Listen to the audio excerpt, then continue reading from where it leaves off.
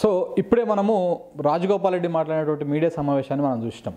గత కొన్ని రోజుల నుంచి ఒక రెండు మూడు రోజుల నుంచి మునుగోడు నియోజకవర్గ ఎమ్మెల్యే అయినటువంటి రాజగోపాల్ రెడ్డి రాజీనామా చేస్తున్నాడని ఆయన కాంగ్రెస్ పార్టీకి రాజీనామా చేసి బీజేపీలకు పోతున్నాడు అనేటువంటి వార్తలు కూడా చూసినాము. సో ఆ నేపథ్యంలో ఆయన రెండు రోజులు నిన్న ఫస్ట్ ఆ వార్తలు వచ్చిన మొదటి రోజు కాస్త అనుకూలంగానే మాట్లాడాడు. నిజంగా నేను పార్టీకి రాజీనామా చేస్తున్నా వెళ్ళిపోతా అనే ఇంటెన్షన్ వచ్చే విధంగా అక్కడక్కడ మీడియాతో మాట్లాడడం జరిగింది. అంటే అవసరమైనప్పుడు ఏ- రాజీనామా చేస్తా లేదంటే కేసీఆర్ను ఓడించే పార్టీకి రాజీనామా చేస్తా. ఇప్పుడున్న పరిస్థితుల్లో కాంగ్రెస్ పార్టీ కేసీఆర్ను ఓడించేంత బలంగా లేదు బలహీనంగా ఉన్నది. కాంగ్రెస్ను ఓడించాలంటే అమిత్ షా తోటి మోడీతోని మాత్రమే అవుతుంది అది బీజేపీతోనే సాధ్యం అవుతుంది ఇట్లాంటి కామెంట్లు చేసుకుంటూ వచ్చిండు. ఇవాళ ప్రెస్ మీట్ పెట్టి ఏం మాట్లాడినంటే ఆయన సేపు అసలు కాంగ్రెస్ పా బీజేపీ పార్టీ తప్పితే కాంగ్రెస్ పార్టీ కేసీఆర్ను ఓడించలేదు అని చెప్పినటువంటి మాట వాస్తవము. నేను అమిత్ షాని కలిసిన మాట వాస్తవము. నలభై ఐదు నిమిషాల పాటు కలిసి మాట్లాడిన వా- మాట వాస్తవము. కానీ నేను రాజీనామా చేస్తానని ఎక్కడ చెప్పలేదు. కాంగ్రెస్ పార్టీకి రాజీనామా చేసి బీజేపీలకు పోతా అని కూడా నేను ఎక్కడ చెప్పలేదు. కానీ రకరకాలుగా కొన్ని మీడియా సంస్థలు పత్రికలు నా మీద దుష్ప్రచారం చేస్తున్నాయి. నేను ఎక్కడ పోతాను చెప్పలేదు అని చెప్పేసి ఆయన చెప్తందుకు ఇలా ప్రెస్ మీట్ పెట్టిండు. మొత్తం ప్రెస్ మీట్ పెట్టినటువంటి సారాంశం ఏంటంటే నేను రాజీనామా చెయ్యను. ఇప్పుడు ఇప్పుడు నేను వేరే పార్టీలకు పోను అవసరం అనుకుంటే చేస్తా అనే ఒక నేను రాజీనామా చేయట్లేదు అనే అంశాన్ని సమర్థించుకోవడం కోసము ఆయన ప్రెస్ మీట్ పెట్టినట్టు అనిపించింది మొదట. కా మాట్లాడుతూ ఒకవేళ నేను రాజీనామా చేయాల్సి వస్తే నా మునుగోడు ప్రజలను అడుగు ఒక అభిప్రాయం తీసుకుంటా నా కార్యకర్తల అభిప్రాయం తీసుకుంటా నా అభిమానుల అభిప్రాయం తీసుకుంటా నల్గొండ ప్రజల కార్యక అభిమానుల అభిప్రాయం తీసుకుంటా మునుగోడు అట్లనే భువనగిరి పార్లమెంటు ప్రజల అభిప్రాయం మేరకు మాత్రమే నేను రాజీనామా చేస్తా. ఒకవేళ చేయాలనుకుంటే అందరికీ చెప్పి బహిరంగంగా చేస్తా. ఇట్లా లేదు నా మీద దుష్ప్రచారం జరుగుతుంది నేను రాజీనామా చేస్తాను ఎక్కడ ప్రకటించలేదు అని చెప్పేసి ఆయన చెప్తందుకని ప్రెస్ మీట్ పెట్టిండు ఇదే విషయం చెప్పిండు. కానీ పోతా పోతూ లాస్ట్ విషయంలో లాస్ట్కు ఏమన్నాడంటే ప్రెస్ మీట్ అయిపోయే అయిపోయే లాస్ట్ లాస్ట్ మినిట్లో ఇంకా వన్ టూ మినిట్స్కి ప్రెస్ మీట్ అయిపోతానంగా మాట్లాడుతూ ఏమన్నాడంటే నా రాజీనామా నేను పార్టీ మారడము చారిత్రాత్మక అవసరము అని అన్నాడు. అంటే నేను పార్టీ మారడం చారిత్రాత్మక అవసరము. నేను బీజేపీలో చేరతనా చేరా అనే అనే అంశంపై ఇప్పుడే క్లారిటీ ఇవ్వను. కానీ పార్టీ మారడం మాట చారిత్రాత్మక అవసరము. ప్రజలు కోరుకుంటే నేను హండ్రెడ్ పర్సెంట్ రాజీనామా చేస్తా అని మాట్లాడుతూ ఆయన ప్రెస్ మీట్ ముగించి వెళ్ళిపోయింది ఇక ఇక్కడ ఇక్కడ క్లారిటీ ఏమర్థమైందంటే ఆయన కొంచెము కన్ఫ్యూజన్లో ఉన్నాడు బేసికలీ ఎందుకు అంటే అమిత్ షాని కలిసిన తర్వాత కొంతమంది మిత్రులతో నేను మాట్లాడడం జరిగింది. మునుగోడు నుంచి మాట్లాడిన ఢిల్లీలో ఉన్నటువంటి సీనియర్ రిపోర్టర్ మిత్రులతో చాలామందితో మాట్లాడడం జరిగింది. మాట్లాడితే వాళ్ళు చెప్పినటువంటి విషయం ఏంటంటే అమిత్ షాని కలవడం వాస్తవమే అక్కడ ఆయన మాట్లాడడం వాస్తవమే. కాకపోతే హుజూరాబాదులో ఏదైతే సీన్ రిపీట్ అయిందో అదే సీన్ మునుగోడులో రిపీట్ అవుతుందా కాదా అనే అంశం గురించి వీళ్ళు ప్రస్తావించుకున్నారు వీళ్ళు మాట్లాడుకున్నారు. ఏమని మాట్లాడుకున్నారు? హుజూరాబాద్లో రేటల రాజేంద్రన్ ఎట్లయితే కాంగ్రెస్ టీఆర్ఎస్ పార్టీ పార్టీని ఓడించి బీజేపీ పార్టీని అక్కడ గెలిపించిండో నువ్వు ఇప్పుడు కాంగ్రెస్ పార్టీ నుంచి రాజీనామా చేసి బీజేపీలోకి వస్తే అక్కడ అధికార ఇప్పుడు పోటీ కాంగ్రెస్ పార్టీ మీద ఉండదు. మునుగోడులో అయినా బీజేపీలోకి పోతే పోటీ బీజేపీ వర్సెస్ టీఆర్ఎస్ ఉంటుంది కాంగ్రెస్ మధ్యలో ఉండదు. కాంగ్రెస్ పక్కన పెట్టేస్తే ఇప్పుడు అక్కడ మనం టీఆర్ఎస్ పార్టీని ఓడించగలుగుతాం మునుగోడులో. మునుగోడులో టీఆర్ఎస్ పార్టీని ఓడించేంత దమ్ము ఉన్నదా? ఒకవేళ కాంగ్రెస్ పార్టీ నుంచి అయితే కాంగ్రెస్ నుంచి అయితే కార్యకర్తలు ఉన్నది ఆ బలం ఉన్నది కాబట్టి వచ్చినాం కానీ బీజేపీ నుంచి వస్తే గతంలో ఎప్పుడు కూడా పదివేల ఓట్లకు మించి రాలేదు బీజేపీకి మన మునుగోడు కాన్స్టిట్యున్సీలో. పదివేల ఓట్లు కూడా రాలేదు ఆరేడు వేల ఓట్లు పదివేల లోపల మాత్రమే వచ్చినటువంటి సందర్భాలు చాలా చూసినాం. అలాంటి సందర్భంలో నువ్వు మునుగోడు నుంచి రిజైన్ చేసి బీజేపీలోకి వస్తే అక్కడ మనం పార్టీని గెలిపించుకోగలుగుతామా? అంటే అక్కడ అక్కడనేమో నేను హండ్రెడ్ పర్సెంట్ గెలిపిస్తాం గెలుస్తాము. హండ్రెడ్ పర్సెంట్ గెలుస్తాం. కేసీఆర్ కేసీఆర్ మీద ఘోరమైనటువంటి వ్యతిరేకత ఉన్నదని చెప్పేసి అక్కడ ఆ మీటింగ్లో మాట్లాడినట్టు మనకు తెలుస్తున్నటువంటి సమాచారం. కానీ అక్కడ ఎప్పుడైతే అక్కడ నుంచి వచ్చి హైదరాబాద్కు వచ్చినాక హైదరాబాద్లో వచ్చినటువంటి తర్వాత ఇక్కడ వచ్చినటువంటి వార్తలు ఆయన సొంత నియోజకవర్గం నుంచి వస్తున్నటువంటి కార్యకర్తల రియాక్షను మండలాల అధ్యక్షుల రియాక్షను ఇట్లా ఇవన్నీ చూసిన తర్వాత కొంత కన్ఫ్యూజన్లో పడిపోయిండు. దాంతోపాటు ఈయన కోమటిరెడ్డి గారు ఒక ప్రముఖ లాయర్తోని భేటీ అయ్యి అసలు మనము రాజ రాజీనామా చేసి బీజేపీలకు పోతే ఆ రాజీనామా యాక్సెప్ట్ చేయకుండా ఆపే ఆలోచనలు ఏమైనా ఉన్నాయా? దాన్ని ఏమైనా సాగదీయొచ్చా? ఎట్లన్నా చేయొచ్చా అనే అంశం మీద కూడా ఆయన కొంతమంది ఒక ప్రముఖ లాయర్తోని మీటింగ్ జరిపి దాని గురించి మాట్లాడినట్టు కూడా మనకు తెలుస్తున్నటువంటి సమాచారం. అయితే ఆ లాయర్ గారు కూడా చెప్పారంట నువ్వు రాజీనామా చేస్తే స్పీకర్ ఫార్మాట్లో రాజీనామా చేస్తే ఎట్టి పరిస్థితుల్లో దాన్ని ఆపడానికి ఉండదు. హండ్రెడ్ పర్సెంట్ ఆయన అప్రూవ్ చేసేస్తాడు. రాజీనామా ఆమోదం అవుతుంది ఆమోదం అయిన తర్వాత ఉప- ఎన్నిక తక్షణం అవుతుంది అనివార్యంగా ఉప ఎన్నిక వస్తుంది. దాంట్లో తిరిగేలేదు అన్నాడు. కానీ ఓవైపు మునుగోడు నియోజకవర్గం నుంచి వస్తున్నటువంటి కార్యకర్తల ఫీడ్బ్యాక్ కానీ నాయకుల ఫీడ్బ్యాక్ కానీ ఏమున్నది? నువ్వు గనక బీజేపీ పార్టీలోకి పోతే కాంగ్రెస్ పార్టీని వదిలేసి బీజేపీ పార్టీలోకి పోతే కనీసము పదివేల ఓట్లు పదివేల ఓట్ల నుంచి ఇరవై వేల ఓట్ల కంటే ఎక్కువ రావు. కాంగ్రెస్ పార్టీకి ఉన్న బలము బీజేపీకి లేదు. మునుగోడుల దట్టు. మునుగోడు ఒకసారి మునుగోడు నేపథ్యం చూసుకుంటే మునుగోడు కమ్యూనిస్టుల కంచుకోట ఒకప్పుడు. నీకు దేశమం నీకు రాష్ట్రమంతా ఏ పార్టీ అధికారంలో ఉన్నా కానీ మునుగోడులో కమ్యూనిస్టులు ఉండేవాళ్ళు లేకపోతే కాంగ్రెస్ ఉండేటిది. కానీ బీజేపీకి కానీ లేకపోతే ఇంకా వేరే ఇతర పార్టీలకు కానీ ఛాన్స్ లేదు. అట్లాంటి కమ్యూనిస్ట్ క- కంచుకోట అయినటువంటి మునుగోడులో అప్పుడు ఆ కమ్యూనిస్టులు చాలా వరకు కాంగ్రెస్ కన్వర్ట్ అయ్యారు కొంతమంది టీఆర్ఎస్ కన్వర్ట్ అయ్యారు. అంతేగాని బీజేపీకి ఎవడు కన్వర్ట్ కాలేదు బీజేపీలో ఉన్నటువంటి వాళ్ళు ఎవరు? ఆ మొదటి నుంచి ఉన్నటువంటి అదే ఆర్ఎస్ఎస్ సంబంధించినటువంటి మూలాలు ఉన్న వాళ్ళు. ఏదైతే ఈ బీజేపీకి ఉన్నటువంటి ఆడ ఈడ జిల్లా మండలంలో ఒకరిద్దరు తప్పితే పెద్దగా ఎక్కర్లేరు ఆ జ- మునుగోడు మొత్తంలో ఒక పదివేల నుంచి పదిహేను వేల ఓట్లు కూడా వచ్చేటువంటి పరిస్థితి లేదు మునుగోడులో బీజేపీకి. కానీ ఇప్పుడు ఈయన మునుగోడు పార్టీ మునుగోడులో కాంగ్రెస్కు రిజైన్ చేసి బీజేపీలకు పోతే ఈయన మాత్రం పోగలుగుతాడు కానీ కొంతమందిని నాయకులను తీసుకుపోగలుగుతాడు కానీ కార్యకర్తలు మొత్తం బీజేపీలకు పో- తీసుకుపోయేటువంటి అవకాశం లేదు. వాళ్ళు రారు. ఎందుకంటే మునుగోడు నేపథ్యం అది మునుగోడు పోరాట నేపథ్యం అది. అలాంటి మునుగోడులో నువ్వు బీజేపీని గెలిపించాలనుకోవడం చాలా కత్తి మీద సాము లాంటి పరిస్థితి అవుతుంది. నువ్వు మునుగోడులోకి వెళ్ళి నువ్వు కాంగ్రెస్ నుంచి నిలబడు మళ్ళీ నీకు గెలిచే అవకాశాలు ఉంటాయి. నువ్వు హండ్రెడ్ పర్సెంట్ గెలిపిస్తానికి మేము ప్రయత్నం చేస్తాము మేము ప్రభుత్వ వైఫల్యాలను అటు కేంద్ర ప్రభుత్వ వైఫల్యాలను ఇటు రాష్ట్ర ప్రభుత్వ వైఫల్యాలను ప్రజలకు తీసుకుపోతాము హండ్రెడ్ పర్సెంట్ గెలిపిస్తాం కానీ నువ్వు బీజేపీని కాంగ్రెస్ని వదిలేసి బీజేపీలకు పోతే మాత్రము హండ్రెడ్ పర్సెంట్ మేము వెనకాల మేము రాలేము అని చెప్పి ఇప్పటికే మనం రెండు మూడు వీడియోలు కూడా పెట్టడం జరిగింది. ఒక పెద్ద మనిషి కాంగ్రెస్ని నమ్ముకున్నటువంటి ఇది పాల్వాయి గోవర్ధన్ రెడ్డి కాలం నుంచి ఉన్నటువంటి ఒక పెద్ద మనిషి మాట్లాడుతూ ఏమన్నాడు? నీకోసం కాంగ్రెస్ పార్టీ పుట్టిందా ఈడ? నీకోసం కాంగ్రెస్ పార్టీని గెలిపించుకున్నావా మేము ఈడ? కాంగ్రెస్ పార్టీ కోసం మేము గెలిపించుకున్నాము. నువ్వు ఇలా పోతే మేము ఇంకొక నాయకుడు వస్తాడు ఇంకొకరిని మేము గెలిపించుకుంటాం. కానీ నీ వెనకాల మేము రావడం అనుకునేది అసాధ్యం అనేది ఆయన కుండ బదలు కొట్టినట్టు చెప్పిండు ఆ పెద్ద మనిషి. సో ఇట్లాంటి కరడు కట్టిన కట్టర్ కాంగ్రెస్ నాయకులు చాలామంది కార్యకర్తలు మునుగోడులో ఉన్నారు. నువ్వు ఇప్పుడు ఈ సమయంలో మునుగోడును వదిలేసి బీజేపీలకు పోతే బీజేపీని గెలిపించాలనుకోవడము కళ్ళ. హుజురాబాద్ ఎన్ని- హుజురాబాద్ ఎన్నికకు మునుగోడు ఎన్నికకు చాలా డిఫరెన్స్ ఉన్నది. హుజురాబాద్లో సింపతి పనిచేసినది. హుజురాబాద్లో ఒక పార్టీలో అధికారంలో ఉన్నటువంటి పార్టీ ఈ మంత్రిని ఆయన్ని క్యాబినెట్ నుంచి తొలగించి ఆయన్ను మెడలు బట్టి బయటికి గెంటేశారనేటువంటి సింపతి ఒక ప్రజల లోపల వచ్చింది కాబట్టి అక్కడ ఆయన హుజురాబాద్లో ఆయన గెలవగలిగిండు. ఆ సంపత్తి ఆ సింపతి ఉన్నది. దట్టు ఈటల రాజేందర్కి కోమటిరెడ్డి రాజగోపాల్ రెడ్డికి ఎక్కడ పోలిక పెడతామండి? ఈటల రాజేందర్ రెడ్డి ఈట ఈటల రాజేందరు ఉద్యమంలో పాల్గొన్న నాయకుడు ఉద్యమంలో ఆ టీఆర్ఎస్ పార్టీకి సీఎల్ ఎల్పీగా పనిచేసిండు ఆయన. పార్టీని కాస్త రెండవ ఆ, అధినాయకుని లెక్క నడిపించిండు. అట్లా నడిచిన వ్యక్తి అలాంటి వ్యక్తి బయటకు రావడం వల్ల ఆయనకు సింపతి పనిచేసింది. హుజురాబాద్లో ఆయనకున్నటువంటి ఆ ఆ బలం పనిచేసింది. ఆ సింపతి ఇవన్నీ వర్కౌట్ అయినాయి. జాతీయ పార్టీ బీజేపీ పార్టీ కండువ కప్పుకున్నాడు కాబట్టి ఆయన గా మాత్రం మెజారిటీ వచ్చింది. అదే బీజేపీ కండువ కాకుండా వేరే ఇండిపెండెంట్గా పోటీ చేసినా కానీ దానికి రెండింతల మెజారిటీ వచ్చేది. హండ్రెడ్ పర్సెంట్ ఇందులో తిరిగేలేదు. కాబట్టి అలాంటి అసలు అక్కడ బీజేపీ హుజురాబాద్లో బీజేపీ గెలిపే కాదు అది. అది అది క్లియర్ కట్గా ఈటల రాజేందర్ గెలుపు. బీజేపీ అనే పేరు చెప్పుకున్నాడు కాబట్టి అక్కడ ఇంకా చాలా వరకు ముస్లిం ఓట్లని దూరం చేసుకున్నాడు ఆయన. అదే నువ్వు ఇండిపెండెంట్గా ఉంటే ఇంకా చాలా ఓట్లు పడేటివి ఆయనకు. సో అలాంటి పరిస్థితులు అసలు ఇవ్వు. హుజురాబాద్కి మునుగోడుకి ఏమాత్రం పోలిక లేదు. సమయము సందర్భము ఏ మాత్రం కూడా ఏ విధంగా కూడా దానికి దీనికి పోలిక చేయలేము. నాయకుని పిర నాయ నాయకుని పరంగా చేయలేము.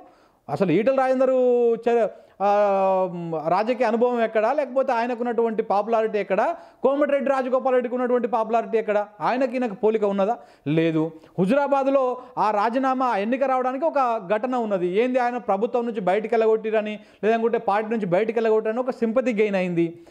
కేసీఆర్ నమ్మిన బంటుగా ఉన్న కుడిభుజంగా ఉన్న అన్నదమ్ములు లెక్క ఉన్నటువంటి ఈటలందరూ బయటికి వెళ్ళగొట్టడం వల్ల ఆ, ఎన్నిక వచ్చింది. దాని మీద ఆయన మీద హండ్రెడ్ పర్సెంట్ రాష్ట్ర వ్యాప్తంగా అనుకూల పవనాలు ఏమంటారు సానుభూతి పవనాలు వీసినాయి. కానీ మునుగోడులో ఆ పరిస్థితి లేదు కదా.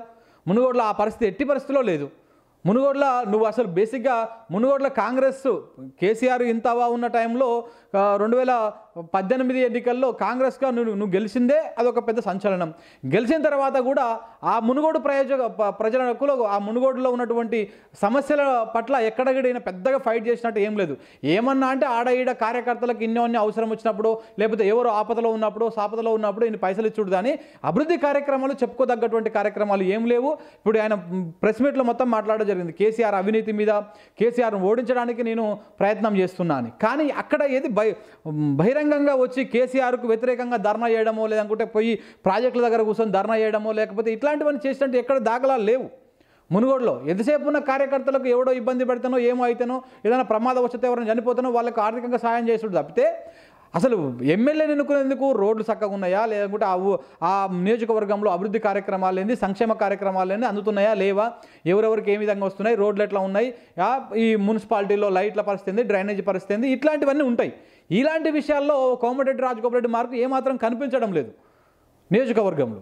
సో అలాంటి నేపథ్యంలో ఇప్పుడు నువ్వు నీ స్వార్థ రాజకీయ ప్రయోజనాల కోసము కాంగ్రెస్ పార్టీకి రిజైన్ చేసి బీజేపీకి పోయి బీజేపీలో పోటీ చేస్తే బీజేపీ నుంచి పోటీ చేస్తే ఎందుకు ప్రజలు నీ వెనకాల ఉంటారనేది కాంగ్రెస్ నాయకులు చెప్పేటువంటి మాట.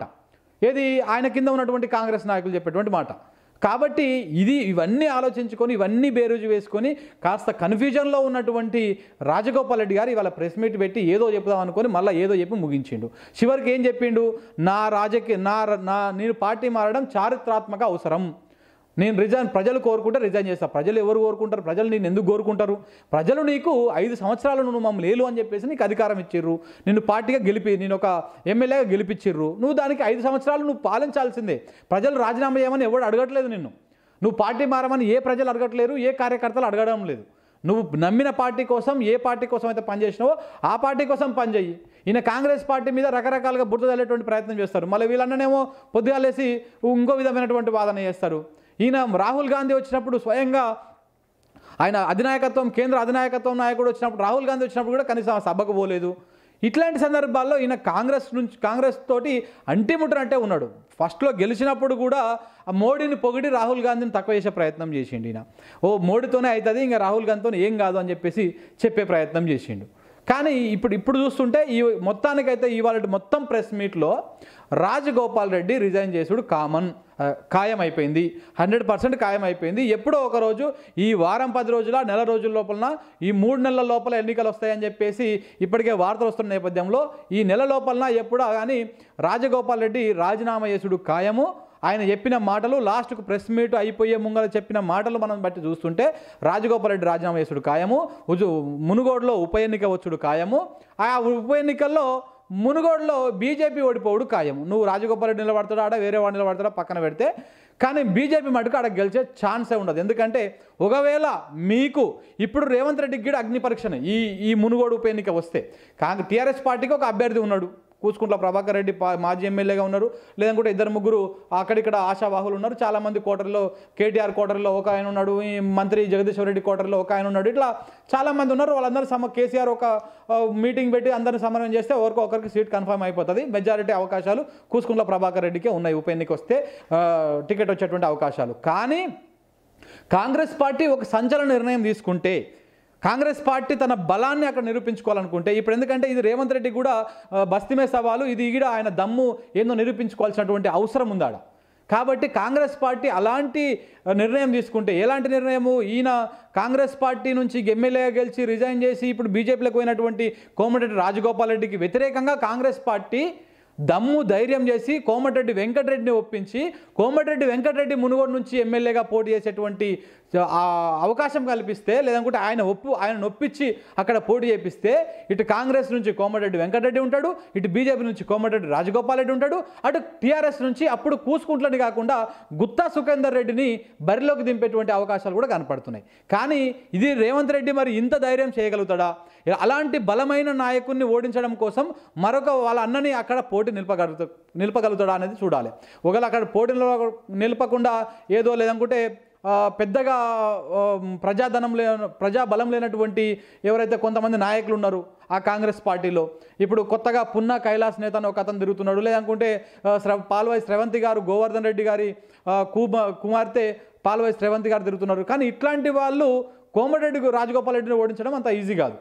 దా లేకపోతే ఈ టీఆర్ఎస్ పార్టీని ఓడించడం అంత ఈజీ కాదు. కానీ అంత బలమైన అంతే ఈ రెండు ఓ, ఏమంటారు ఏనుగులు కొట్లాట చేస్తుంటే ఇంకొక ఏనుగు రావాలి కానీ ఇంకొక చిన్న జీవిని తీసుకొచ్చి పెడితే అందులో సాధ్యం కాదు. ఇప్పుడు ఓ, రేవంత్ రెడ్డి పరిస్థితి కూడా అట్లనే ఉన్నది.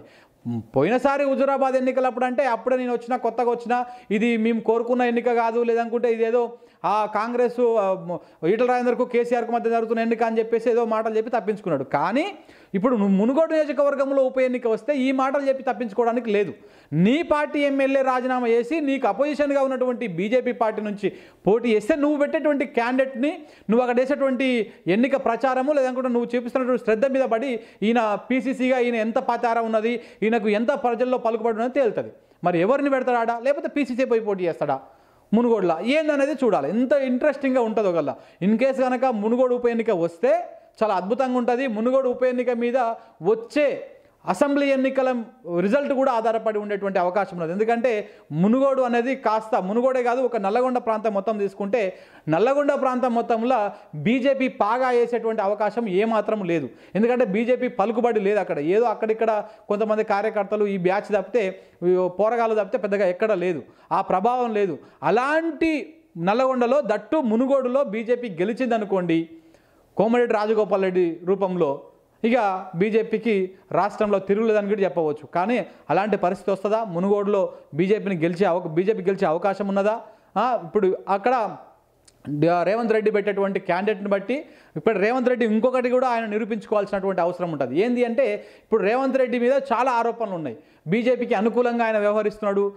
కాంగ్రెస్ పార్టీలో ఆయన కోటర్ని పెంచి పోషించుకుంటున్నాడు. ప్రతి దగ్గర ఆయన వర్గాన్ని పెంచుకొని కాంగ్రెస్ పార్టీతో సంబంధం లేకుండా రేపనాడు బీజేపీకి ప్రభుత్వాన్ని ఏర్పాటు చేసేటువంటి అవకాశం వస్తే ఈయన కోటర్ని తీసుకొని బయటికి వెళ్ళిపోయి ఆ ప్రభుత్వానికి వాళ్ళు సపోర్ట్ చేసేటువంటి అవకాశం ఉన్నది. ఈయన మొత్తం బీజేపీ కోవట్టు అనేటువంటి వాదనలు కూడా వినపడుతున్నాయి తెలంగాణ రాజకీయాల్లో.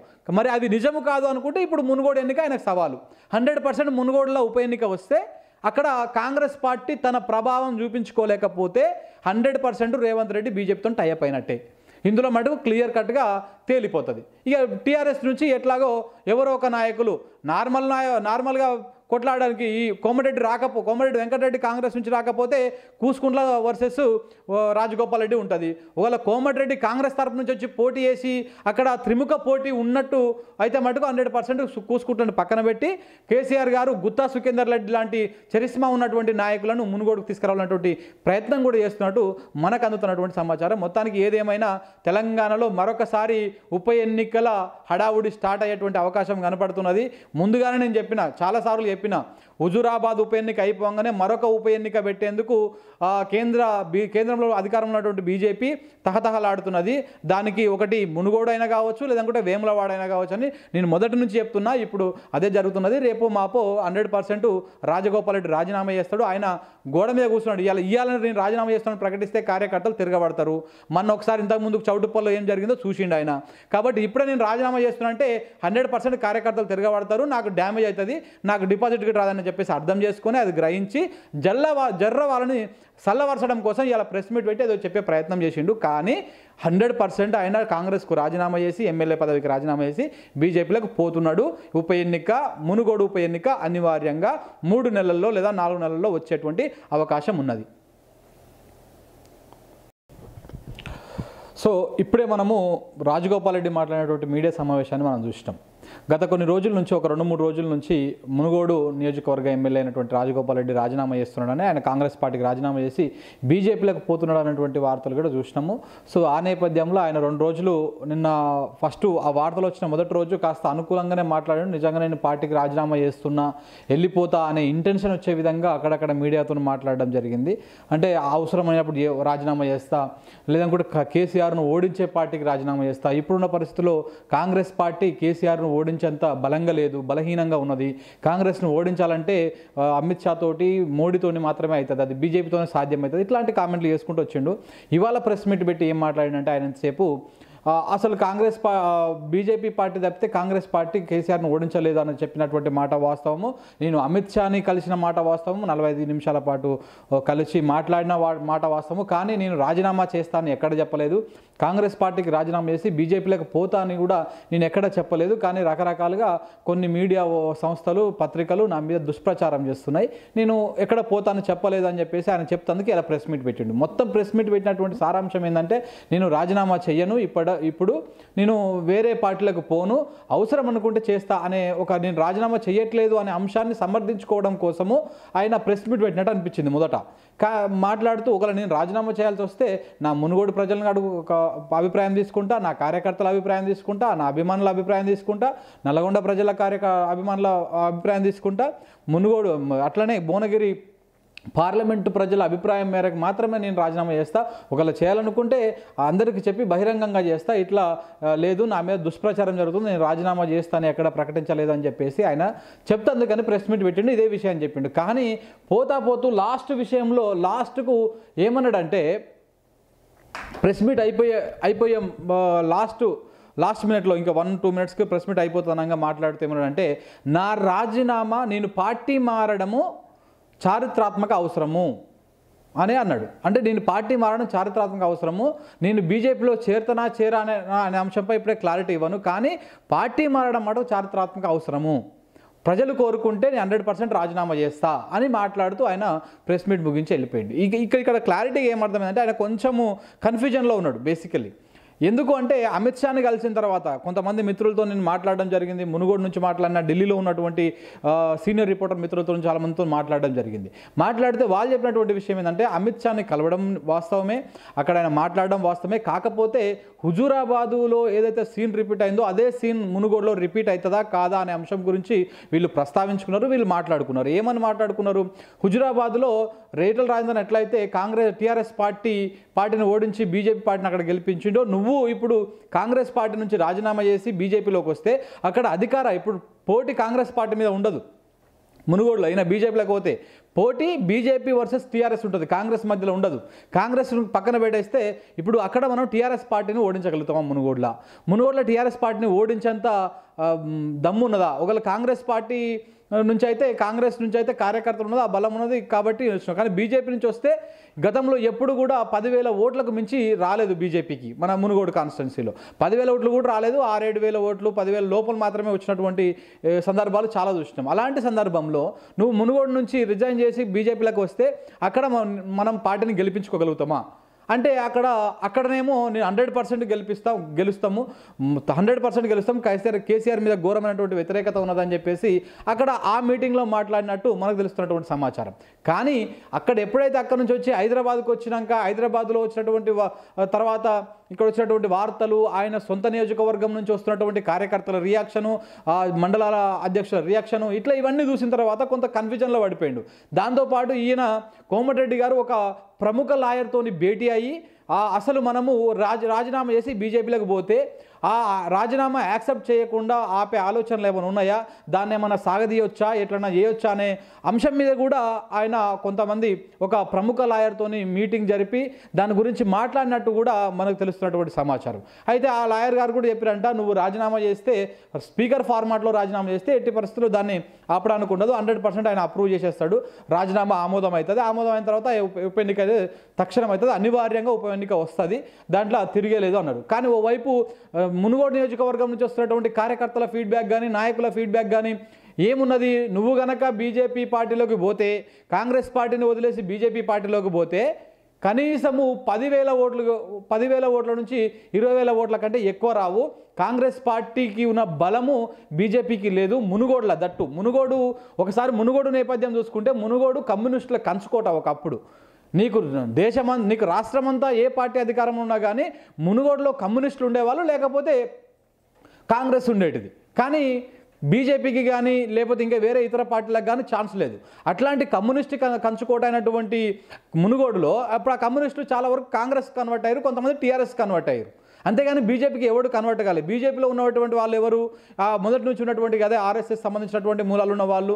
ఏదైతే ఈ బీజేపీకి ఉన్నటువంటి ఆడ ఈడ జిల్లా మండలంలో ఒకరిద్దరు తప్పితే పెద్దగా ఎక్కర్లేరు ఆ మునుగోడు మొత్తంలో ఒక పదివేల నుంచి పదిహేను వేల ఓట్లు కూడా వచ్చేటువంటి పరిస్థితి లేదు మునుగోడులో బీజేపీకి. కానీ ఇప్పుడు ఈయన మునుగోడు పార్టీ మునుగోడులో కాంగ్రెస్కు రిజైన్ చేసి బీజేపీలకు పోతే ఈయన మాత్రం పోగలుగుతాడు కానీ కొంతమందిని నాయకులను తీసుకుపోగలుగుతాడు కానీ కార్యకర్తలు మొత్తం బీజేపీలకు పో- తీసుకుపోయేటువంటి అవకాశం లేదు. వాళ్ళు రారు. ఎందుకంటే మునుగోడు నేపథ్యం అది మునుగోడు పోరాట నేపథ్యం అది. అలాంటి మునుగోడులో నువ్వు బీజేపీని గెలిపించాలనుకోవడం చాలా కత్తి మీద సాము లాంటి పరిస్థితి అవుతుంది. నువ్వు మునుగోడులోకి వెళ్ళి నువ్వు కాంగ్రెస్ నుంచి నిలబడు మళ్ళీ నీకు గెలిచే అవకాశాలు ఉంటాయి.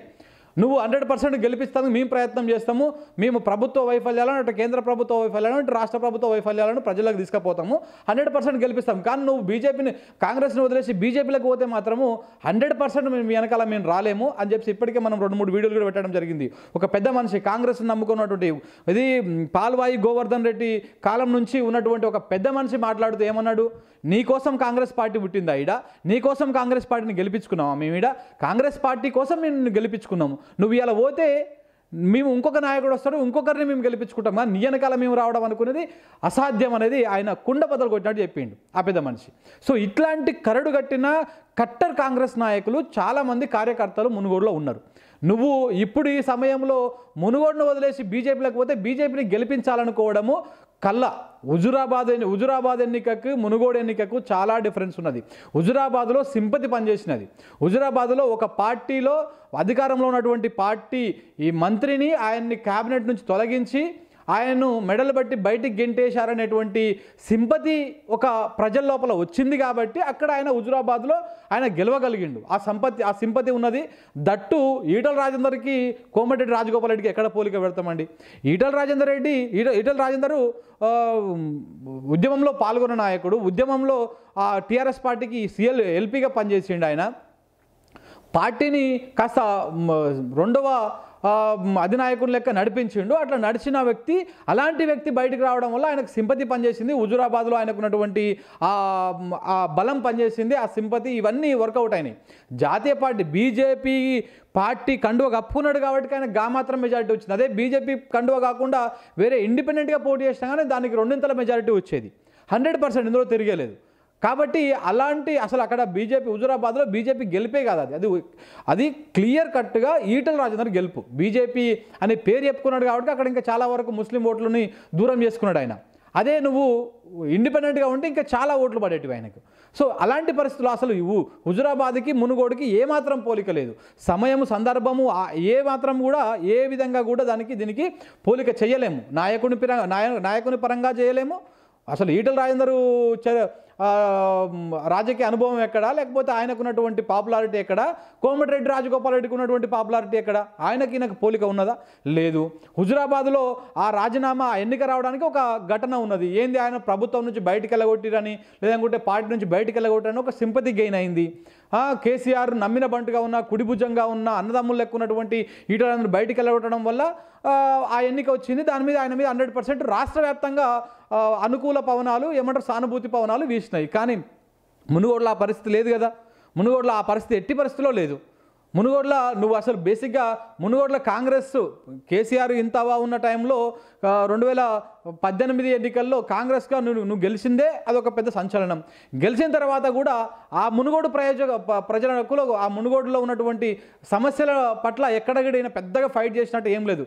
ఏమన్నా అంటే ఆడ ఈడ కార్యకర్తలకు ఇన్ని అన్ని అవసరం వచ్చినప్పుడు లేకపోతే ఎవరు ఆపదలో ఉన్నప్పుడు సాపదలో ఉన్నప్పుడు ఇన్ని పైసలు ఇచ్చుడు కానీ అభివృద్ధి కార్యక్రమాలు చెప్పుకోదగ్గటువంటి కార్యక్రమాలు ఏం లేవు. ఇప్పుడు ఆయన ప్రెస్ మీట్లో మొత్తం మాట్లాడడం జరిగింది. కేసీఆర్ అవినీతి మీద కేసీఆర్ను ఓడించడానికి నేను ప్రయత్నం చేస్తున్నాను. కానీ అక్కడ ఏది బై బహిరంగంగా వచ్చి కేసీఆర్కు వ్యతిరేకంగా ధర్నా చేయడమో లేదనుకుంటే పోయి ప్రాజెక్టుల దగ్గర కూర్చొని ధర్నా చేయడమో లేకపోతే ఇట్లాంటివన్నీ చేసినట్టు ఎక్కడ దాఖలాలు లేవు.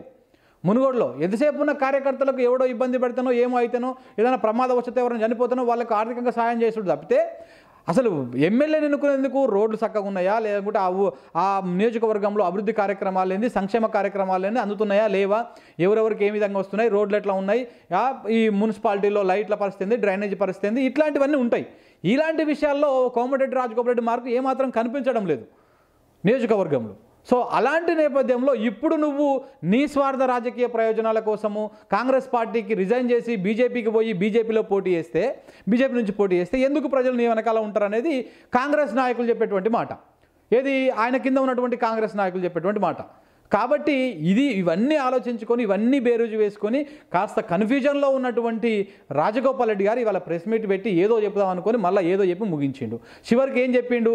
నా రాజకీయ నా నా నేను పార్టీ మారడం చారిత్రాత్మక అవసరం.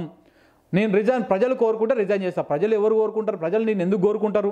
ప్రజలు నీకు ఐదు సంవత్సరాలు నువ్వు మమ్మల్ని లేలు అని చెప్పేసి నీకు అధికారం ఇచ్చిర్రు. నిన్ను పార్టీగా గెలిపి నేను ఒక ఎమ్మెల్యేగా గెలిపించిర్రు నువ్వు దానికి ఐదు సంవత్సరాలు నువ్వు పాలించాల్సిందే. ప్రజలు రాజీనామా చేయమని ఎవడు అడగట్లేదు నిన్ను. నువ్వు పార్టీ మారమని ఏ ప్రజలు అడగట్లేరు ఏ కార్యకర్తలు అడగడం లేదు. నువ్వు నమ్మిన పార్టీ కోసం ఏ పార్టీ కోసం అయితే పనిచేసినావో ఆ పార్టీ కోసం పనిచేయి ఈయన కాంగ్రెస్ పార్టీ మీద రకరకాలుగా బురద తల్లేటువంటి ప్రయత్నం చేస్తారు. మళ్ళీ వీళ్ళన్ననేమో పొద్దుగాలేసి ఇంకో విధమైనటువంటి వాదన చేస్తారు. ఈయన రాహుల్ గాంధీ వచ్చినప్పుడు స్వయంగా ఆయన అధినాయకత్వం కేంద్ర అధినాయకత్వం నాయకుడు వచ్చినప్పుడు రాహుల్ గాంధీ వచ్చినప్పుడు కూడా కనీసం సభకు పోలేదు. ఇట్లాంటి సందర్భాల్లో ఈయన కాంగ్రెస్ నుంచి కాంగ్రెస్ తోటి అంటిముట్టనంటే ఉన్నాడు. ఫస్ట్లో గెలిచినప్పుడు కూడా ఆ మోడీని పొగిడి రాహుల్ గాంధీని తక్కువ చేసే ప్రయత్నం చేసిండు ఈయన. ఓ మోడీతోనే అవుతుంది ఇంకా రాహుల్ గాంధీతో ఏం కాదు అని చెప్పేసి చెప్పే ప్రయత్నం చేసిండు. కానీ ఇప్పుడు ఇప్పుడు చూస్తుంటే ఈ మొత్తానికైతే ఇవాళ మొత్తం ప్రెస్ మీట్లో రాజగోపాల్ రెడ్డి రిజైన్ చేసుడు కామన్ ఖాయం అయిపోయింది హండ్రెడ్ పర్సెంట్ ఖాయం అయిపోయింది ఎప్పుడో ఒకరోజు ఈ వారం పది రోజుల నెల రోజుల లోపల ఈ మూడు నెలల లోపల ఎన్నికలు వస్తాయని చెప్పేసి ఇప్పటికే వార్తలు వస్తున్న నేపథ్యంలో ఈ నెల లోపల ఎప్పుడో కానీ రాజగోపాల్ రెడ్డి రాజీనామా చేసుడు ఖాయము. ఆయన చెప్పిన మాటలు లాస్ట్కు ప్రెస్ మీట్ అయిపోయే ముంగల చెప్పిన మాటలు మనం బట్టి చూస్తుంటే రాజగోపాల్ రెడ్డి రాజీనామా చేసుడు ఖాయము. ఉజు మునుగోడులో ఉప ఎన్నిక వచ్చుడు ఖాయము. ఆ ఉప ఎన్నికల్లో మునుగోడులో బీజేపీ ఓడిపోవుడు ఖాయం నువ్వు రాజగోపాల్ రెడ్డి నిలబడతాడా? ఆడ వేరే వాడు నిలబడతాడా? పక్కన పెడితే. కానీ బీజేపీ మటుకు ఆడ గెలిచే ఛాన్సే ఉండదు. ఎందుకంటే ఒకవేళ మీకు ఇప్పుడు రేవంత్ రెడ్డికి కూడా అగ్ని పరీక్షనే. ఈ ఈ మునుగోడు ఉప ఎన్నిక వస్తే. కాంగ్రెస్ టీఆర్ఎస్ పార్టీకి ఒక అభ్యర్థి ఉన్నాడు. కూచుకుంట్ల ప్రభాకర్ రెడ్డి పా- మాజీ ఎమ్మెల్యేగా ఉన్నారు. లేదంటే ఇద్దరు ముగ్గురు అక్కడిక్కడ ఆశావాహులు ఉన్నారు. చాలామంది కోటర్లో కేటీఆర్ కోటర్లో ఒక ఆయన ఉన్నాడు ఈ మంత్రి జగదీశ్వర్ రెడ్డి కోటర్లో ఒక ఆయన ఉన్నాడు. ఇట్లా చాలామంది ఉన్నారు. వాళ్ళందరూ సమ కేసీఆర్ ఒక మీటింగ్ పెట్టి అందరిని సమన్వయం చేస్తే ఎవరికో ఒకరికి సీట్ కన్ఫర్మ్ అయిపోతుంది. మెజారిటీ అవకాశాలు కూసుకుంట్ల ప్రభాకర్ రెడ్డికే ఉన్నాయి. ఉప ఎన్నిక వస్తే టికెట్ వచ్చేటువంటి అవకాశాలు. కానీ కాంగ్రెస్ పార్టీ ఒక సంచలన నిర్ణయం తీసుకుంటే కాంగ్రెస్ పార్టీ తన బలాన్ని అక్కడ నిరూపించుకోవాలనుకుంటే ఇప్పుడు ఎందుకంటే ఇది రేవంత్ రెడ్డి కూడా బస్తిమే సవాలు ఇది కూడా ఆయన దమ్ము ఏందో నిరూపించుకోవాల్సినటువంటి అవసరం ఉందాడ. కాబట్టి కాంగ్రెస్ పార్టీ అలాంటి నిర్ణయం తీసుకుంటే ఎలాంటి నిర్ణయము? ఈయన కాంగ్రెస్ పార్టీ నుంచి ఎమ్మెల్యేగా గెలిచి రిజైన్ చేసి ఇప్పుడు బీజేపీలకు పోయినటువంటి కోమటిరెడ్డి రాజగోపాల్ రెడ్డికి వ్యతిరేకంగా కాంగ్రెస్ పార్టీ దమ్ము ధైర్యం చేసి కోమటిరెడ్డి వెంకటరెడ్డిని ఒప్పించి కోమటిరెడ్డి వెంకటరెడ్డి మునుగోడు నుంచి ఎమ్మెల్యేగా పోటీ చేసేటువంటి అవకాశం కల్పిస్తే లేదనుకుంటే ఆయన ఒప్పు ఆయన నొప్పించి అక్కడ పోటీ చేపిస్తే ఇటు కాంగ్రెస్ నుంచి కోమటిరెడ్డి వెంకటరెడ్డి ఉంటాడు ఇటు బీజేపీ నుంచి కోమటిరెడ్డి రాజగోపాల్ రెడ్డి ఉంటాడు అటు టీఆర్ఎస్ నుంచి అప్పుడు కూసుకుంట్లని కాకుండా గుత్తా సుఖేందర్ రెడ్డిని బరిలోకి దింపేటువంటి అవకాశాలు కూడా కనపడుతున్నాయి. కానీ ఇది రేవంత్ రెడ్డి మరి ఇంత ధైర్యం చేయగలుగుతాడా? అలాంటి బలమైన నాయకుడిని ఓడించడం కోసం మరొక వాళ్ళ అన్నని అక్కడ పోటీ నిలపగలుగుతా నిలపగలుగుతాడా అనేది చూడాలి. ఒకవేళ అక్కడ పోటీ నిలపకుండా ఏదో లేదనుకుంటే పెద్దగా ప్రజాధనం లే ప్రజాబలం లేనటువంటి ఎవరైతే కొంతమంది నాయకులు ఉన్నారు ఆ కాంగ్రెస్ పార్టీలో ఇప్పుడు కొత్తగా పున్నా కైలాస్ నేత అని ఒక అతను తిరుగుతున్నాడు. లేదనుకుంటే శ్రవ పాల్వాయి శ్రవంతి గారు గోవర్ధన్ రెడ్డి గారి కుమ కుమార్తె పాల్వాయి శ్రవంతి గారు తిరుగుతున్నారు. కానీ ఇట్లాంటి వాళ్ళు కోమటిరెడ్డి రాజగోపాల్ రెడ్డిని ఓడించడం అంత ఈజీ కాదు.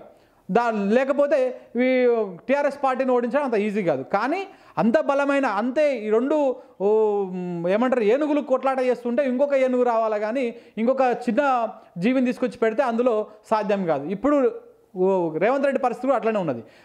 పోయినసారి హుజురాబాద్ ఎన్నికలప్పుడు అంటే అప్పుడే నేను వచ్చినా కొత్తగా వచ్చినా ఇది మేము కోరుకున్న ఎన్నిక కాదు లేదనుకుంటే ఇదేదో ఆ కాంగ్రెస్ ఈటల రాజేందర్కు కేసీఆర్కు మధ్య జరుగుతున్న ఎన్నిక అని చెప్పేసి ఏదో మాటలు చెప్పి తప్పించుకున్నాడు. కానీ ఇప్పుడు మునుగోడు నియోజకవర్గంలో ఉప ఎన్నిక వస్తే ఈ మాటలు చెప్పి తప్పించుకోవడానికి లేదు.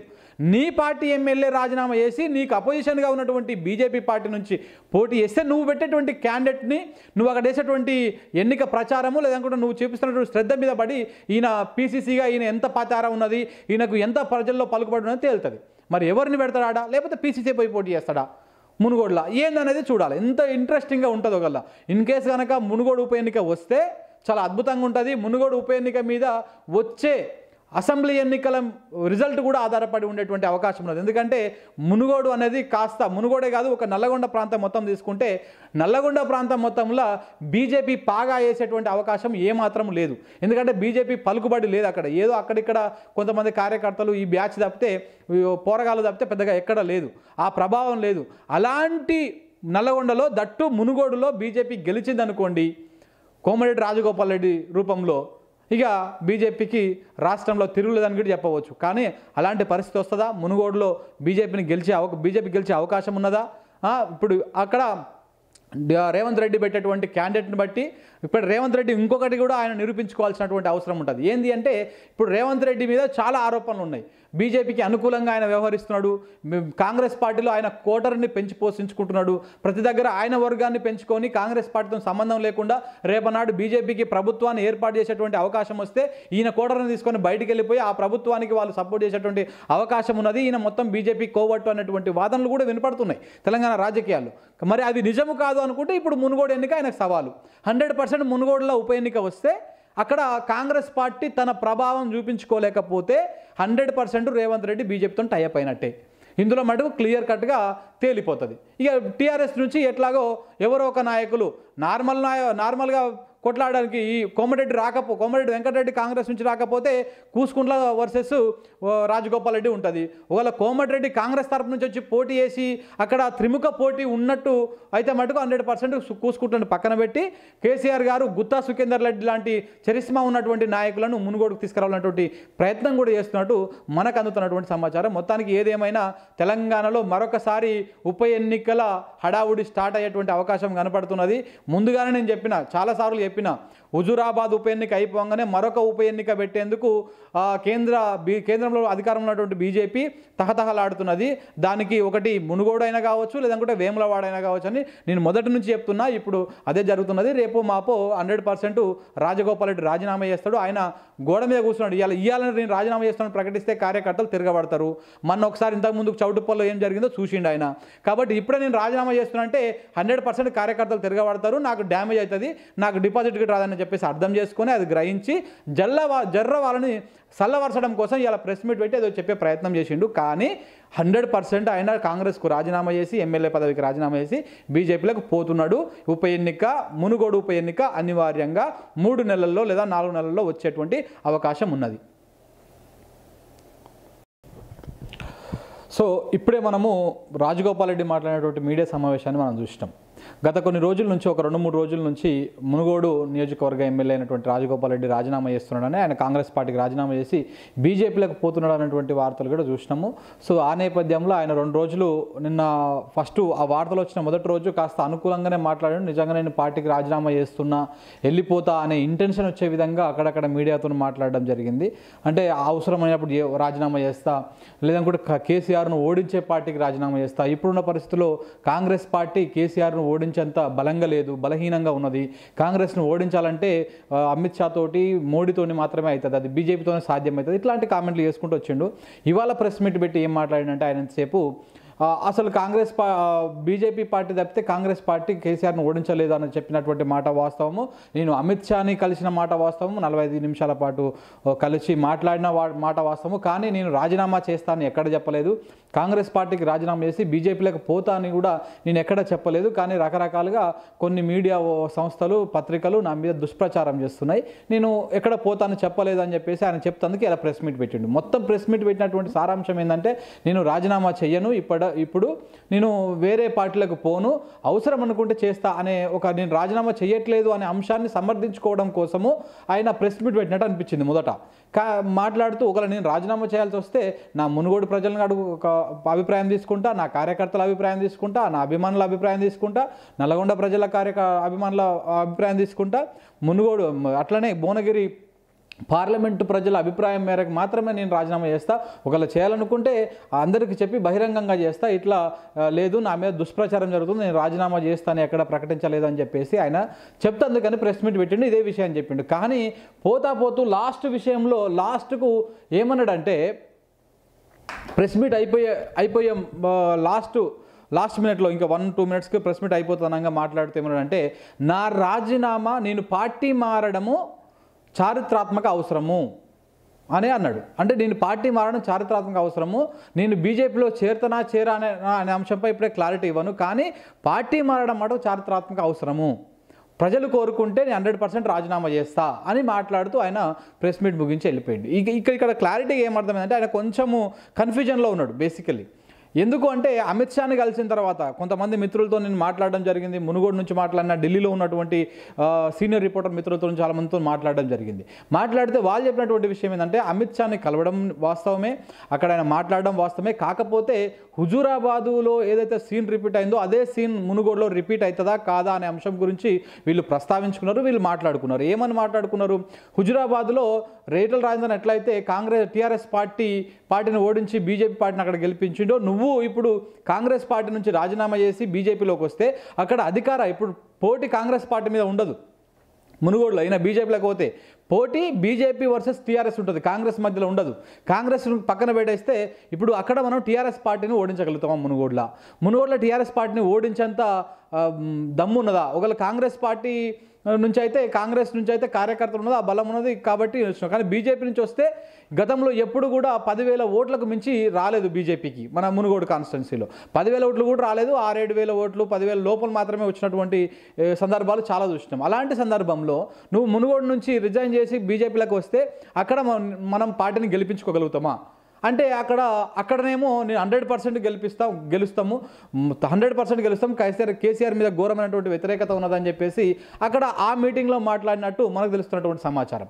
కానీ అక్కడ ఎప్పుడైతే అక్కడ నుంచి వచ్చి హైదరాబాద్కు వచ్చినాక హైదరాబాద్లో వచ్చినటువంటి తర్వాత ఇక్కడ వచ్చినటువంటి వార్తలు ఆయన సొంత నియోజకవర్గం నుంచి వస్తున్నటువంటి కార్యకర్తల రియాక్షను మండలాల అధ్యక్షుల రియాక్షను ఇట్లా ఇవన్నీ చూసిన తర్వాత కొంత కన్ఫ్యూజన్లో పడిపోయిండు.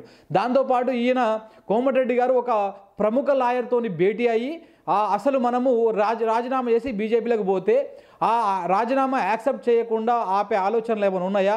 దాన్ని ఏమైనా సాగదీయొచ్చా? ఎట్లన్నా చేయొచ్చా? అనే అంశం మీద కూడా ఆయన కొంతమంది ఒక ప్రముఖ లాయర్తోని మీటింగ్ జరిపి దాని గురించి మాట్లాడినట్టు కూడా మనకు తెలుస్తున్నటువంటి సమాచారం. అయితే ఆ లాయర్ గారు కూడా చెప్పారంట నువ్వు రాజీనామా చేస్తే స్పీకర్ ఫార్మాట్లో రాజీనామా చేస్తే ఎట్టి పరిస్థితుల్లో దాన్ని ఆపడానికి ఉండదు. హండ్రెడ్ పర్సెంట్ ఆయన అప్రూవ్ చేసేస్తాడు.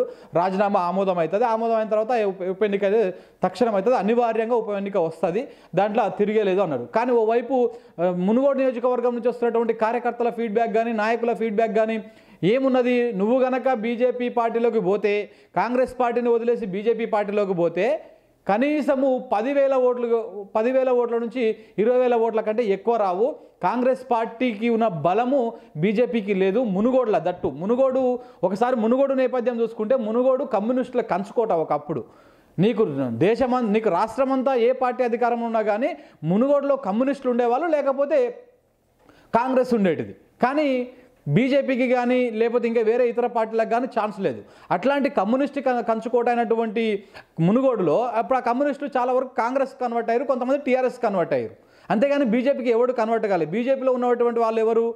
ఆ మొదటి నుంచి ఉన్నటువంటి అదే ఆర్ఎస్ఎస్ సంబంధించినటువంటి మూలాలు ఉన్న వాళ్ళు ఏదైతే ఈ బీజేపీకి ఉన్నటువంటి ఆడ ఈడ జిల్లా మండలంలో ఒకరిద్దరు తప్పితే పెద్దగా ఎక్కర్లేరు. ఆ జ- మునుగోడు మొత్తంలో ఒక పదివేల నుంచి పదిహేను వేల ఓట్లు కూడా వచ్చేటువంటి పరిస్థితి లేదు మునుగోడులో బీజేపీకి. కానీ ఇప్పుడు ఈయన మునుగోడు పార్టీ మునుగోడులో కాంగ్రెస్కు రిజైన్ చేసి బీజేపీలకు పోతే ఈయన మాత్రం పోగలుగుతాడు కానీ కొంతమందిని నాయకులను తీసుకుపోగలుగుతాడు కానీ కార్యకర్తలు మొత్తం బీజేపీలకు పో- తీసుకుపోయేటువంటి అవకాశం లేదు. వాళ్ళు రారు. ఎందుకంటే మునుగోడు నేపథ్యం అది మునుగోడు పోరాట నేపథ్యం అది. అలాంటి మునుగోడులో నువ్వు బీజేపీని గెలిపించాలనుకోవడం చాలా కత్తి మీద సాము లాంటి పరిస్థితి అవుతుంది. నువ్వు మునుగోడులోకి వెళ్ళి నువ్వు కాంగ్రెస్ నుంచి నిలబడు మళ్ళీ నీకు గెలిచే అవకాశాలు ఉంటాయి. నువ్వు హండ్రెడ్ పర్సెంట్ గెలిపిస్తానికి మేము ప్రయత్నం చేస్తాము మేము ప్రభుత్వ వైఫల్యాలను అటు కేంద్ర ప్రభుత్వ వైఫల్యాలను ఇటు రాష్ట్ర ప్రభుత్వ వైఫల్యాలను ప్రజలకు తీసుకుపోతాము హండ్రెడ్ పర్సెంట్ గెలిపిస్తాం కానీ నువ్వు బీజేపీని కాంగ్రెస్ని వదిలేసి బీజేపీలకు పోతే మాత్రము హండ్రెడ్ పర్సెంట్ మేము వెనకాల మేము రాలేము అని చెప్పి ఇప్పటికే మనం రెండు మూడు వీడియోలు కూడా పెట్టడం జరిగింది.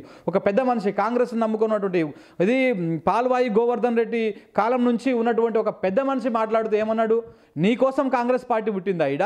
నీకోసం కాంగ్రెస్ పార్టీని గెలిపించుకున్నావా మేము ఈడ? కాంగ్రెస్ పార్టీ కోసం మేము నిన్ను గెలిపించుకున్నాము. నువ్వు ఇలా పోతే మేము ఇంకొక నాయకుడు వస్తాడు ఇంకొకరిని మేము గెలిపించుకుంటాం. కానీ నీ వెనకాల మేము రావడం అనుకునేది అసాధ్యం అనేది ఆయన కుండ బదలు కొట్టినట్టు చెప్పిండు ఆ పెద్ద మనిషి. సో ఇట్లాంటి కరడు కట్టిన కట్టర్ కాంగ్రెస్ నాయకులు చాలామంది కార్యకర్తలు మునుగోడులో ఉన్నారు. నువ్వు ఇప్పుడు ఈ సమయంలో మునుగోడును వదిలేసి బీజేపీలోకి పోతే బీజేపీని గెలిపించాలనుకోవడము కళ్ళ. హుజురాబాద్ ఎన్ని హుజురాబాద్ ఎన్నికకు మునుగోడు ఎన్నికకు చాలా డిఫరెన్స్ ఉన్నది. హుజురాబాద్లో సింపతి పనిచేసినది. హుజురాబాద్లో ఒక పార్టీలో అధికారంలో ఉన్నటువంటి పార్టీ ఈ మంత్రిని ఆయన్ని క్యాబినెట్ నుంచి తొలగించి ఆయనను మెడలు బట్టి బయటికి గెంటేశారనేటువంటి సింపతి ఒక ప్రజల లోపల వచ్చింది కాబట్టి అక్కడ ఆయన హుజురాబాద్లో ఆయన గెలవగలిగిండు. ఆ సంపత్తి ఆ సింపతి ఉన్నది. దట్టు ఈటల రాజేందర్కి కోమటిరెడ్డి రాజగోపాల్ రెడ్డికి ఎక్కడ పోలిక పెడతామండి? ఈటల రాజేందర్ రెడ్డి ఈట ఈటల రాజేందరు ఉద్యమంలో పాల్గొన్న నాయకుడు ఉద్యమంలో ఆ టీఆర్ఎస్ పార్టీకి సీఎల్ ఎల్పీగా పనిచేసిండు ఆయన. పార్టీని కాస్త రెండవ ఆ, అధినాయకుని లెక్క నడిపించిండు. అట్లా నడిచిన వ్యక్తి అలాంటి వ్యక్తి బయటకు రావడం వల్ల ఆయనకు సింపతి పనిచేసింది. హుజురాబాద్లో ఆయనకున్నటువంటి ఆ బలం పనిచేసింది. ఆ సింపతి ఇవన్నీ వర్కౌట్ అయినాయి. జాతీయ పార్టీ బీజేపీ పార్టీ కండువ కప్పుకున్నాడు కాబట్టి ఆయన గా మాత్రం మెజారిటీ వచ్చింది. అదే బీజేపీ కండువ కాకుండా వేరే ఇండిపెండెంట్గా పోటీ చేసినా కానీ దానికి రెండింతల మెజారిటీ వచ్చేది. హండ్రెడ్ పర్సెంట్ ఇందులో తిరిగేలేదు. కాబట్టి అలాంటి అసలు అక్కడ బీజేపీ హుజురాబాద్లో బీజేపీ గెలిపే కాదు అది. అది అది క్లియర్ కట్గా ఈటల రాజేందర్ గెలుపు. బీజేపీ అనే పేరు చెప్పుకున్నాడు కాబట్టి అక్కడ ఇంకా చాలా వరకు ముస్లిం ఓట్లని దూరం చేసుకున్నాడు ఆయన. అదే నువ్వు ఇండిపెండెంట్గా ఉంటే ఇంకా చాలా ఓట్లు పడేటివి ఆయనకు. సో అలాంటి పరిస్థితులు అసలు ఇవ్వు. హుజురాబాద్కి మునుగోడుకి ఏమాత్రం పోలిక లేదు. సమయము సందర్భము ఏ మాత్రం కూడా ఏ విధంగా కూడా దానికి దీనికి పోలిక చేయలేము. నాయకుని పిర నాయ- నాయకుని పరంగా చేయలేము. అసలు ఈటల రాజేందరు చ- రాజకీయ అనుభవం ఎక్కడా? లేకపోతే ఆయనకున్నటువంటి పాపులారిటీ ఎక్కడ? కోమటిరెడ్డి రాజగోపాల్ రెడ్డికి ఉన్నటువంటి పాపులారిటీ ఎక్కడ? ఆయనకి ఈయనకు పోలిక ఉన్నదా? లేదు. హుజురాబాద్లో ఆ రాజీనామా ఎన్నిక రావడానికి ఒక ఘటన ఉన్నది. ఏంది ఆయన ప్రభుత్వం నుంచి బయటికి వెళ్ళగొట్టిరని లేదంటే పార్టీ నుంచి బయటికి వెళ్ళగొట్టిరని ఒక సింపతి గెయిన్ అయింది. కేసీఆర్ నమ్మిన బంటుగా ఉన్న కుడిభుజంగా ఉన్న అన్నదమ్ములు లెక్కున్నటువంటి ఈటలందరూ బయటికి వెళ్ళగొట్టడం వల్ల ఆ, ఎన్నిక వచ్చింది. దాని మీద ఆయన మీద హండ్రెడ్ పర్సెంట్ రాష్ట్ర వ్యాప్తంగా అనుకూల పవనాలు ఏమంటారు సానుభూతి పవనాలు వీసినాయి. కానీ మునుగోడులో ఆ పరిస్థితి లేదు కదా. మునుగోడులో ఆ పరిస్థితి ఎట్టి పరిస్థితిలో లేదు. మునుగోడ్ల నువ్వు అసలు బేసిక్గా మునుగోడ్ల కాంగ్రెస్ కేసీఆర్ ఇంతవా ఉన్న టైంలో రెండు వేల పద్దెనిమిది ఎన్నికల్లో కాంగ్రెస్గా నువ్వు నువ్వు గెలిచిందే అదొక పెద్ద సంచలనం. గెలిచిన తర్వాత కూడా ఆ మునుగోడు ప్రయోజక ప్రజలకు ఆ మునుగోడులో ఉన్నటువంటి సమస్యల పట్ల ఎక్కడగడైనా పెద్దగా ఫైట్ చేసినట్టు ఏం లేదు. ఏమన్నా అంటే ఆడ ఈడ కార్యకర్తలకు ఇన్నోన్ని అవసరం వచ్చినప్పుడు లేకపోతే ఎవరు ఆపదలో ఉన్నప్పుడు సాపదలో ఉన్నప్పుడు ఈయన పైసలు ఇచ్చుడు కానీ అభివృద్ధి కార్యక్రమాలు చెప్పుకోదగ్గటువంటి కార్యక్రమాలు ఏం లేవు. ఇప్పుడు ఆయన ప్రెస్ మీట్లో మొత్తం మాట్లాడడం జరిగింది. కేసీఆర్ అవినీతి మీద కేసీఆర్ను ఓడించడానికి నేను ప్రయత్నం చేస్తున్నాను. కానీ అక్కడ ఏది బహిరంగ బహిరంగంగా వచ్చి కేసీఆర్కు వ్యతిరేకంగా ధర్నా చేయడమో లేదనుకుంటే పోయి ప్రాజెక్టుల దగ్గర కూర్చొని ధర్నా చేయడమో లేకపోతే ఇట్లాంటివన్నీ చేసినట్టు ఎక్కడ దాఖలాలు లేవు. మునుగోడులో ఎంతసేపు ఉన్న కార్యకర్తలకు ఎవడో ఇబ్బంది పెడతానో ఏమో అయితేనో ఏదైనా ప్రమాదం వస్తే ఎవరైనా చనిపోతానో వాళ్ళకి ఆర్థికంగా సాయం చేసుడు తప్పితే అసలు ఎమ్మెల్యేని ఎన్నుకునేందుకు రోడ్లు చక్కగా ఉన్నాయా? లేకుంటే ఆ ఆ నియోజకవర్గంలో అభివృద్ధి కార్యక్రమాలు ఏంది? సంక్షేమ కార్యక్రమాలు ఏంది? అందుతున్నాయా? లేవా? ఎవరెవరికి ఏ విధంగా వస్తున్నాయి? రోడ్లు ఎట్లా ఉన్నాయి? ఈ మున్సిపాలిటీలో లైట్ల పరిస్థితి డ్రైనేజీ పరిస్థితి ఇట్లాంటివన్నీ ఉంటాయి. ఇలాంటి విషయాల్లో కోమటిరెడ్డి రాజగోపాల్ రెడ్డి మార్కు ఏమాత్రం కనిపించడం లేదు నియోజకవర్గంలో. సో అలాంటి నేపథ్యంలో ఇప్పుడు నువ్వు నీ స్వార్థ రాజకీయ ప్రయోజనాల కోసము కాంగ్రెస్ పార్టీకి రిజైన్ చేసి బీజేపీకి పోయి బీజేపీలో పోటీ చేస్తే బీజేపీ నుంచి పోటీ చేస్తే ఎందుకు ప్రజలు నీ వెనకాల ఉంటారనేది కాంగ్రెస్ నాయకులు చెప్పేటువంటి మాట. ఏది ఆయన కింద ఉన్నటువంటి కాంగ్రెస్ నాయకులు చెప్పేటువంటి మాట. కాబట్టి ఇది ఇవన్నీ ఆలోచించుకొని ఇవన్నీ బేరుజు వేసుకొని కాస్త కన్ఫ్యూజన్లో ఉన్నటువంటి రాజగోపాల్ రెడ్డి గారు ఇవాళ ప్రెస్ మీట్ పెట్టి ఏదో చెప్దాం అనుకొని మళ్ళీ ఏదో చెప్పి ముగించిండు. చివరికి ఏం చెప్పిండు? నా రాజకీయ నా నా నేను పార్టీ మారడం చారిత్రాత్మక అవసరం.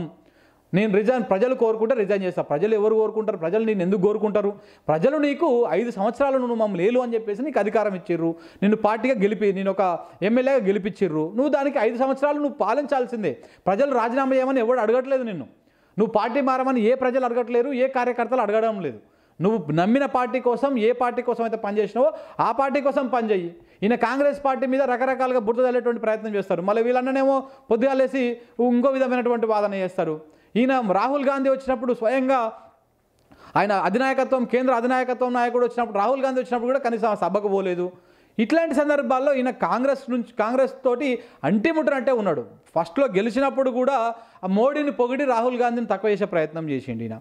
ఓ మోడీతోనే అవుతుంది ఇంకా రాహుల్ గాంధీతో ఏం కాదు అని చెప్పేసి చెప్పే ప్రయత్నం చేసిండు. కానీ ఇప్పుడు ఇప్పుడు చూస్తుంటే ఈ మొత్తానికైతే ఇవాళ మొత్తం ప్రెస్ మీట్లో రాజగోపాల్ రెడ్డి రిజైన్ చేసుడు కామన్ ఖాయం అయిపోయింది హండ్రెడ్ పర్సెంట్ ఖాయం అయిపోయింది ఎప్పుడో ఒకరోజు ఈ వారం పది రోజుల నెల రోజుల లోపల ఈ మూడు నెలల లోపల ఎన్నికలు వస్తాయని చెప్పేసి ఇప్పటికే వార్తలు వస్తున్న నేపథ్యంలో ఈ నెల లోపల ఎప్పుడో కానీ రాజగోపాల్ రెడ్డి రాజీనామా చేసుడు ఖాయము. ఆయన చెప్పిన మాటలు లాస్ట్కు ప్రెస్ మీట్ అయిపోయే ముంగల చెప్పిన మాటలు మనం బట్టి చూస్తుంటే రాజగోపాల్ రెడ్డి రాజీనామా చేసుడు ఖాయము ఉజు మునుగోడులో ఉప ఎన్నిక వచ్చుడు ఖాయము ఆ ఉప ఎన్నికల్లో మునుగోడులో బీజేపీ ఓడిపోవుడు ఖాయం నువ్వు రాజగోపాల్ రెడ్డి నిలబడతాడా ఆడ వేరే వాడు నిలబడతాడా పక్కన పెడితే? కానీ బీజేపీ మటుకు ఆడ గెలిచే ఛాన్సే ఉండదు. ఎందుకంటే ఒకవేళ మీకు ఇప్పుడు రేవంత్ రెడ్డికి కూడా అగ్ని పరీక్షనే ఈ ఈ మునుగోడు ఉప ఎన్నిక వస్తే. కాంగ్రెస్ టీఆర్ఎస్ పార్టీకి ఒక అభ్యర్థి ఉన్నాడు. కూచుకుంట్ల ప్రభాకర్ రెడ్డి మాజీ ఎమ్మెల్యేగా ఉన్నారు. లేదంటే ఇద్దరు ముగ్గురు అక్కడిక్కడ ఆశావాహులు ఉన్నారు. చాలామంది కోటర్లో కేటీఆర్ కోటర్లో ఒక ఆయన ఉన్నాడు ఈ మంత్రి జగదీశ్వర్ రెడ్డి కోటర్లో ఒక ఆయన ఉన్నాడు. ఇట్లా చాలామంది ఉన్నారు. వాళ్ళందరూ సమ కేసీఆర్ ఒక మీటింగ్ పెట్టి అందరిని సమన్వయం చేస్తే ఒకరికి ఒకరికి సీట్ కన్ఫర్మ్ అయిపోతుంది. మెజారిటీ అవకాశాలు కూచుకుంట్ల ప్రభాకర్ రెడ్డికే ఉన్నాయి. ఉప ఎన్నిక వస్తే టికెట్ వచ్చేటువంటి అవకాశాలు. కానీ కాంగ్రెస్ పార్టీ ఒక సంచలన నిర్ణయం తీసుకుంటే కాంగ్రెస్ పార్టీ తన బలాన్ని అక్కడ నిరూపించుకోవాలనుకుంటే ఇప్పుడు ఎందుకంటే ఇది రేవంత్ రెడ్డి కూడా బస్తిమే సవాలు ఇది కూడా ఆయన దమ్ము ఏందో నిరూపించుకోవాల్సినటువంటి అవసరం ఉందాడ. కాబట్టి కాంగ్రెస్ పార్టీ అలాంటి నిర్ణయం తీసుకుంటే ఎలాంటి నిర్ణయము? ఈయన కాంగ్రెస్ పార్టీ నుంచి ఎమ్మెల్యేగా గెలిచి రిజైన్ చేసి ఇప్పుడు బీజేపీలోకి పోయినటువంటి కోమటిరెడ్డి రాజగోపాల్ రెడ్డికి వ్యతిరేకంగా కాంగ్రెస్ పార్టీ దమ్ము ధైర్యం చేసి కోమటిరెడ్డి వెంకటరెడ్డిని ఒప్పించి కోమటిరెడ్డి వెంకటరెడ్డి మునుగోడు నుంచి ఎమ్మెల్యేగా పోటీ చేసేటువంటి అవకాశం కల్పిస్తే లేదనుకుంటే ఆయన ఒప్పు ఆయన నొప్పించి అక్కడ పోటీ చేపిస్తే ఇటు కాంగ్రెస్ నుంచి కోమటిరెడ్డి వెంకటరెడ్డి ఉంటాడు ఇటు బీజేపీ నుంచి కోమటిరెడ్డి రాజగోపాల్ రెడ్డి ఉంటాడు అటు టీఆర్ఎస్ నుంచి అప్పుడు కూసుకుంట్లని కాకుండా గుత్తా సుఖేందర్ రెడ్డిని బరిలోకి దింపేటువంటి అవకాశాలు కూడా కనపడుతున్నాయి. కానీ ఇది రేవంత్ రెడ్డి మరి ఇంత ధైర్యం చేయగలుగుతాడా? అలాంటి బలమైన నాయకుడిని ఓడించడం కోసం మరొక వాళ్ళ అన్నని అక్కడ పోటీ నిలపగలుగుతా నిలపగలుగుతాడా అనేది చూడాలి. ఒకవేళ అక్కడ పోటీ నిలపకుండా ఏదో లేదనుకుంటే పెద్దగా ప్రజాధనం లే ప్రజాబలం లేనటువంటి ఎవరైతే కొంతమంది నాయకులు ఉన్నారు ఆ కాంగ్రెస్ పార్టీలో ఇప్పుడు కొత్తగా పున్నా కైలాస్ నేత అని ఒక అతను తిరుగుతున్నాడు. లేదనుకుంటే శ్రవ పాల్వాయి శ్రవంతి గారు గోవర్ధన్ రెడ్డి గారి కుమ కుమార్తె పాల్వాయి శ్రవంతి గారు తిరుగుతున్నారు. కానీ ఇట్లాంటి వాళ్ళు కోమటిరెడ్డి రాజగోపాల్ రెడ్డిని ఓడించడం అంత ఈజీ కాదు. దా లేకపోతే ఈ టీఆర్ఎస్ పార్టీని ఓడించడం అంత ఈజీ కాదు. కానీ అంత బలమైన అంతే ఈ రెండు ఏమంటారు ఏనుగులు కొట్లాట చేస్తుంటే ఇంకొక ఏనుగు రావాలి కానీ ఇంకొక చిన్న జీవిని తీసుకొచ్చి పెడితే అందులో సాధ్యం కాదు. ఇప్పుడు ఓ, రేవంత్ రెడ్డి పరిస్థితి అట్లనే ఉన్నది. పోయినసారి హుజురాబాద్ ఎన్నికలప్పుడు అంటే అప్పుడే నేను వచ్చిన కొత్తగా వచ్చిన ఇది మేము కోరుకున్న ఎన్నిక కాదు లేదనుకుంటే ఇదేదో ఆ కాంగ్రెస్ ఈటల రాజేందర్కు కేసీఆర్కు మధ్య జరుగుతున్న ఎన్నిక అని చెప్పేసి ఏదో మాటలు చెప్పి తప్పించుకున్నాడు. కానీ ఇప్పుడు మునుగోడు నియోజకవర్గంలో ఉప ఎన్నిక వస్తే ఈ మాటలు చెప్పి తప్పించుకోవడానికి లేదు.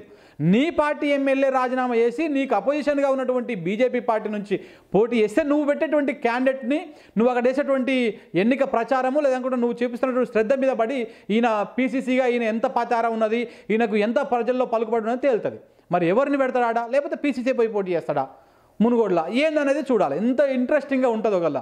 ఇన్ కేసు కనుక మునుగోడు ఉప ఎన్నిక వస్తే చాలా అద్భుతంగా ఉంటుంది. మునుగోడు ఉప ఎన్నిక మీద వచ్చే అసెంబ్లీ ఎన్నికల రిజల్ట్ కూడా ఆధారపడి ఉండేటువంటి అవకాశం ఉన్నది. ఎందుకంటే మునుగోడు అనేది కాస్త మునుగోడే కాదు ఒక నల్లగొండ ప్రాంతం మొత్తం తీసుకుంటే నల్లగొండ ప్రాంతం మొత్తంలో బీజేపీ పాగా వేసేటువంటి అవకాశం ఏమాత్రం లేదు. ఎందుకంటే బీజేపీ పలుకుబడి లేదు అక్కడ. ఏదో అక్కడిక్కడ కొంతమంది కార్యకర్తలు ఈ బ్యాచ్ తప్పితే పోరగాలు తప్పితే పెద్దగా ఎక్కడ లేదు. ఆ ప్రభావం లేదు. అలాంటి నల్లగొండలో దట్టు మునుగోడులో బీజేపీ గెలిచిందనుకోండి కోమరెడ్డి రాజగోపాల్ రెడ్డి రూపంలో ఇక బీజేపీకి రాష్ట్రంలో తిరుగులేదని కూడా చెప్పవచ్చు. కానీ అలాంటి పరిస్థితి వస్తుందా? మునుగోడులో బీజేపీని గెలిచే అవ బీజేపీ గెలిచే అవకాశం ఉన్నదా? ఇప్పుడు అక్కడ రేవంత్ రెడ్డి పెట్టేటువంటి క్యాండిడేట్ని బట్టి ఇప్పుడు రేవంత్ రెడ్డి ఇంకొకటి కూడా ఆయన నిరూపించుకోవాల్సినటువంటి అవసరం ఉంటుంది. ఏంటి అంటే ఇప్పుడు రేవంత్ రెడ్డి మీద చాలా ఆరోపణలు ఉన్నాయి. బీజేపీకి అనుకూలంగా ఆయన వ్యవహరిస్తున్నాడు. కాంగ్రెస్ పార్టీలో ఆయన కోటర్ని పెంచి పోషించుకుంటున్నాడు. ప్రతి దగ్గర ఆయన వర్గాన్ని పెంచుకొని కాంగ్రెస్ పార్టీతో సంబంధం లేకుండా రేపనాడు బీజేపీకి ప్రభుత్వాన్ని ఏర్పాటు చేసేటువంటి అవకాశం వస్తే ఈయన కోటర్ని తీసుకొని బయటికి వెళ్ళిపోయి ఆ ప్రభుత్వానికి వాళ్ళు సపోర్ట్ చేసేటువంటి అవకాశం ఉన్నది. ఈయన మొత్తం బీజేపీ కోవట్టు అనేటువంటి వాదనలు కూడా వినపడుతున్నాయి తెలంగాణ రాజకీయాలు మరి అది నిజము కాదు అనుకుంటే ఇప్పుడు మునుగోడు ఎన్నిక ఆయనకు సవాలు. హండ్రెడ్ పర్సెంట్ మునుగోడులో ఉప ఎన్నిక వస్తే అక్కడ కాంగ్రెస్ పార్టీ తన ప్రభావం చూపించుకోలేకపోతే హండ్రెడ్ పర్సెంట్ రేవంత్ రెడ్డి బీజేపీతో టైప్ అయినట్టే. ఇందులో మటుకు క్లియర్ కట్గా తేలిపోతుంది. ఇక టీఆర్ఎస్ నుంచి ఎట్లాగో ఎవరో ఒక నాయకులు నార్మల్ నాయ నార్మల్గా కొట్లాడడానికి ఈ కోమరెడ్డి రాకపో కోమరెడ్డి వెంకటరెడ్డి కాంగ్రెస్ నుంచి రాకపోతే కూసుకుంట్ల వర్సెస్ రాజగోపాల్ రెడ్డి ఉంటుంది. ఒకవేళ కోమటిరెడ్డి కాంగ్రెస్ తరపు నుంచి వచ్చి పోటీ చేసి అక్కడ త్రిముఖ పోటీ ఉన్నట్టు అయితే మటుకు హండ్రెడ్ పర్సెంట్ కూసుకుంటుని పక్కన పెట్టి. కేసీఆర్ గారు గుత్తా సుఖేందర్ రెడ్డి లాంటి చరిస్మా ఉన్నటువంటి నాయకులను మునుగోడుకు తీసుకురావాలన్నటువంటి ప్రయత్నం కూడా చేస్తున్నట్టు మనకు అందుతున్నటువంటి సమాచారం. మొత్తానికి ఏదేమైనా తెలంగాణలో మరొకసారి ఉప ఎన్నికల హడావుడి స్టార్ట్ అయ్యేటువంటి అవకాశం కనపడుతున్నది. ముందుగానే నేను చెప్పిన చాలాసార్లు చెప్పిన హుజురాబాద్ ఉప ఎన్నిక అయిపోగానే మరొక ఉప ఎన్నిక పెట్టేందుకు కేంద్ర బీ కేంద్రంలో అధికారంలో ఉన్నటువంటి బీజేపీ తహతహలాడుతున్నది. దానికి ఒకటి మునుగోడైనా కావచ్చు లేదంటే వేములవాడ అయినా కావచ్చు అని నేను మొదటి నుంచి చెప్తున్నా. ఇప్పుడు అదే జరుగుతున్నది. రేపు మాపో హండ్రెడ్ పర్సెంట్ రాజగోపాల్ రెడ్డి రాజీనామా చేస్తాడు. ఆయన గోడ మీద కూర్చున్నాడు. ఇవాళ ఇవ్వాలని నేను రాజీనామా చేస్తానని ప్రకటిస్తే కార్యకర్తలు తిరగబడతారు. మొన్న ఒకసారి ఇంతకుముందు చౌటుప్పల్లో ఏం జరిగిందో చూసిండు ఆయన. కాబట్టి ఇప్పుడే నేను రాజీనామా చేస్తున్నా అంటే హండ్రెడ్ పర్సెంట్ కార్యకర్తలు తిరగబడతారు. నాకు డ్యామేజ్ అవుతుంది. నాకు డిపాజిట్కి రాదని చెప్పేసి అర్థం చేసుకొని అది గ్రహించి జల్ల జర్ర వాళ్ళని చల్లవరచడం కోసం ఇలా ప్రెస్ మీట్ పెట్టి ఏదో చెప్పే ప్రయత్నం చేసిండు. కానీ హండ్రెడ్ పర్సెంట్ ఆయన కాంగ్రెస్కు రాజీనామా చేసి ఎమ్మెల్యే పదవికి రాజీనామా చేసి బీజేపీలకు పోతున్నాడు. ఉప ఎన్నిక మునుగోడు ఉప ఎన్నిక అనివార్యంగా మూడు నెలల్లో లేదా నాలుగు నెలల్లో వచ్చేటువంటి అవకాశం ఉన్నది. సో ఇప్పుడే మనము రాజగోపాల్ రెడ్డి మాట్లాడేటువంటి మీడియా సమావేశాన్ని మనం చూసినాం. గత కొన్ని రోజుల నుంచి ఒక రెండు మూడు రోజుల నుంచి మునుగోడు నియోజకవర్గ ఎమ్మెల్యే అయినటువంటి రాజగోపాల్ రెడ్డి రాజీనామా చేస్తున్నాడని ఆయన కాంగ్రెస్ పార్టీకి రాజీనామా చేసి బీజేపీలకు పోతున్నాడు అనేటువంటి వార్తలు కూడా చూసినాము.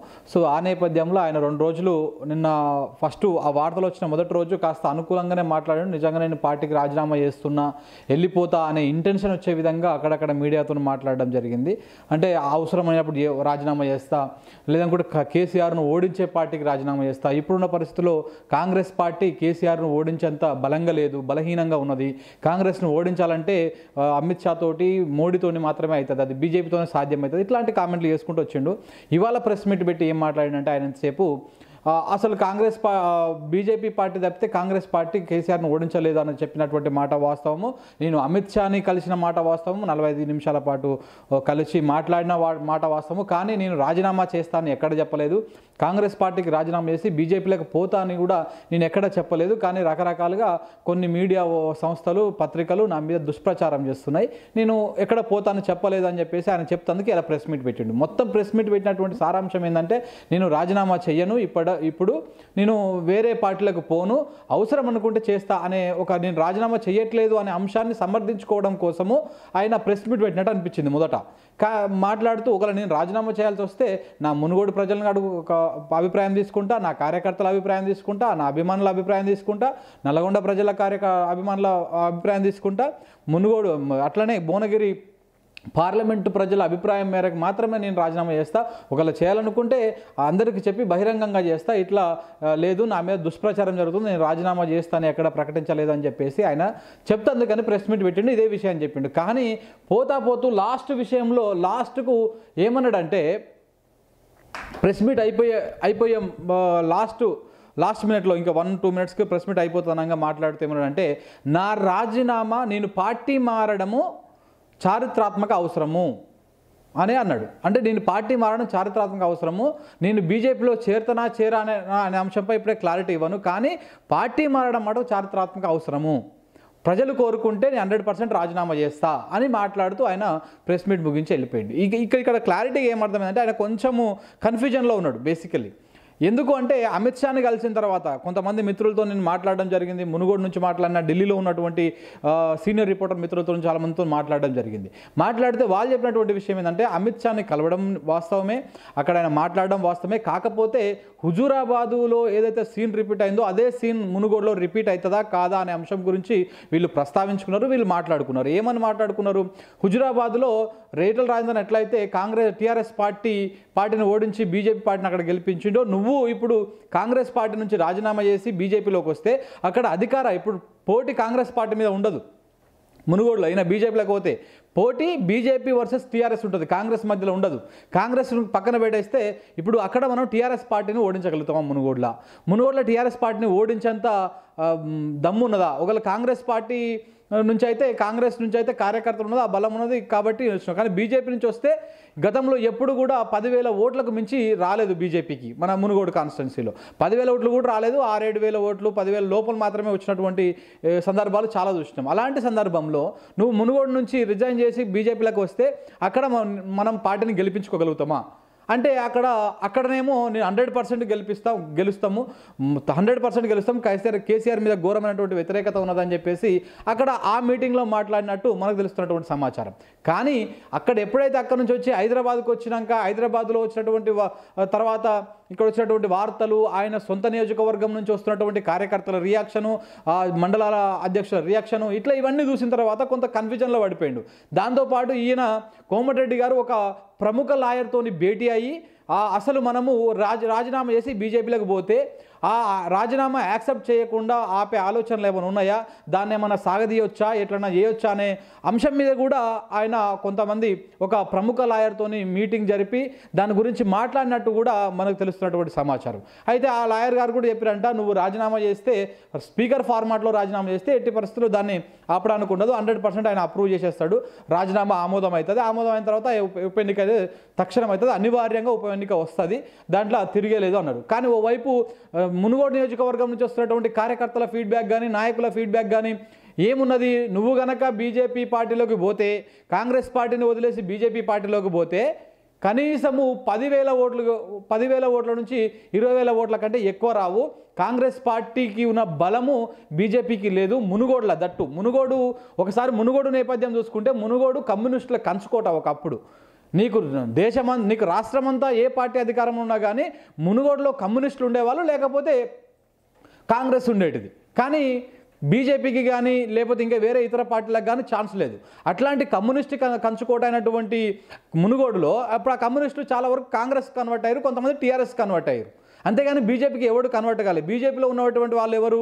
ఆ మొదటి నుంచి ఉన్నటువంటి అదే ఆర్ఎస్ఎస్ సంబంధించినటువంటి మూలాలు ఉన్న వాళ్ళు.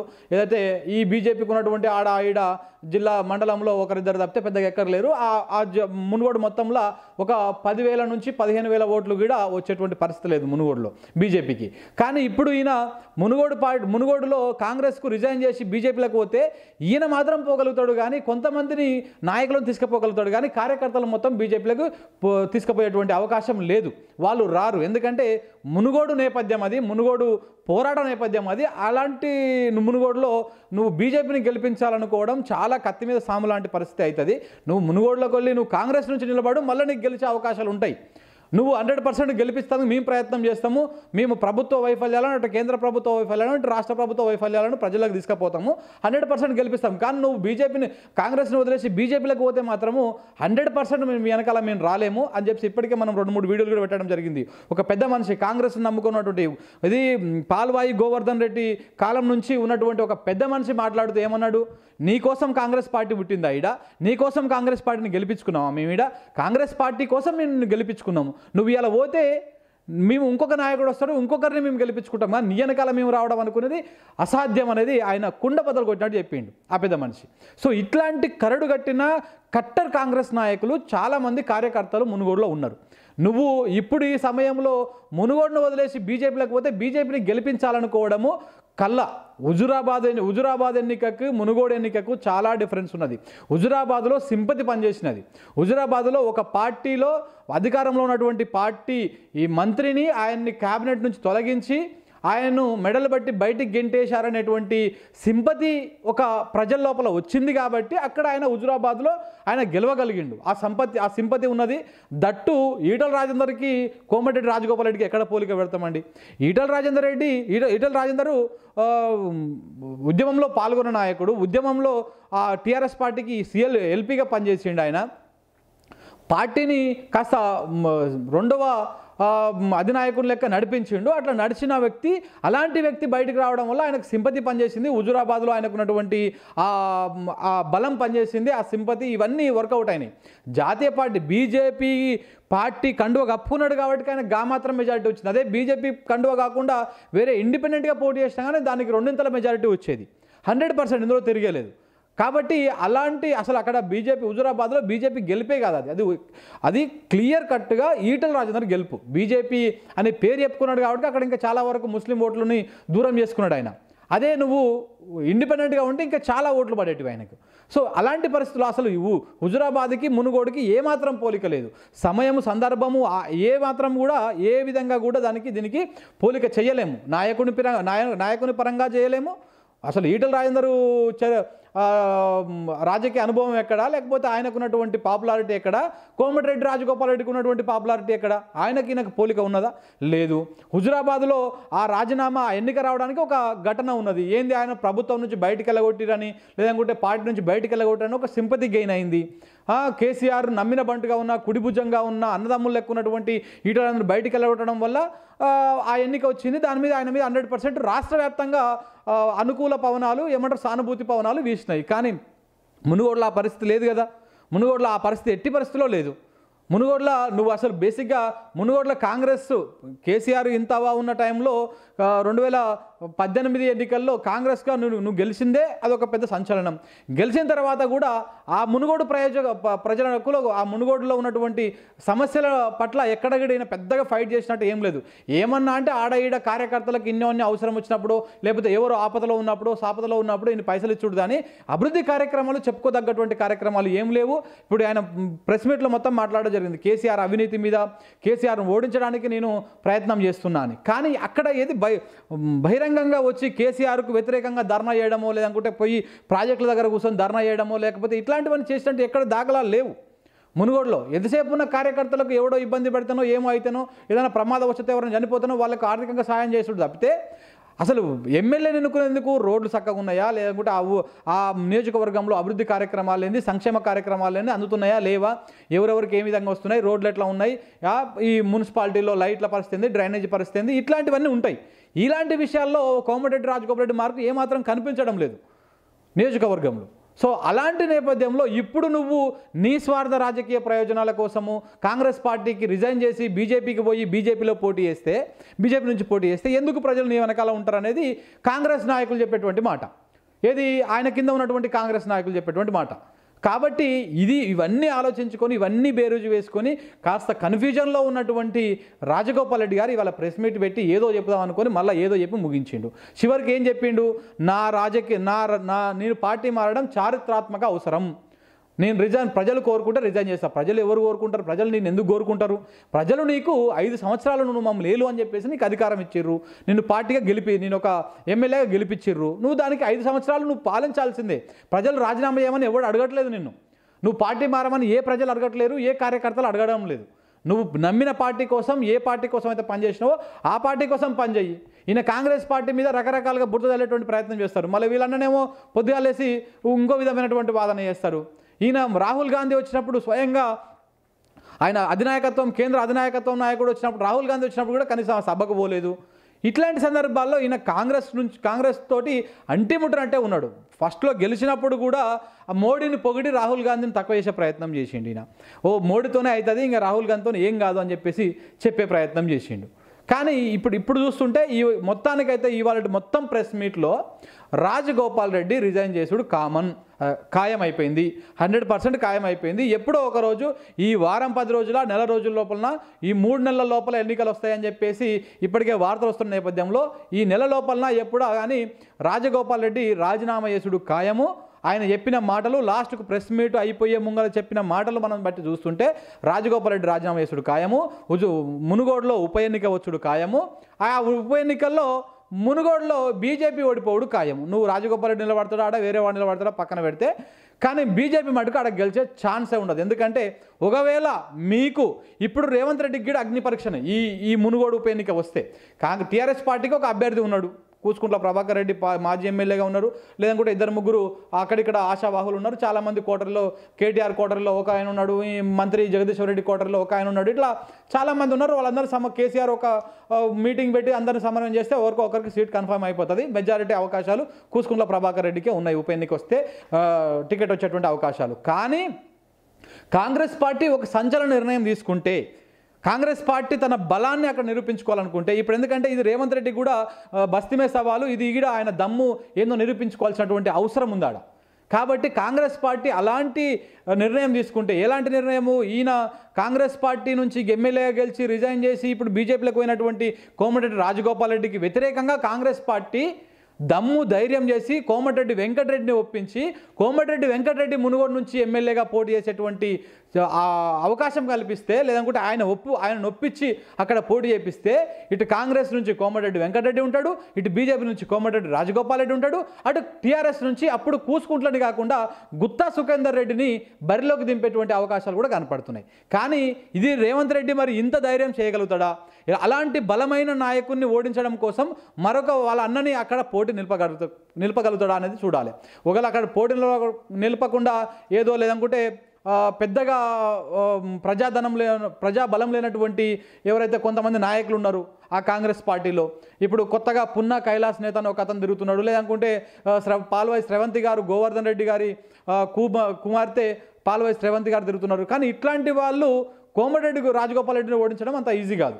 దా లేకపోతే టీఆర్ఎస్ పార్టీని ఓడించడం అంత ఈజీ కాదు. కానీ అంత బలమైన అంతే ఈ రెండు ఏమంటారు ఏనుగులు కొట్లాట చేస్తుంటే ఇంకొక ఏనుగు రావాలి కానీ ఇంకొక చిన్న జీవిని తీసుకొచ్చి పెడితే అందులో సాధ్యం కాదు. ఇప్పుడు ఓ, రేవంత్ రెడ్డి పరిస్థితి కూడా అట్లనే ఉన్నది. పోయినసారి హుజురాబాద్ ఎన్నికలప్పుడు అంటే అప్పుడే నేను వచ్చినా కొత్తగా వచ్చినా ఇది మేము కోరుకున్న ఎన్నిక కాదు లేదనుకుంటే ఇదేదో ఆ కాంగ్రెస్ ఈటల రాజేందర్కు కేసీఆర్కు మధ్య జరుగుతున్న ఎన్నిక అని చెప్పేసి ఏదో మాటలు చెప్పి తప్పించుకున్నాడు. కానీ ఇప్పుడు నువ్వు మునుగోడు నియోజకవర్గంలో ఉప ఎన్నిక వస్తే ఈ మాటలు చెప్పి తప్పించుకోవడానికి లేదు. నీ పార్టీ ఎమ్మెల్యే రాజీనామా చేసి నీకు అపోజిషన్గా ఉన్నటువంటి బీజేపీ పార్టీ నుంచి పోటీ చేస్తే నువ్వు పెట్టేటువంటి క్యాండిడేట్ని నువ్వు అక్కడ వేసేటువంటి ఎన్నిక ప్రచారము లేదనుకుంటే నువ్వు చూపిస్తున్నటువంటి శ్రద్ధ మీద పడి ఈయన పీసీసీగా ఈయన ఎంత పాచారం ఉన్నది ఈయనకు ఎంత ప్రజల్లో పలుకుబడి ఉన్నది తేలుతుంది. మరి ఎవరిని పెడతాడా లేకపోతే పీసీసీ పోయి పోటీ చేస్తాడా? మునుగోడులా? ఏందనేది చూడాలి. ఎంత ఇంట్రెస్టింగ్గా ఉంటుందో గల్లా ఇన్ కేసు కనుక మునుగోడు ఉప ఎన్నిక వస్తే చాలా అద్భుతంగా ఉంటుంది. మునుగోడు ఉప ఎన్నిక మీద వచ్చే అసెంబ్లీ ఎన్నికల రిజల్ట్ కూడా ఆధారపడి ఉండేటువంటి అవకాశం ఉన్నది. ఎందుకంటే మునుగోడు అనేది కాస్త మునుగోడే కాదు ఒక నల్లగొండ ప్రాంతం మొత్తం తీసుకుంటే నల్లగొండ ప్రాంతం మొత్తంలో బీజేపీ పాగా వేసేటువంటి అవకాశం ఏమాత్రం లేదు. ఎందుకంటే బీజేపీ పలుకుబడి లేదు అక్కడ. ఏదో అక్కడిక్కడ కొంతమంది కార్యకర్తలు ఈ బ్యాచ్ తప్పితే పోరగాలు తప్పితే పెద్దగా ఎక్కడ లేదు. ఆ ప్రభావం లేదు. అలాంటి నల్లగొండలో దట్టు మునుగోడులో బీజేపీ గెలిచిందనుకోండి కోమరెడ్డి రాజగోపాల్ రెడ్డి రూపంలో ఇక బీజేపీకి రాష్ట్రంలో తిరుగులేదని కూడా చెప్పవచ్చు. కానీ అలాంటి పరిస్థితి వస్తుందా? మునుగోడులో బీజేపీని గెలిచే అవ బీజేపీ గెలిచే అవకాశం ఉన్నదా? ఇప్పుడు అక్కడ రేవంత్ రెడ్డి పెట్టేటువంటి క్యాండిడేట్ని బట్టి ఇప్పుడు రేవంత్ రెడ్డి ఇంకొకటి కూడా ఆయన నిరూపించుకోవాల్సినటువంటి అవసరం ఉంటుంది. ఏంటి అంటే ఇప్పుడు రేవంత్ రెడ్డి మీద చాలా ఆరోపణలు ఉన్నాయి. బీజేపీకి అనుకూలంగా ఆయన వ్యవహరిస్తున్నాడు. కాంగ్రెస్ పార్టీలో ఆయన కోటర్ని పెంచి పోషించుకుంటున్నాడు. ప్రతి దగ్గర ఆయన వర్గాన్ని పెంచుకొని కాంగ్రెస్ పార్టీతో సంబంధం లేకుండా రేపనాడు బీజేపీకి ప్రభుత్వాన్ని ఏర్పాటు చేసేటువంటి అవకాశం వస్తే ఈయన కోటర్ని తీసుకొని బయటికి వెళ్ళిపోయి ఆ ప్రభుత్వానికి వాళ్ళు సపోర్ట్ చేసేటువంటి అవకాశం ఉన్నది. ఈయన మొత్తం బీజేపీ కోవట్టు అనేటువంటి వాదనలు కూడా వినపడుతున్నాయి తెలంగాణ రాజకీయాలు మరి అది నిజము కాదు అనుకుంటే ఇప్పుడు మునుగోడు ఎన్నిక ఆయనకు సవాలు. హండ్రెడ్ పర్సెంట్ మునుగోడులో ఉప ఎన్నిక వస్తే అక్కడ కాంగ్రెస్ పార్టీ తన ప్రభావం చూపించుకోలేకపోతే హండ్రెడ్ పర్సెంట్ రేవంత్ రెడ్డి బీజేపీతో టైప్ అయినట్టే. ఇందులో మటుకు క్లియర్ కట్గా తేలిపోతుంది. ఇక టీఆర్ఎస్ నుంచి ఎట్లాగో ఎవరో ఒక నాయకులు నార్మల్ నాయ నార్మల్గా కొట్లాడడానికి ఈ కోమరెడ్డి రాకపో కోమరెడ్డి వెంకటరెడ్డి కాంగ్రెస్ నుంచి రాకపోతే కూసుకుంట్ల వర్సెస్ రాజగోపాల్ రెడ్డి ఉంటుంది. ఒకవేళ కోమటిరెడ్డి కాంగ్రెస్ తరపు నుంచి వచ్చి పోటీ చేసి అక్కడ త్రిముఖ పోటీ ఉన్నట్టు అయితే మటుకు హండ్రెడ్ పర్సెంట్ కూసుకుంట్లను పక్కన పెట్టి కేసీఆర్ గారు గుత్తా సుఖేందర్ రెడ్డి లాంటి చరిస్మా ఉన్నటువంటి నాయకులను మునుగోడుకు తీసుకురావాలన్నటువంటి ప్రయత్నం కూడా చేస్తున్నట్టు మనకు అందుతున్నటువంటి సమాచారం. మొత్తానికి ఏదేమైనా తెలంగాణలో మరొకసారి ఉప ఎన్నికల హడావుడి స్టార్ట్ అయ్యేటువంటి అవకాశం కనపడుతున్నది. ముందుగానే నేను చెప్పిన చాలాసార్లు చెప్పిన హుజురాబాద్ ఉప ఎన్నిక అయిపోగానే మరొక ఉప ఎన్నిక పెట్టేందుకు కేంద్ర బీ కేంద్రంలో అధికారంలో ఉన్నటువంటి బీజేపీ తహతహలాడుతున్నది. దానికి ఒకటి మునుగోడైనా కావచ్చు లేదంటే వేములవాడైనా కావచ్చు అని నేను మొదటి నుంచి చెప్తున్నా. ఇప్పుడు అదే జరుగుతున్నది. రేపు మాపో హండ్రెడ్ పర్సెంట్ రాజగోపాల్ రెడ్డి రాజీనామా చేస్తాడు. ఆయన గోడ మీద కూర్చున్నాడు. ఇవాళ ఇవ్వాలని నేను రాజీనామా చేస్తానని ప్రకటిస్తే కార్యకర్తలు తిరగబడతారు. మొన్న ఒకసారి ఇంతకుముందు చౌటుప్పల్లో ఏం జరిగిందో చూసిండు ఆయన. కాబట్టి ఇప్పుడే నేను రాజీనామా చేస్తున్నా అంటే హండ్రెడ్ పర్సెంట్ కార్యకర్తలు తిరగబడతారు. నాకు డ్యామేజ్ అవుతుంది. నాకు డిపాజిట్కి గిట్ట రాదని చెప్పేసి అర్థం చేసుకొని అది గ్రహించి జల్ల జర్ర వాళ్ళని చల్లవరచడం కోసం ఇలా ప్రెస్ మీట్ పెట్టి ఏదో చెప్పే ప్రయత్నం చేసిండు. కానీ హండ్రెడ్ పర్సెంట్ ఆయన కాంగ్రెస్కు రాజీనామా చేసి ఎమ్మెల్యే పదవికి రాజీనామా చేసి బీజేపీలకు పోతున్నాడు. ఉప ఎన్నిక మునుగోడు ఉప ఎన్నిక అనివార్యంగా మూడు నెలల్లో లేదా నాలుగు నెలల్లో వచ్చేటువంటి అవకాశం ఉన్నది. సో ఇప్పుడే మనము రాజగోపాల్ రెడ్డి మాట్లాడినటువంటి మీడియా సమావేశాన్ని మనం చూసినాం. గత కొన్ని రోజుల నుంచి ఒక రెండు మూడు రోజుల నుంచి మునుగోడు నియోజకవర్గ ఎమ్మెల్యే అయినటువంటి రాజగోపాల్ రెడ్డి రాజీనామా చేస్తున్నాడని ఆయన కాంగ్రెస్ పార్టీకి రాజీనామా చేసి బీజేపీలకు పోతున్నాడు అనేటువంటి వార్తలు కూడా చూసినాము. సో ఆ నేపథ్యంలో ఆయన రెండు రోజులు నిన్న ఫస్ట్ ఆ వార్తలు వచ్చిన మొదటి రోజు కాస్త అనుకూలంగానే మాట్లాడాడు. నిజంగా నేను పార్టీకి రాజీనామా చేస్తున్నా వెళ్ళిపోతా అనే ఇంటెన్షన్ వచ్చే విధంగా అక్కడక్కడ మీడియాతో మాట్లాడడం జరిగింది. అంటే అవసరమైనప్పుడు రాజీనామా చేస్తా లేదనుకుంటే కేసీఆర్ను ఓడించే పార్టీకి రాజీనామా చేస్తా. ఇప్పుడున్న పరిస్థితుల్లో కాంగ్రెస్ పార్టీ కేసీఆర్ను ఓడించేంత బలంగా లేదు బలహీనంగా ఉన్నది. కాంగ్రెస్ను ఓడించాలంటే అమిత్ షా తోటి మోడీతోని మాత్రమే అవుతుంది అది బీజేపీతోనే సాధ్యం అవుతుంది ఇట్లాంటి కామెంట్లు చేసుకుంటూ వచ్చిండు. ఇవాళ ప్రెస్ మీట్ పెట్టి ఏం మాట్లాడినంటే ఆయన ఎంతసేపు అసలు కాంగ్రెస్ పా బీజేపీ పార్టీ తప్పితే కాంగ్రెస్ పార్టీ కేసీఆర్ను ఓడించలేదు అని చెప్పినటువంటి మాట వాస్తవము. నేను అమిత్ షాని కలిసిన మాట వాస్తవము. నలభై ఐదు నిమిషాల పాటు కలిసి మాట్లాడిన వా- మాట వాస్తవము. కానీ నేను రాజీనామా చేస్తానని ఎక్కడ చెప్పలేదు. కాంగ్రెస్ పార్టీకి రాజీనామా చేసి బీజేపీలకు పోతా అని కూడా నేను ఎక్కడ చెప్పలేదు. కానీ రకరకాలుగా కొన్ని మీడియా సంస్థలు పత్రికలు నా మీద దుష్ప్రచారం చేస్తున్నాయి. నేను ఎక్కడ పోతాను చెప్పలేదు అని చెప్పేసి ఆయన చెప్తందుకు ఇలా ప్రెస్ మీట్ పెట్టిండు. మొత్తం ప్రెస్ మీట్ పెట్టినటువంటి సారాంశం ఏంటంటే నేను రాజీనామా చెయ్యను. ఇప్పటి ఇప్పుడు నేను వేరే పార్టీలకు పోను అవసరం అనుకుంటే చేస్తా అనే ఒక నేను రాజీనామా చేయట్లేదు అనే అంశాన్ని సమర్థించుకోవడం కోసము ఆయన ప్రెస్ మీట్ పెట్టినట్టు అనిపించింది మొదట. కా మాట్లాడుతూ ఒకవేళ నేను రాజీనామా చేయాల్సి వస్తే నా మునుగోడు ప్రజలను అడుగు ఒక అభిప్రాయం తీసుకుంటా నా కార్యకర్తల అభిప్రాయం తీసుకుంటా నా అభిమానుల అభిప్రాయం తీసుకుంటా నల్గొండ ప్రజల కార్యక అభిమానుల అభిప్రాయం తీసుకుంటా మునుగోడు అట్లనే భువనగిరి పార్లమెంటు ప్రజల అభిప్రాయం మేరకు మాత్రమే నేను రాజీనామా చేస్తా. ఒకవేళ చేయాలనుకుంటే అందరికీ చెప్పి బహిరంగంగా చేస్తా. ఇట్లా లేదు నా మీద దుష్ప్రచారం జరుగుతుంది నేను రాజీనామా చేస్తాను ఎక్కడ ప్రకటించలేదు అని చెప్పేసి ఆయన చెప్తందుకని ప్రెస్ మీట్ పెట్టిండు ఇదే విషయం చెప్పిండు. కానీ పోతా పోతూ లాస్ట్ విషయంలో లాస్ట్కు ఏమన్నాడంటే ప్రెస్ మీట్ అయిపోయే అయిపోయే లాస్ట్ లాస్ట్ మినిట్లో ఇంకా వన్ టూ మినిట్స్కి ప్రెస్ మీట్ అయిపోతానంగా మాట్లాడితే ఏమన్నాడంటే నా రాజీనామా నేను పార్టీ మారడము చారిత్రాత్మక అవసరము అని అన్నాడు. అంటే నేను పార్టీ మారడం చారిత్రాత్మక అవసరము. నేను బీజేపీలో చేరుతనా చేరా అనే అనే అంశంపై ఇప్పుడే క్లారిటీ ఇవ్వను. కానీ పార్టీ మారడం మాట చారిత్రాత్మక అవసరము. ప్రజలు కోరుకుంటే నేను హండ్రెడ్ పర్సెంట్ రాజీనామా చేస్తా అని మాట్లాడుతూ ఆయన ప్రెస్ మీట్ ముగించి వెళ్ళిపోయింది ఇక ఇక్కడ ఇక్కడ క్లారిటీ ఏమర్థమైందంటే ఆయన కొంచెము కన్ఫ్యూజన్లో ఉన్నాడు బేసికలీ ఎందుకు అంటే అమిత్ షాని కలిసిన తర్వాత కొంతమంది మిత్రులతో నేను మాట్లాడడం జరిగింది. మునుగోడు నుంచి మాట్లాడిన ఢిల్లీలో ఉన్నటువంటి సీనియర్ రిపోర్టర్ మిత్రులతో చాలా మందితో మాట్లాడడం జరిగింది. మాట్లాడితే వాళ్ళు చెప్పినటువంటి విషయం ఏంటంటే అమిత్ షాని కలవడం వాస్తవమే అక్కడ ఆయన మాట్లాడడం వాస్తవమే. కాకపోతే హుజూరాబాదులో ఏదైతే సీన్ రిపీట్ అయిందో అదే సీన్ మునుగోడులో రిపీట్ అవుతుందా కాదా అనే అంశం గురించి వీళ్ళు ప్రస్తావించుకున్నారు వీళ్ళు మాట్లాడుకున్నారు. ఏమని మాట్లాడుకున్నారు? హుజూరాబాద్లో రేటల్ రాజేందర్ ఎట్లయితే కాంగ్రెస్ టీఆర్ఎస్ పార్టీ పార్టీని ఓడించి బీజేపీ పార్టీని అక్కడ గెలిపించిండో నువ్వు ఇప్పుడు కాంగ్రెస్ పార్టీ నుంచి రాజీనామా చేసి బీజేపీలోకి వస్తే అక్కడ అధికార ఇప్పుడు పోటీ కాంగ్రెస్ పార్టీ మీద ఉండదు. మునుగోడులో అయినా బీజేపీలోకి పోతే పోటీ బీజేపీ వర్సెస్ టీఆర్ఎస్ ఉంటుంది. కాంగ్రెస్ మధ్యలో ఉండదు. కాంగ్రెస్ పక్కన పెట్టేస్తే ఇప్పుడు అక్కడ మనం టీఆర్ఎస్ పార్టీని ఓడించగలుగుతాం మునుగోడులో? మునుగోడులో టీఆర్ఎస్ పార్టీని ఓడించేంత దమ్మున్నదా దమ్ము ఉన్నదా? ఒకవేళ కాంగ్రెస్ పార్టీ నుంచి అయితే కాంగ్రెస్ నుంచి అయితే కార్యకర్తలు ఉన్నది ఆ బలం ఉన్నది కాబట్టి కానీ బీజేపీ నుంచి వస్తే గతంలో ఎప్పుడు కూడా పదివేల ఓట్లకు మించి రాలేదు బీజేపీకి మన మునుగోడు కాన్స్టిట్యున్సీలో. పదివేల ఓట్లు కూడా రాలేదు ఆరేడు వేల ఓట్లు పదివేల లోపల మాత్రమే వచ్చినటువంటి సందర్భాలు చాలా చూసినాం. అలాంటి సందర్భంలో నువ్వు మునుగోడు నుంచి రిజైన్ చేసి బీజేపీలోకి వస్తే అక్కడ మనం పార్టీని గెలిపించుకోగలుగుతామా? అంటే అక్కడ అక్కడనేమో నేను హండ్రెడ్ పర్సెంట్ గెలిపిస్తాం గెలుస్తాము. హండ్రెడ్ పర్సెంట్ గెలుస్తాం. కేసీఆర్ కేసీఆర్ మీద ఘోరమైనటువంటి వ్యతిరేకత ఉన్నదని చెప్పేసి అక్కడ ఆ మీటింగ్లో మాట్లాడినట్టు మనకు తెలుస్తున్నటువంటి సమాచారం. కానీ అక్కడ ఎప్పుడైతే అక్కడ నుంచి వచ్చి హైదరాబాద్కు వచ్చినాక హైదరాబాద్లో వచ్చినటువంటి తర్వాత ఇక్కడ వచ్చినటువంటి వార్తలు ఆయన సొంత నియోజకవర్గం నుంచి వస్తున్నటువంటి కార్యకర్తల రియాక్షను మండలాల అధ్యక్షుల రియాక్షను ఇట్లా ఇవన్నీ చూసిన తర్వాత కొంత కన్ఫ్యూజన్లో పడిపోయిండు.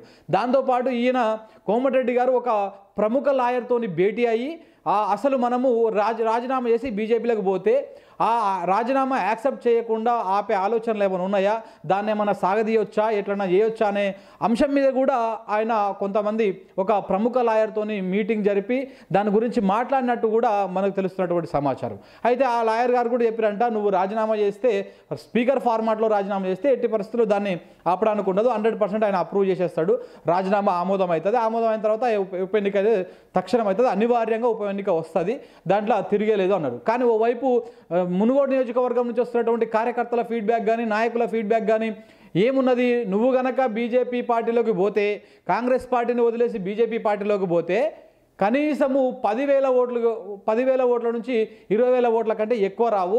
కాంగ్రెస్ పార్టీకి ఉన్న బలము బీజేపీకి లేదు మునుగోడుల దట్టు. మునుగోడు ఒకసారి మునుగోడు నేపథ్యం చూసుకుంటే మునుగోడు కమ్యూనిస్టుల కంచుకోట ఒకప్పుడు.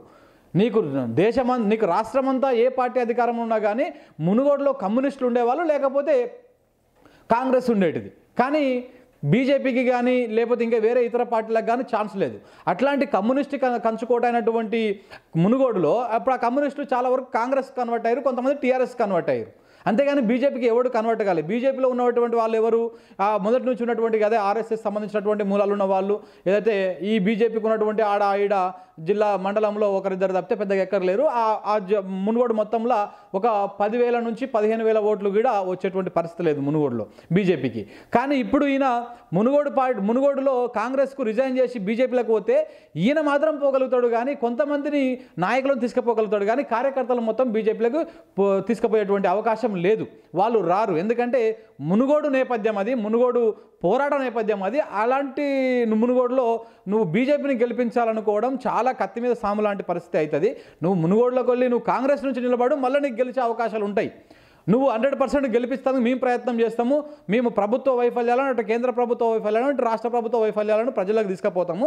హండ్రెడ్ పర్సెంట్ గెలిపిస్తాం. కానీ నువ్వు బీజేపీని కాంగ్రెస్ని వదిలేసి బీజేపీలకు పోతే మాత్రము హండ్రెడ్ పర్సెంట్ మేము వెనకాల మేము రాలేము అని చెప్పి ఇప్పటికే మనం రెండు మూడు వీడియోలు కూడా పెట్టడం జరిగింది. ఒక పెద్ద మనిషి కాంగ్రెస్ నమ్ముకున్నటువంటి ఇది పాల్వాయి గోవర్ధన్ రెడ్డి కాలం నుంచి ఉన్నటువంటి ఒక పెద్ద మనిషి మాట్లాడుతూ ఏమన్నాడు? నీకోసం కాంగ్రెస్ పార్టీ పుట్టిందా ఈడ? నీకోసం కాంగ్రెస్ పార్టీని గెలిపించుకున్నావా మేము ఈడ? కాంగ్రెస్ పార్టీ కోసం మేము నిన్ను గెలిపించుకున్నాము. నువ్వు ఇలా పోతే మేము ఇంకొక నాయకుడు వస్తాడు ఇంకొకరిని మేము గెలిపించుకుంటాం కానీ నీ వెనకాల మేము రావడం అనుకునేది అసాధ్యం అనేది ఆయన కుండ బదలు కొట్టినట్టు చెప్పిండు ఆ పెద్ద మనిషి. సో ఇట్లాంటి కరడు కట్టిన కట్టర్ కాంగ్రెస్ నాయకులు చాలామంది కార్యకర్తలు మునుగోడులో ఉన్నారు. నువ్వు ఇప్పుడు ఈ సమయంలో మునుగోడును వదిలేసి బీజేపీలకు పోతే బీజేపీని గెలిపించాలనుకోవడము కళ్ళ హుజురాబాద్ ఎన్ని- హుజురాబాద్ ఎన్నికకు మునుగోడు ఎన్నికకు చాలా డిఫరెన్స్ ఉన్నది. హుజురాబాద్లో సింపతి పనిచేసినది. హుజురాబాద్లో ఒక పార్టీలో అధికారంలో ఉన్నటువంటి పార్టీ ఈ మంత్రిని ఆయన్ని క్యాబినెట్ నుంచి తొలగించి ఆయన్ను మెడలు బట్టి బయటికి గెంటేశారనేటువంటి సింపతి ఒక ప్రజల లోపల వచ్చింది కాబట్టి అక్కడ ఆయన హుజురాబాద్లో ఆయన గెలవగలిగిండు. ఆ సంపత్తి ఆ సింపతి ఉన్నది. దట్టు ఈటల రాజేందర్కి కోమటిరెడ్డి రాజగోపాల్ రెడ్డికి ఎక్కడ పోలిక పెడతామండి? ఈటల రాజేందర్ రెడ్డి ఈట ఈటల రాజేందరు ఉద్యమంలో పాల్గొన్న నాయకుడు ఉద్యమంలో ఆ టీఆర్ఎస్ పార్టీకి సీఎల్ ఎల్పీగా పనిచేసిండు ఆయన. పార్టీని కాస్త రెండవ అధినాయకుని లెక్క నడిపించిండు. అట్లా నడిచిన వ్యక్తి అలాంటి వ్యక్తి బయటకు రావడం వల్ల ఆయనకు సింపతి పనిచేసింది. హుజురాబాద్లో ఆయనకున్నటువంటి ఆ బలం పనిచేసింది. ఆ సింపతి ఇవన్నీ వర్కౌట్ అయినాయి. జాతీయ పార్టీ బీజేపీ పార్టీ కండువ కప్పుకున్నాడు కాబట్టి ఆయన గా మాత్రం మెజారిటీ వచ్చింది. అదే బీజేపీ కండువ కాకుండా వేరే ఇండిపెండెంట్గా పోటీ చేసినా కానీ దానికి రెండింతల మెజారిటీ వచ్చేది. హండ్రెడ్ పర్సెంట్ ఇందులో తిరిగేలేదు. కాబట్టి అలాంటి అసలు అక్కడ బీజేపీ హుజురాబాద్లో బీజేపీ గెలిపే కాదు అది. అది అది క్లియర్ కట్గా ఈటల రాజేందర్ గెలుపు. బీజేపీ అనే పేరు చెప్పుకున్నాడు కాబట్టి అక్కడ ఇంకా చాలా వరకు ముస్లిం ఓట్లని దూరం చేసుకున్నాడు ఆయన. అదే నువ్వు ఇండిపెండెంట్గా ఉంటే ఇంకా చాలా ఓట్లు పడేటివి ఆయనకు. సో అలాంటి పరిస్థితులు అసలు ఇవ్వు. హుజురాబాద్కి మునుగోడుకి ఏమాత్రం పోలిక లేదు. సమయము సందర్భము ఏ మాత్రం కూడా ఏ విధంగా కూడా దానికి దీనికి పోలిక చేయలేము. నాయకుని పరంగా నాయ నాయకుని పరంగా చేయలేము. అసలు ఈటల రాజేందరు చ- రాజకీయ అనుభవం ఎక్కడా? లేకపోతే ఆయనకున్నటువంటి పాపులారిటీ ఎక్కడా? కోమటిరెడ్డి రాజగోపాల్ రెడ్డికి ఉన్నటువంటి పాపులారిటీ ఎక్కడ? ఆయనకి ఈయనకు పోలిక ఉన్నదా? లేదు. హుజురాబాద్లో ఆ రాజీనామా ఎన్నిక రావడానికి ఒక ఘటన ఉన్నది. ఏంది ఆయన ప్రభుత్వం నుంచి బయటికి వెళ్ళగొట్టిరని లేదంటే పార్టీ నుంచి బయటికి వెళ్ళగొట్టిరని ఒక సింపతి గెయిన్ అయింది. కేసీఆర్ నమ్మిన బంటుగా ఉన్న కుడిభుజంగా ఉన్న అన్నదమ్ములు లెక్కున్నటువంటి ఈటలందరూ బయటికి వెళ్ళగొట్టడం వల్ల ఆ, ఎన్నిక వచ్చింది. దాని మీద ఆయన మీద హండ్రెడ్ పర్సెంట్ రాష్ట్ర వ్యాప్తంగా అనుకూల పవనాలు ఏమంటారు సానుభూతి పవనాలు వీసినాయి. కానీ మునుగోడులో ఆ పరిస్థితి లేదు కదా. మునుగోడులో ఆ పరిస్థితి ఎట్టి పరిస్థితిలో లేదు.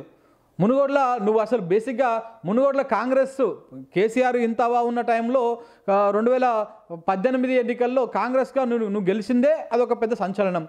గెలిచిన తర్వాత కూడా ఆ మునుగోడు ప్రయోజక ప- ప్రజలకు ఆ మునుగోడులో ఉన్నటువంటి సమస్యల పట్ల ఎక్కడగడైనా పెద్దగా ఫైట్ చేసినట్టు ఏం లేదు. ఏమన్నా అంటే ఆడ ఈడ కార్యకర్తలకు ఇన్నోన్ని అవసరం వచ్చినప్పుడు లేకపోతే ఎవరు ఆపదలో ఉన్నప్పుడు సాపదలో ఉన్నప్పుడు ఈయన పైసలు ఇచ్చుడు కానీ అభివృద్ధి కార్యక్రమాలు చెప్పుకోదగ్గటువంటి కార్యక్రమాలు ఏం లేవు. ఇప్పుడు ఆయన ప్రెస్ మీట్లో మొత్తం మాట్లాడడం జరిగింది. కేసీఆర్ అవినీతి మీద కేసీఆర్ను ఓడించడానికి నేను ప్రయత్నం చేస్తున్నాను కానీ అక్కడ ఏది బహిరంగంగా వచ్చి కేసీఆర్కు వ్యతిరేకంగా ధర్నా చేయడమో లేదనుకుంటే పోయి ప్రాజెక్టుల దగ్గర కూర్చొని ధర్నా చేయడమో లేకపోతే ఇట్లాంటివన్నీ చేసినట్టు ఎక్కడ దాఖలాలు లేవు.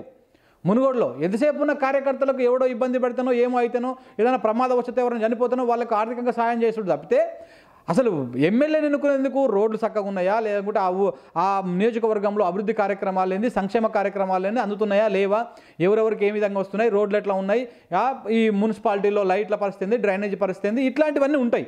ఇలాంటి విషయాల్లో కోమటిరెడ్డి రాజగోపాల్ రెడ్డి మార్కు ఏమాత్రం కనిపించడం లేదు నియోజకవర్గంలో. సో అలాంటి నేపథ్యంలో ఇప్పుడు నువ్వు నీ స్వార్థ రాజకీయ ప్రయోజనాల కోసము కాంగ్రెస్ పార్టీకి రిజైన్ చేసి బీజేపీకి పోయి బీజేపీలో పోటీ చేస్తే బీజేపీ నుంచి పోటీ చేస్తే ఎందుకు ప్రజలు నీ వెనకాల ఉంటారనేది కాంగ్రెస్ నాయకులు చెప్పేటువంటి మాట. ఏది ఆయన కింద ఉన్నటువంటి కాంగ్రెస్ నాయకులు చెప్పేటువంటి మాట. కాబట్టి ఇది ఇవన్నీ ఆలోచించుకొని ఇవన్నీ బేరుజు వేసుకొని కాస్త కన్ఫ్యూజన్లో ఉన్నటువంటి రాజగోపాల్ రెడ్డి గారు ఇవాళ ప్రెస్ మీట్ పెట్టి ఏదో చెప్దాం అనుకొని మళ్ళీ ఏదో చెప్పి ముగించిండు. చివరికి ఏం చెప్పిండు? నా రాజకీయ నా నా నేను పార్టీ మారడం చారిత్రాత్మక అవసరం. నేను రిజైన్ ప్రజలు కోరుకుంటే రిజైన్ చేస్తా. ప్రజలు ఎవరు కోరుకుంటారు? ప్రజలు నేను ఎందుకు కోరుకుంటారు? ప్రజలు నీకు ఐదు సంవత్సరాలు నువ్వు మమ్మల్ని లేలు అని చెప్పేసి నీకు అధికారం ఇచ్చిర్రు. నిన్ను పార్టీగా గెలిపి నేను ఒక ఎమ్మెల్యేగా గెలిపించిర్రు నువ్వు దానికి ఐదు సంవత్సరాలు నువ్వు పాలించాల్సిందే. ప్రజలు రాజీనామా చేయమని ఎవడు అడగట్లేదు నిన్ను. నువ్వు పార్టీ మారమని ఏ ప్రజలు అడగట్లేరు ఏ కార్యకర్తలు అడగడం లేదు. నువ్వు నమ్మిన పార్టీ కోసం ఏ పార్టీ కోసం అయితే పనిచేసినావో ఆ పార్టీ కోసం పనిచేయి ఈయన కాంగ్రెస్ పార్టీ మీద రకరకాలుగా బురద తల్లేటువంటి ప్రయత్నం చేస్తారు. మళ్ళీ వీళ్ళన్ననేమో పొద్దుగాలేసి ఇంకో విధమైనటువంటి వాదన చేస్తారు. ఈయన రాహుల్ గాంధీ వచ్చినప్పుడు స్వయంగా ఆయన అధినాయకత్వం కేంద్ర అధినాయకత్వం నాయకుడు వచ్చినప్పుడు రాహుల్ గాంధీ వచ్చినప్పుడు కూడా కనీసం సభకు పోలేదు. ఇట్లాంటి సందర్భాల్లో ఈయన కాంగ్రెస్ నుంచి కాంగ్రెస్ తోటి అంటిముట్టనట్టే ఉన్నాడు. ఫస్ట్లో గెలిచినప్పుడు కూడా ఆ మోడీని పొగిడి రాహుల్ గాంధీని తక్కువ చేసే ప్రయత్నం చేసిండు ఈయన. ఓ మోడీతోనే అవుతుంది ఇంకా రాహుల్ గాంధీతో ఏం కాదు అని చెప్పేసి చెప్పే ప్రయత్నం చేసిండు. కానీ ఇప్పుడు ఇప్పుడు చూస్తుంటే ఈ మొత్తానికైతే ఇవాళ మొత్తం ప్రెస్ మీట్లో రాజగోపాల్ రెడ్డి రిజైన్ చేసుడు కామన్ ఖాయమైపోయింది. ఖాయం అయిపోయింది హండ్రెడ్ పర్సెంట్ ఖాయం అయిపోయింది ఎప్పుడో ఒకరోజు ఈ వారం పది రోజుల నెల రోజుల లోపల ఈ మూడు నెలల లోపల ఎన్నికలు వస్తాయని చెప్పేసి ఇప్పటికే వార్తలు వస్తున్న నేపథ్యంలో ఈ నెల లోపల ఎప్పుడో కానీ రాజగోపాల్ రెడ్డి రాజీనామా చేసుడు ఖాయము. ఆయన చెప్పిన మాటలు లాస్ట్కు ప్రెస్ మీట్ అయిపోయే ముంగల చెప్పిన మాటలు మనం బట్టి చూస్తుంటే రాజగోపాల్ రెడ్డి రాజీనామా చేసుడు ఖాయము. ఉజు మునుగోడులో ఉప ఎన్నిక వచ్చుడు ఖాయము. ఆ ఉప ఎన్నికల్లో మునుగోడులో బీజేపీ ఓడిపోవుడు ఖాయం నువ్వు రాజగోపాల్ నిలబడతాడు? ఆడ వేరే వాడు నిలబడతాడా? పక్కన పెడితే. కానీ బీజేపీ మటుకు ఆడ గెలిచే ఛాన్సే ఉండదు. ఎందుకంటే ఒకవేళ మీకు ఇప్పుడు రేవంత్ రెడ్డికి కూడా అగ్ని పరీక్షనే ఈ ఈ మునుగోడు ఉప ఎన్నిక వస్తే. కాంగ్రెస్ టీఆర్ఎస్ పార్టీకి ఒక అభ్యర్థి ఉన్నాడు. కూచుకుంట్ల ప్రభాకర్ రెడ్డి మాజీ ఎమ్మెల్యేగా ఉన్నారు. లేదంటే ఇద్దరు ముగ్గురు అక్కడిక్కడ ఆశావాహులు ఉన్నారు. చాలామంది కోటర్లో కేటీఆర్ కోటర్లో ఒక ఆయన ఉన్నాడు. ఈ మంత్రి జగదీశ్వర్ రెడ్డి కోటర్లో ఒక ఆయన ఉన్నాడు. ఇట్లా చాలామంది ఉన్నారు. వాళ్ళందరూ సమ కేసీఆర్ ఒక మీటింగ్ పెట్టి అందరిని సమన్వయం చేస్తే ఒకరికి ఒకరికి సీట్ కన్ఫర్మ్ అయిపోతుంది. మెజారిటీ అవకాశాలు కూచుకుంట్ల ప్రభాకర్ రెడ్డికే ఉన్నాయి. ఉప ఎన్నిక వస్తే టికెట్ వచ్చేటువంటి అవకాశాలు. కానీ కాంగ్రెస్ పార్టీ ఒక సంచలన నిర్ణయం తీసుకుంటే కాంగ్రెస్ పార్టీ తన బలాన్ని అక్కడ నిరూపించుకోవాలనుకుంటే ఇప్పుడు ఎందుకంటే ఇది రేవంత్ రెడ్డి కూడా బస్తిమే సవాలు ఇది కూడా ఆయన దమ్ము ఏందో నిరూపించుకోవాల్సినటువంటి అవసరం ఉందాడ. కాబట్టి కాంగ్రెస్ పార్టీ అలాంటి నిర్ణయం తీసుకుంటే ఎలాంటి నిర్ణయము? ఈయన కాంగ్రెస్ పార్టీ నుంచి ఎమ్మెల్యేగా గెలిచి రిజైన్ చేసి ఇప్పుడు బీజేపీలోకి పోయినటువంటి కోమటిరెడ్డి రాజగోపాల్ రెడ్డికి వ్యతిరేకంగా కాంగ్రెస్ పార్టీ దమ్ము ధైర్యం చేసి కోమటిరెడ్డి వెంకటరెడ్డిని ఒప్పించి కోమటిరెడ్డి వెంకటరెడ్డి మునుగోడు నుంచి ఎమ్మెల్యేగా పోటీ చేసేటువంటి అవకాశం కల్పిస్తే లేదనుకుంటే ఆయన ఒప్పు ఆయన నొప్పించి అక్కడ పోటీ చేపిస్తే ఇటు కాంగ్రెస్ నుంచి కోమటిరెడ్డి వెంకటరెడ్డి ఉంటాడు ఇటు బీజేపీ నుంచి కోమటిరెడ్డి రాజగోపాల్ రెడ్డి ఉంటాడు అటు టీఆర్ఎస్ నుంచి అప్పుడు కూసుకుంటులని కాకుండా గుత్తా సుఖేందర్ రెడ్డిని బరిలోకి దింపేటువంటి అవకాశాలు కూడా కనపడుతున్నాయి. కానీ ఇది రేవంత్ రెడ్డి మరి ఇంత ధైర్యం చేయగలుగుతాడా? అలాంటి బలమైన నాయకుడిని ఓడించడం కోసం మరొక వాళ్ళ అన్నని అక్కడ పోటీ నిలపగలుగుతా నిలపగలుగుతాడా అనేది చూడాలి. ఒకవేళ అక్కడ పోటీ నిలపకుండా ఏదో లేదనుకుంటే పెద్దగా ఆ, ప్రజాధనం లే ప్రజాబలం లేనటువంటి ఎవరైతే కొంతమంది నాయకులు ఉన్నారు ఆ కాంగ్రెస్ పార్టీలో. ఇప్పుడు కొత్తగా పున్నా కైలాస్ నేత అని ఒక అతను తిరుగుతున్నాడు. లేదనుకుంటే శ్రవ పాల్వాయి శ్రవంతి గారు గోవర్ధన్ రెడ్డి గారి కుమ కుమార్తె పాల్వాయి శ్రవంతి గారు తిరుగుతున్నారు. కానీ ఇట్లాంటి వాళ్ళు కోమటిరెడ్డి రాజగోపాల్ రెడ్డిని ఓడించడం అంత ఈజీ కాదు. దా లేకపోతే ఈ టీఆర్ఎస్ పార్టీని ఓడించడం అంత ఈజీ కాదు. కానీ అంత బలమైన అంతే ఈ రెండు ఏమంటారు ఏనుగులు కొట్లాట చేస్తుంటే ఇంకొక ఏనుగు రావాలి కానీ ఇంకొక చిన్న జీవిని తీసుకొచ్చి పెడితే అందులో సాధ్యం కాదు. ఇప్పుడు ఓ, రేవంత్ రెడ్డి పరిస్థితి కూడా అట్లనే ఉన్నది. పోయినసారి హుజురాబాద్ ఎన్నికలప్పుడు అంటే అప్పుడే నేను వచ్చిన కొత్తగా వచ్చిన ఇది మేము కోరుకున్న ఎన్నిక కాదు లేదనుకుంటే ఇదేదో ఆ కాంగ్రెస్ ఈటల రాజేందర్కు కేసీఆర్కు మధ్య జరుగుతున్న ఎన్నిక అని చెప్పేసి ఏదో మాటలు చెప్పి తప్పించుకున్నాడు. కానీ ఇప్పుడు మునుగోడు నియోజకవర్గంలో ఉప ఎన్నిక వస్తే ఈ మాటలు చెప్పి తప్పించుకోవడానికి లేదు. నీ పార్టీ ఎమ్మెల్యే రాజీనామా చేసి నీకు అపోజిషన్గా ఉన్నటువంటి బీజేపీ పార్టీ నుంచి పోటీ చేస్తే నువ్వు పెట్టేటువంటి క్యాండిడేట్ని నువ్వు అక్కడ వేసేటువంటి ఎన్నిక ప్రచారము లేదనుకుంటే నువ్వు చూపిస్తున్నటువంటి శ్రద్ధ మీద పడి ఈయన పీసీసీగా ఈయన ఎంత పాతారా ఉన్నది ఈయనకు ఎంత ప్రజల్లో పలుకుబడి ఉన్నది తేలుతుంది. మరి ఎవరిని పెడతాడా? లేకపోతే పీసీసీ పోయి పోటీ చేస్తాడా? మునుగోడులా. ఏందనేది చూడాలి. ఎంత ఇంట్రెస్టింగ్గా ఉంటుందో ఒకళ్ళ ఇన్ కేసు కనుక మునుగోడు ఉప ఎన్నిక వస్తే చాలా అద్భుతంగా ఉంటుంది. మునుగోడు ఉప ఎన్నిక మీద వచ్చే అసెంబ్లీ ఎన్నికల రిజల్ట్ కూడా ఆధారపడి ఉండేటువంటి అవకాశం ఉన్నది. ఎందుకంటే మునుగోడు అనేది కాస్త మునుగోడే కాదు ఒక నల్లగొండ ప్రాంతం మొత్తం తీసుకుంటే నల్లగొండ ప్రాంతం మొత్తంలో బీజేపీ పాగా వేసేటువంటి అవకాశం ఏమాత్రం లేదు. ఎందుకంటే బీజేపీ పలుకుబడి లేదు అక్కడ. ఏదో అక్కడిక్కడ కొంతమంది కార్యకర్తలు ఈ బ్యాచ్ తప్పితే పోరగాలు తప్పితే పెద్దగా ఎక్కడ లేదు. ఆ ప్రభావం లేదు. అలాంటి నల్లగొండలో దట్టు మునుగోడులో బీజేపీ గెలిచిందనుకోండి కోమరెడ్డి రాజగోపాల్ రెడ్డి రూపంలో ఇక బీజేపీకి రాష్ట్రంలో తిరుగులేదని కూడా చెప్పవచ్చు. కానీ అలాంటి పరిస్థితి వస్తుందా? మునుగోడులో బీజేపీని గెలిచే అవ బీజేపీ గెలిచే అవకాశం ఉన్నదా? ఇప్పుడు అక్కడ రేవంత్ రెడ్డి పెట్టేటువంటి క్యాండిడేట్ని బట్టి ఇప్పుడు రేవంత్ రెడ్డి ఇంకొకటి కూడా ఆయన నిరూపించుకోవాల్సినటువంటి అవసరం ఉంటుంది. ఏంది అంటే ఇప్పుడు రేవంత్ రెడ్డి మీద చాలా ఆరోపణలు ఉన్నాయి. బీజేపీకి అనుకూలంగా ఆయన వ్యవహరిస్తున్నాడు. కాంగ్రెస్ పార్టీలో ఆయన కోటర్ని పెంచి పోషించుకుంటున్నాడు.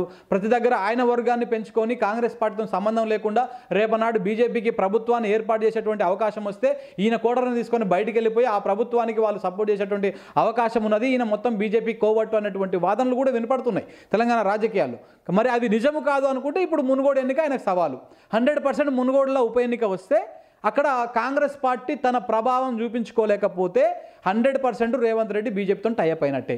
ఇందులో మటుకు క్లియర్ కట్గా తేలిపోతుంది. ఇక టీఆర్ఎస్ నుంచి ఎట్లాగో ఎవరో ఒక నాయకులు నార్మల్ నాయ నార్మల్గా కొట్లాడడానికి ఈ కోమరెడ్డి రాకపో కోమరెడ్డి వెంకటరెడ్డి కాంగ్రెస్ నుంచి రాకపోతే కూసుకుంట్ల వర్సెస్ రాజగోపాల్ రెడ్డి ఉంటుంది. ఒకవేళ కోమటిరెడ్డి కాంగ్రెస్ తరపు నుంచి వచ్చి పోటీ చేసి అక్కడ త్రిముఖ పోటీ ఉన్నట్టు అయితే మటుకు హండ్రెడ్ పర్సెంట్ కూసుకుంట్లను పక్కన పెట్టి కేసీఆర్ గారు గుత్తా సుఖేందర్ రెడ్డి లాంటి చరిస్మా ఉన్నటువంటి నాయకులను మునుగోడుకు తీసుకురావాలన్నటువంటి ప్రయత్నం కూడా చేస్తున్నట్టు మనకు అందుతున్నటువంటి సమాచారం. మొత్తానికి ఏదేమైనా తెలంగాణలో మరొకసారి ఉప ఎన్నికల హడావుడి స్టార్ట్ అయ్యేటువంటి అవకాశం కనపడుతున్నది.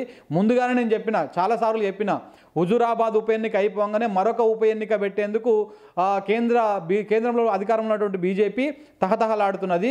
దానికి ఒకటి మునుగోడు అయినా కావచ్చు లేదంటే వేములవాడ అయినా కావచ్చు అని నేను మొదటి నుంచి చెప్తున్నా. ఇప్పుడు అదే జరుగుతున్నది. రేపు మాపో హండ్రెడ్ పర్సెంట్ రాజగోపాల్ రెడ్డి రాజీనామా చేస్తాడు. ఆయన గోడ మీద కూర్చున్నాడు. ఇవాళ ఇవ్వాలని నేను రాజీనామా చేస్తానని ప్రకటిస్తే కార్యకర్తలు తిరగబడతారు. మొన్న ఒకసారి ఇంతకు ముందు చౌటుప్పల్లో ఏం జరిగిందో చూసిండు ఆయన. కాబట్టి ఇప్పుడే నేను రాజీనామా చేస్తున్నా అంటే హండ్రెడ్ పర్సెంట్ కార్యకర్తలు తిరగబడతారు. నాకు డ్యామేజ్ అవుతుంది.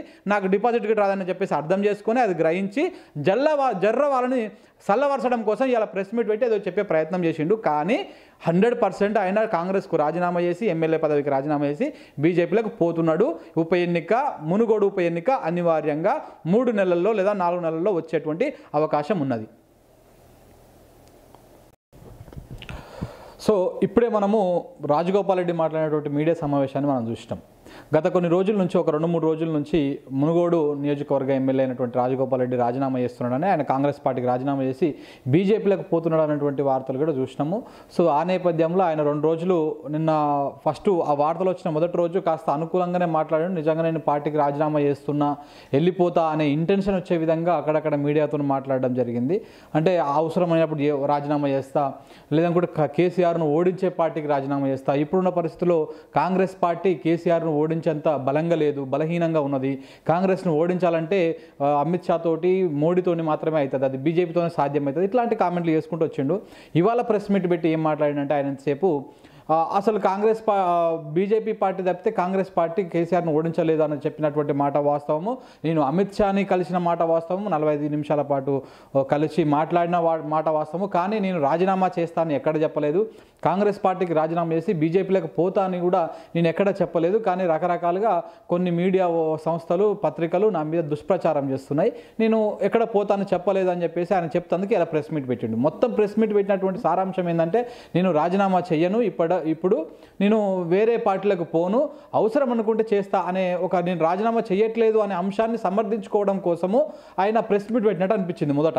కా మాట్లాడుతూ ఒకవేళ నేను రాజీనామా చేయాల్సి వస్తే నా మునుగోడు ప్రజలను అడుగు ఒక అభిప్రాయం తీసుకుంటా నా కార్యకర్తల అభిప్రాయం తీసుకుంటా నా అభిమానుల అభిప్రాయం తీసుకుంటా నల్గొండ ప్రజల కార్యక అభిమానుల అభిప్రాయం తీసుకుంటా మునుగోడు అట్లనే భువనగిరి పార్లమెంటు ప్రజల అభిప్రాయం మేరకు మాత్రమే నేను రాజీనామా చేస్తా.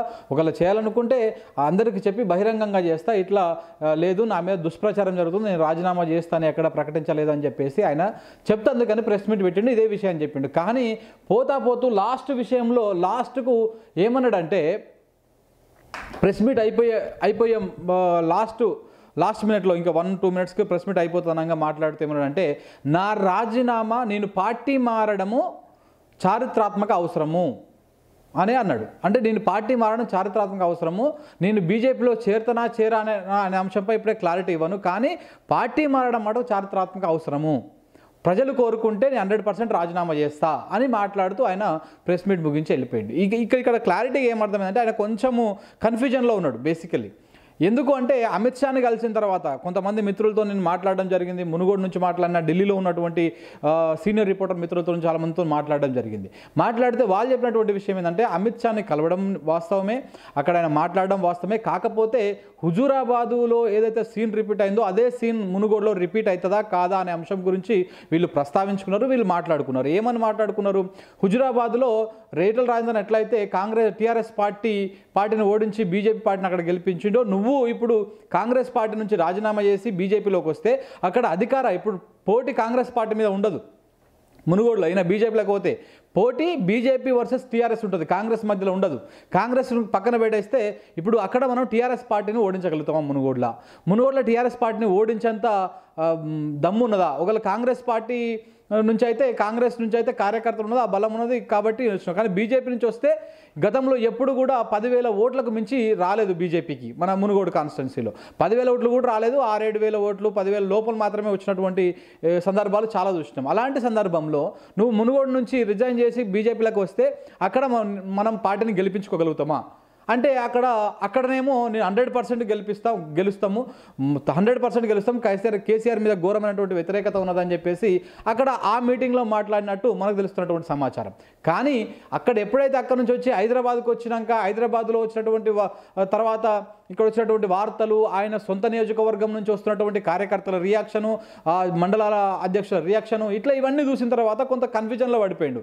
దాంతోపాటు ఈయన కోమటిరెడ్డి గారు ఒక ప్రముఖ లాయర్తోని భేటీ అయ్యి అసలు మనము రాజ రాజీనామా చేసి బీజేపీలకు పోతే ఆ రాజీనామా యాక్సెప్ట్ చేయకుండా ఆపే ఆలోచనలు ఏమైనా ఉన్నాయా? దాన్ని ఏమైనా సాగదీయొచ్చా? ఎట్లన్నా చేయొచ్చా అనే అంశం మీద కూడా ఆయన కొంతమంది ఒక ప్రముఖ లాయర్తోని మీటింగ్ జరిపి దాని గురించి మాట్లాడినట్టు కూడా మనకు తెలుస్తున్నటువంటి సమాచారం. అయితే ఆ లాయర్ గారు కూడా చెప్పారంట నువ్వు రాజీనామా చేస్తే స్పీకర్ ఫార్మాట్లో రాజీనామా చేస్తే ఎట్టి పరిస్థితుల్లో దాన్ని ఆపడానికి ఉండదు. హండ్రెడ్ పర్సెంట్ ఆయన అప్రూవ్ చేసేస్తాడు. రాజీనామా ఆమోదం అవుతుంది ఆమోదం అయిన తర్వాత ఉప- ఎన్నిక తక్షణం అవుతుంది అనివార్యంగా ఉప ఎన్నిక వస్తుంది. దాంట్లో తిరిగేలేదు అన్నాడు. కానీ ఓవైపు మునుగోడు నియోజకవర్గం నుంచి వస్తున్నటువంటి కార్యకర్తల ఫీడ్బ్యాక్ కానీ నాయకుల ఫీడ్బ్యాక్ కానీ ఏమున్నది? నువ్వు గనక బీజేపీ పార్టీలోకి పోతే కాంగ్రెస్ పార్టీని వదిలేసి బీజేపీ పార్టీలోకి పోతే కనీసము పదివేల ఓట్లు పదివేల ఓట్ల నుంచి ఇరవై వేల ఓట్ల కంటే ఎక్కువ రావు.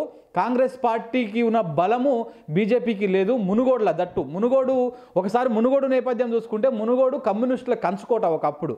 నీకు దేశమం నీకు రాష్ట్రమంతా ఏ పార్టీ అధికారంలో ఉన్నా కానీ మునుగోడులో కమ్యూనిస్టులు ఉండేవాళ్ళు లేకపోతే కాంగ్రెస్ ఉండేటిది. కానీ బీజేపీకి కానీ లేకపోతే ఇంకా వేరే ఇతర పార్టీలకు కానీ ఛాన్స్ లేదు. అట్లాంటి కమ్యూనిస్ట్ క- కంచుకోట అయినటువంటి మునుగోడులో అప్పుడు ఆ కమ్యూనిస్టులు చాలా వరకు కాంగ్రెస్ కన్వర్ట్ అయ్యారు కొంతమంది టీఆర్ఎస్ కన్వర్ట్ అయ్యారు. అంతేగాని బీజేపీకి ఎవడు కన్వర్ట్ కాలేదు. బీజేపీలో ఉన్నటువంటి వాళ్ళు ఎవరు? మొదటి నుంచి ఉన్నటువంటి అదే ఆర్ఎస్ఎస్ సంబంధించినటువంటి మూలాలు ఉన్న వాళ్ళు ఏదైతే ఈ బీజేపీకి ఉన్నటువంటి ఆడ ఈడ జిల్లా మండలంలో ఒకరిద్దరు తప్పితే పెద్దగా ఎక్కర్లేరు ఆ జ- మునుగోడు మొత్తంలో ఒక పదివేల నుంచి పదిహేను వేల ఓట్లు కూడా వచ్చేటువంటి పరిస్థితి లేదు మునుగోడులో బీజేపీకి. కానీ ఇప్పుడు ఈయన మునుగోడు పార్టీ మునుగోడులో కాంగ్రెస్కు రిజైన్ చేసి బీజేపీలకు పోతే ఈయన మాత్రం పోగలుగుతాడు కానీ కొంతమందిని నాయకులను తీసుకుపోగలుగుతాడు కానీ కార్యకర్తలు మొత్తం బీజేపీలకు పో- తీసుకుపోయేటువంటి అవకాశం లేదు. వాళ్ళు రారు. ఎందుకంటే మునుగోడు నేపథ్యం అది మునుగోడు పోరాట నేపథ్యం అది. అలాంటి మునుగోడులో నువ్వు బీజేపీని గెలిపించాలనుకోవడం చాలా కత్తి మీద సాము లాంటి పరిస్థితి అవుతుంది. నువ్వు మునుగోడులోకి వెళ్ళి నువ్వు కాంగ్రెస్ నుంచి నిలబడు మళ్ళీ నీకు గెలిచే అవకాశాలు ఉంటాయి. నువ్వు హండ్రెడ్ పర్సెంట్ గెలిపిస్తాను మేము ప్రయత్నం చేస్తాము మేము ప్రభుత్వ వైఫల్యాలను అటు కేంద్ర ప్రభుత్వ వైఫల్యాలను అటు రాష్ట్ర ప్రభుత్వ వైఫల్యాలను ప్రజలకు తీసుకుపోతాము. హండ్రెడ్ పర్సెంట్ గెలిపిస్తాం. కానీ నువ్వు బీజేపీని కాంగ్రెస్ని వదిలేసి బీజేపీలకు పోతే మాత్రము హండ్రెడ్ పర్సెంట్ మేము వెనకాల మేము రాలేము అని చెప్పి ఇప్పటికే మనం రెండు మూడు వీడియోలు కూడా పెట్టడం జరిగింది. ఒక పెద్ద మనిషి కాంగ్రెస్ని నమ్ముకున్నటువంటి ఇది పాల్వాయి గోవర్ధన్ రెడ్డి కాలం నుంచి ఉన్నటువంటి ఒక పెద్ద మనిషి మాట్లాడుతూ ఏమన్నాడు? నీకోసం కాంగ్రెస్ పార్టీ పుట్టిందా ఈడ? నీ కోసం కాంగ్రెస్ పార్టీని గెలిపించుకున్నావా మేము ఈడ? కాంగ్రెస్ పార్టీ కోసం మేము గెలిపించుకున్నాము. నువ్వు ఇలా పోతే మేము ఇంకొక నాయకుడు వస్తాడు ఇంకొకరిని మేము గెలిపించుకుంటాం కానీ నీ వెనకాల మేము రావడం అనుకునేది అసాధ్యం అనేది ఆయన కుండ బదలు కొట్టినట్టు చెప్పిండు ఆ పెద్ద మనిషి. సో ఇట్లాంటి కరడు కట్టిన కట్టర్ కాంగ్రెస్ నాయకులు చాలామంది కార్యకర్తలు మునుగోడులో ఉన్నారు. నువ్వు ఇప్పుడు ఈ సమయంలో మునుగోడును వదిలేసి బీజేపీలకు పోతే బీజేపీని గెలిపించాలనుకోవడము కళ్ళ హుజురాబాద్ ఎన్ని హుజురాబాద్ ఎన్నికకు మునుగోడు ఎన్నికకు చాలా డిఫరెన్స్ ఉన్నది. హుజురాబాద్లో సింపతి పనిచేసినది. హుజురాబాద్లో ఒక పార్టీలో అధికారంలో ఉన్నటువంటి పార్టీ ఈ మంత్రిని ఆయన్ని క్యాబినెట్ నుంచి తొలగించి ఆయనను మెడలు బట్టి బయటికి గెంటేశారనేటువంటి సింపతి ఒక ప్రజల లోపల వచ్చింది కాబట్టి అక్కడ ఆయన హుజురాబాద్లో ఆయన గెలవగలిగిండు. ఆ సంపత్తి ఆ సింపతి ఉన్నది. దట్టు ఈటల రాజేందర్కి కోమటిరెడ్డి రాజగోపాల్ రెడ్డికి ఎక్కడ పోలిక పెడతామండి? ఈటల రాజేందర్ రెడ్డి ఈట ఈటల రాజేందరు ఉద్యమంలో పాల్గొన్న నాయకుడు ఉద్యమంలో ఆ టీఆర్ఎస్ పార్టీకి సీఎల్ ఎల్పీగా పనిచేసిండు ఆయన. పార్టీని కాస్త రెండవ అధినాయకుని లెక్క నడిపించిండు. అట్లా నడిచిన వ్యక్తి అలాంటి వ్యక్తి బయటకు రావడం వల్ల ఆయనకు సింపతి పనిచేసింది. హుజురాబాద్లో ఆయనకున్నటువంటి ఆ ఆ బలం పనిచేసింది. ఆ సింపతి ఇవన్నీ వర్కౌట్ అయినాయి. జాతీయ పార్టీ బీజేపీ పార్టీ కండువ కప్పుకున్నాడు కాబట్టి ఆయన గా మాత్రం మెజారిటీ వచ్చింది. అదే బీజేపీ కండువ కాకుండా వేరే ఇండిపెండెంట్గా పోటీ చేసినా కానీ దానికి రెండింతల మెజారిటీ వచ్చేది. హండ్రెడ్ పర్సెంట్ ఇందులో తిరిగేలేదు. కాబట్టి అలాంటి అసలు అక్కడ బీజేపీ హుజురాబాద్లో బీజేపీ గెలిపే కాదు అది. అది అది క్లియర్ కట్గా ఈటల రాజేందర్ గెలుపు. బీజేపీ అనే పేరు చెప్పుకున్నాడు కాబట్టి అక్కడ ఇంకా చాలా వరకు ముస్లిం ఓట్లని దూరం చేసుకున్నాడు ఆయన. అదే నువ్వు ఇండిపెండెంట్గా ఉంటే ఇంకా చాలా ఓట్లు పడేటివి ఆయనకు. సో అలాంటి పరిస్థితులు అసలు ఇవ్వు. హుజురాబాద్కి మునుగోడుకి ఏమాత్రం పోలిక లేదు. సమయము సందర్భము ఏ మాత్రం కూడా ఏ విధంగా కూడా దానికి దీనికి పోలిక చేయలేము. నాయకుని పరంగా నాయ నాయకుని పరంగా చేయలేము. అసలు ఈటల రాజేందరు చ- రాజకీయ అనుభవం ఎక్కడా? లేకపోతే ఆయనకున్నటువంటి పాపులారిటీ ఎక్కడా? కోమటిరెడ్డి రాజగోపాల్ రెడ్డికి ఉన్నటువంటి పాపులారిటీ ఎక్కడ? ఆయనకి ఈయనకు పోలిక ఉన్నదా? లేదు. హుజురాబాద్లో ఆ రాజీనామా ఎన్నిక రావడానికి ఒక ఘటన ఉన్నది. ఏంది ఆయన ప్రభుత్వం నుంచి బయటికి వెళ్ళగొట్టిరని లేదంటే పార్టీ నుంచి బయటికి వెళ్ళగొట్టిరని ఒక సింపతి గెయిన్ అయింది. కేసీఆర్ నమ్మిన బంటుగా ఉన్న కుడిభుజంగా ఉన్న అన్నదమ్ములు లెక్కున్నటువంటి ఈటలందరూ బయటికి వెళ్ళగొట్టడం వల్ల ఆ, ఎన్నిక వచ్చింది. దాని మీద ఆయన మీద హండ్రెడ్ పర్సెంట్ రాష్ట్ర వ్యాప్తంగా అనుకూల పవనాలు ఏమంటారు సానుభూతి పవనాలు వీసినాయి. కానీ మునుగోడులో ఆ పరిస్థితి లేదు కదా. మునుగోడులో ఆ పరిస్థితి ఎట్టి పరిస్థితిలో లేదు. మునుగోడులో నువ్వు అసలు బేసిక్గా మునుగోడులో కాంగ్రెస్ కేసీఆర్ ఇంతవా ఉన్న టైంలో రెండు వేల పద్దెనిమిది ఎన్నికల్లో కాంగ్రెస్గా నువ్వు నువ్వు గెలిచిందే అదొక పెద్ద సంచలనం. గెలిచిన తర్వాత కూడా ఆ మునుగోడు ప్రయోజక ప- ప్రజలకు ఆ మునుగోడులో ఉన్నటువంటి సమస్యల పట్ల ఎక్కడగడైనా పెద్దగా ఫైట్ చేసినట్టు ఏం లేదు. ఏమన్నా అంటే ఆడ ఈడ కార్యకర్తలకు ఇన్నోన్ని అవసరం వచ్చినప్పుడు లేకపోతే ఎవరు ఆపదలో ఉన్నప్పుడు సాపదలో ఉన్నప్పుడు ఈయన పైసలు ఇచ్చుడు కానీ అభివృద్ధి కార్యక్రమాలు చెప్పుకోదగ్గటువంటి కార్యక్రమాలు ఏం లేవు. ఇప్పుడు ఆయన ప్రెస్ మీట్లో మొత్తం మాట్లాడడం జరిగింది. కేసీఆర్ అవినీతి మీద కేసీఆర్ను ఓడించడానికి నేను ప్రయత్నం చేస్తున్నాను కానీ అక్కడ ఏది బై బహిరంగంగా వచ్చి కేసీఆర్కు వ్యతిరేకంగా ధర్నా చేయడమో లేదనుకుంటే పోయి ప్రాజెక్టుల దగ్గర కూర్చొని ధర్నా చేయడమో లేకపోతే ఇట్లాంటివన్నీ చేసినట్టు ఎక్కడ దాఖలాలు లేవు. మునుగోడులో ఎంతసేపు ఉన్న కార్యకర్తలకు ఎవడో ఇబ్బంది పెడతానో ఏమో అయితేనో ఏదైనా ప్రమాదం వచ్చితే ఎవరైనా చనిపోతానో వాళ్ళకు ఆర్థికంగా సాయం చేసుడు తప్పితే అసలు ఎమ్మెల్యేని ఎన్నుకునేందుకు రోడ్లు చక్కగా ఉన్నాయా? లేకుంటే ఆ ఆ నియోజకవర్గంలో అభివృద్ధి కార్యక్రమాలు ఏంది? సంక్షేమ కార్యక్రమాలు ఏంది? అందుతున్నాయా? లేవా? ఎవరెవరికి ఏ విధంగా వస్తున్నాయి? రోడ్లు ఎట్లా ఉన్నాయి? ఈ మున్సిపాలిటీలో లైట్ల పరిస్థితి డ్రైనేజీ పరిస్థితి ఇట్లాంటివన్నీ ఉంటాయి. ఇలాంటి విషయాల్లో కోమటిరెడ్డి రాజగోపాల్ రెడ్డి మార్కు ఏమాత్రం కనిపించడం లేదు నియోజకవర్గంలో. సో అలాంటి నేపథ్యంలో ఇప్పుడు నువ్వు నీ స్వార్థ రాజకీయ ప్రయోజనాల కోసము కాంగ్రెస్ పార్టీకి రిజైన్ చేసి బీజేపీకి పోయి బీజేపీలో పోటీ చేస్తే బీజేపీ నుంచి పోటీ చేస్తే ఎందుకు ప్రజలు నీ వెనకాల ఉంటారు అనేది కాంగ్రెస్ నాయకులు చెప్పేటువంటి మాట. ఏది ఆయన కింద ఉన్నటువంటి కాంగ్రెస్ నాయకులు చెప్పేటువంటి మాట. కాబట్టి ఇది ఇవన్నీ ఆలోచించుకొని ఇవన్నీ బేరుజు వేసుకొని కాస్త కన్ఫ్యూజన్లో ఉన్నటువంటి రాజగోపాల్ రెడ్డి గారు ఇవాళ ప్రెస్ మీట్ పెట్టి ఏదో చెప్దాం అనుకొని మళ్ళీ ఏదో చెప్పి ముగించిండు. చివరికి ఏం చెప్పిండు? నా రాజకీయ నా నా నేను పార్టీ మారడం చారిత్రాత్మక అవసరం. నేను రిజైన్ ప్రజలు కోరుకుంటే రిజైన్ చేస్తా. ప్రజలు ఎవరు కోరుకుంటారు? ప్రజలు నేను ఎందుకు కోరుకుంటారు? ప్రజలు నీకు ఐదు సంవత్సరాలు నువ్వు మమ్మల్ని లేలు అని చెప్పేసి నీకు అధికారం ఇచ్చిర్రు. నిన్ను పార్టీగా గెలిపి నేను ఒక ఎమ్మెల్యేగా గెలిపించిర్రు నువ్వు దానికి ఐదు సంవత్సరాలు నువ్వు పాలించాల్సిందే. ప్రజలు రాజీనామా చేయమని ఎవడు అడగట్లేదు నిన్ను. నువ్వు పార్టీ మారమని ఏ ప్రజలు అడగట్లేరు ఏ కార్యకర్తలు అడగడం లేదు. నువ్వు నమ్మిన పార్టీ కోసం ఏ పార్టీ కోసం అయితే పనిచేసినావో ఆ పార్టీ కోసం పనిచేయి ఈయన కాంగ్రెస్ పార్టీ మీద రకరకాలుగా బుర్ర తల్లేటువంటి ప్రయత్నం చేస్తారు. మళ్ళీ వీళ్ళన్ననేమో పొద్దుగాలేసి ఇంకో విధమైనటువంటి వాదన చేస్తారు. ఈయన రాహుల్ గాంధీ వచ్చినప్పుడు స్వయంగా ఆయన అధినాయకత్వం కేంద్ర అధినాయకత్వం నాయకుడు వచ్చినప్పుడు రాహుల్ గాంధీ వచ్చినప్పుడు కూడా కనీసం ఆ సభకు పోలేదు. ఇట్లాంటి సందర్భాల్లో ఈయన కాంగ్రెస్ నుంచి కాంగ్రెస్ తోటి అంటిముట్టనట్టే ఉన్నాడు. ఫస్ట్లో గెలిచినప్పుడు కూడా ఆ మోడీని పొగిడి రాహుల్ గాంధీని తక్కువ చేసే ప్రయత్నం చేసిండు ఈయన. ఓ మోడీతోనే అవుతుంది ఇంకా రాహుల్ గాంధీతో ఏం కాదు అని చెప్పేసి చెప్పే ప్రయత్నం చేసిండు. కానీ ఇప్పుడు ఇప్పుడు చూస్తుంటే ఈ మొత్తానికైతే ఇవాళ మొత్తం ప్రెస్ మీట్లో రాజగోపాల్ రెడ్డి రిజైన్ చేసుడు కామన్ ఖాయం అయిపోయింది హండ్రెడ్ పర్సెంట్ ఖాయం అయిపోయింది ఎప్పుడో ఒకరోజు ఈ వారం పది రోజుల నెల రోజుల లోపల ఈ మూడు నెలల లోపల ఎన్నికలు వస్తాయని చెప్పేసి ఇప్పటికే వార్తలు వస్తున్న నేపథ్యంలో ఈ నెల లోపల ఎప్పుడో కానీ రాజగోపాల్ రెడ్డి రాజీనామా చేసుడు ఖాయము. ఆయన చెప్పిన మాటలు లాస్ట్కు ప్రెస్ మీట్ అయిపోయే ముంగల చెప్పిన మాటలు మనం బట్టి చూస్తుంటే రాజగోపాలరెడ్డి రాజీనామా చేసుడు ఖాయము ఉజు మునుగోడులో ఉప ఎన్నిక వచ్చుడు ఖాయము ఆ ఉప ఎన్నికల్లో మునుగోడులో బీజేపీ ఓడిపోవుడు ఖాయము. నువ్వు రాజగోపాలరెడ్డి రెడ్డి ఆడ వేరే వాడు నిలబడతాడా? పక్కన పెడితే. కానీ బీజేపీ మటుకు ఆడ గెలిచే ఛాన్సే ఉండదు. ఎందుకంటే ఒకవేళ మీకు ఇప్పుడు రేవంత్ రెడ్డికి కూడా అగ్ని పరీక్షనే ఈ ఈ మునుగోడు ఉప ఎన్నిక వస్తే. కాంగ్రెస్ టీఆర్ఎస్ పార్టీకి ఒక అభ్యర్థి ఉన్నాడు. కూచుకుంట్ల ప్రభాకర్ రెడ్డి మాజీ ఎమ్మెల్యేగా ఉన్నారు. లేదంటే ఇద్దరు ముగ్గురు అక్కడిక్కడ ఆశావాహులు ఉన్నారు. చాలామంది కోటర్లో కేటీఆర్ కోటర్లో ఒక ఆయన ఉన్నాడు ఈ మంత్రి జగదీశ్వర్ రెడ్డి కోటర్లో ఒక ఆయన ఉన్నాడు. ఇట్లా చాలామంది ఉన్నారు. వాళ్ళందరూ సమ కేసీఆర్ ఒక మీటింగ్ పెట్టి అందరిని సమన్వయం చేస్తే ఒకరికి ఒకరికి సీట్ కన్ఫర్మ్ అయిపోతుంది. మెజారిటీ అవకాశాలు కూచుకుంట్ల ప్రభాకర్ రెడ్డికే ఉన్నాయి. ఉప ఎన్నిక వస్తే టికెట్ వచ్చేటువంటి అవకాశాలు. కానీ కాంగ్రెస్ పార్టీ ఒక సంచలన నిర్ణయం తీసుకుంటే కాంగ్రెస్ పార్టీ తన బలాన్ని అక్కడ నిరూపించుకోవాలనుకుంటే ఇప్పుడు ఎందుకంటే ఇది రేవంత్ రెడ్డి కూడా బస్తిమే సవాలు ఇది ఈడ ఆయన దమ్ము ఏందో నిరూపించుకోవాల్సినటువంటి అవసరం ఉందాడ.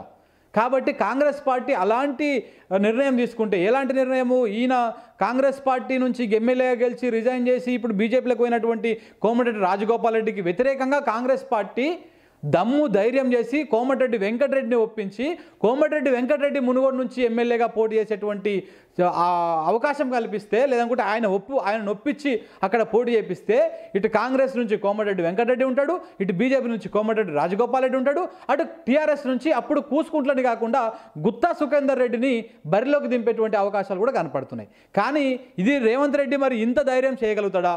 అలాంటి బలమైన నాయకుడిని ఓడించడం కోసం మరొక వాళ్ళ అన్నని అక్కడ పోటీ నిలపగలుగుతా నిలపగలుగుతాడా అనేది చూడాలి. ఒకవేళ అక్కడ పోటీ నిలపకుండా ఏదో లేదనుకుంటే పెద్దగా ఆ, ప్రజాధనం లే ప్రజాబలం లేనటువంటి ఎవరైతే కొంతమంది నాయకులు ఉన్నారు ఆ కాంగ్రెస్ పార్టీలో. ఇప్పుడు కొత్తగా పున్నా కైలాస్ నేత అని ఒక అతను తిరుగుతున్నాడు. లేదనుకుంటే శ్రవ పాల్వాయి శ్రవంతి గారు గోవర్ధన్ రెడ్డి గారి కుమ కుమార్తె పాల్వాయి శ్రవంతి గారు తిరుగుతున్నారు. కానీ ఇట్లాంటి వాళ్ళు కోమటిరెడ్డి రాజగోపాల్ రెడ్డిని ఓడించడం అంత ఈజీ కాదు. దా లేకపోతే ఈ టీఆర్ఎస్ పార్టీని ఓడించడం అంత ఈజీ కాదు. కానీ అంత బలమైన అంతే ఈ రెండు ఓ, ఏమంటారు ఏనుగులు కొట్లాట చేస్తుంటే ఇంకొక ఏనుగు రావాలి కానీ ఇంకొక చిన్న జీవిని తీసుకొచ్చి పెడితే అందులో సాధ్యం కాదు. ఇప్పుడు ఓ, రేవంత్ రెడ్డి పరిస్థితి కూడా అట్లనే ఉన్నది. పోయినసారి హుజురాబాద్ ఎన్నికలు అప్పుడు అంటే అప్పుడే నేను వచ్చిన కొత్తగా వచ్చిన ఇది మేము కోరుకున్న ఎన్నిక కాదు లేదనుకుంటే ఇదేదో ఆ కాంగ్రెస్ ఈటల రాజేందర్కు కేసీఆర్కు మధ్య జరుగుతున్న ఎన్నిక అని చెప్పేసి ఏదో మాటలు చెప్పి తప్పించుకున్నాడు. కానీ ఇప్పుడు నువ్వు మునుగోడు నియోజకవర్గంలో ఉప ఎన్నిక వస్తే ఈ మాటలు చెప్పి తప్పించుకోవడానికి లేదు. నీ పార్టీ ఎమ్మెల్యే రాజీనామా చేసి నీకు అపోజిషన్గా ఉన్నటువంటి బీజేపీ పార్టీ నుంచి పోటీ చేస్తే నువ్వు పెట్టేటువంటి క్యాండిడేట్ని నువ్వు అక్కడ వేసేటువంటి ఎన్నిక ప్రచారము లేదనుకుంటే నువ్వు చూపిస్తున్నటువంటి శ్రద్ధ మీద పడి ఈయన పీసీసీగా ఈయన ఎంత పాచారం ఉన్నది ఈయనకు ఎంత ప్రజల్లో పలుకుబడి ఉన్నది తేలుతుంది. మరి ఎవరిని పెడతాడా లేకపోతే పీసీసీ పోయి పోటీ చేస్తాడా? మునుగోడులా? ఏందనేది చూడాలి. ఎంత ఇంట్రెస్టింగ్గా ఉంటుంది ఒకళ్ళ ఇన్ కేసు కనుక మునుగోడు ఉప ఎన్నిక వస్తే చాలా అద్భుతంగా ఉంటుంది. మునుగోడు ఉప ఎన్నిక మీద వచ్చే అసెంబ్లీ ఎన్నికల రిజల్ట్ కూడా ఆధారపడి ఉండేటువంటి అవకాశం ఉన్నది. ఎందుకంటే మునుగోడు అనేది కాస్త మునుగోడే కాదు ఒక నల్లగొండ ప్రాంతం మొత్తం తీసుకుంటే నల్లగొండ ప్రాంతం మొత్తంలో బీజేపీ పాగా వేసేటువంటి అవకాశం ఏమాత్రం లేదు. ఎందుకంటే బీజేపీ పలుకుబడి లేదు అక్కడ. ఏదో అక్కడిక్కడ కొంతమంది కార్యకర్తలు ఈ బ్యాచ్ తప్పితే పోరగాలు తప్పితే పెద్దగా ఎక్కడ లేదు. ఆ ప్రభావం లేదు. అలాంటి నల్లగొండలో దట్టు మునుగోడులో బీజేపీ గెలిచిందనుకోండి కోమరెడ్డి రాజగోపాల్ రెడ్డి రూపంలో ఇక బీజేపీకి రాష్ట్రంలో తిరుగులేదని కూడా చెప్పవచ్చు. కానీ అలాంటి పరిస్థితి వస్తుందా? మునుగోడులో బీజేపీని గెలిచే అవ బీజేపీ గెలిచే అవకాశం ఉన్నదా? ఇప్పుడు అక్కడ రేవంత్ రెడ్డి పెట్టేటువంటి క్యాండిడేట్ని బట్టి ఇప్పుడు రేవంత్ రెడ్డి ఇంకొకటి కూడా ఆయన నిరూపించుకోవాల్సినటువంటి అవసరం ఉంటుంది. ఏంటి అంటే ఇప్పుడు రేవంత్ రెడ్డి మీద చాలా ఆరోపణలు ఉన్నాయి. బీజేపీకి అనుకూలంగా ఆయన వ్యవహరిస్తున్నాడు.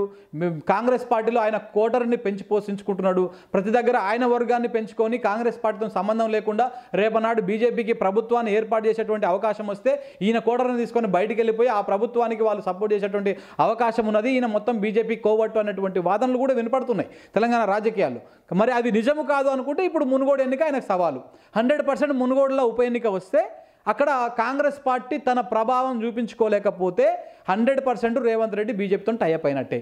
ఇందులో మటుకు క్లియర్ కట్గా తేలిపోతుంది. ఇక టీఆర్ఎస్ నుంచి ఎట్లాగో ఎవరో ఒక నాయకులు నార్మల్ నాయ నార్మల్గా కొట్లాడడానికి ఈ కోమటిరెడ్డి రాకపో కోమటిరెడ్డి వెంకటరెడ్డి కాంగ్రెస్ నుంచి రాకపోతే కూసుకుంట్ల వర్సెస్ రాజగోపాల్ రెడ్డి ఉంటుంది. ఒకవేళ కోమటిరెడ్డి కాంగ్రెస్ తరపు నుంచి వచ్చి పోటీ చేసి అక్కడ త్రిముఖ పోటీ ఉన్నట్టు అయితే మటుకు హండ్రెడ్ పర్సెంట్ కూసుకుంట్లను పక్కన పెట్టి కేసీఆర్ గారు గుత్తా సుఖేందర్ రెడ్డి లాంటి చరిస్మా ఉన్నటువంటి నాయకులను మునుగోడుకు తీసుకురావాలన్నటువంటి ప్రయత్నం కూడా చేస్తున్నట్టు మనకు అందుతున్నటువంటి సమాచారం. మొత్తానికి ఏదేమైనా తెలంగాణలో మరొకసారి ఉప ఎన్నికల హడావుడి స్టార్ట్ అయ్యేటువంటి అవకాశం కనపడుతున్నది.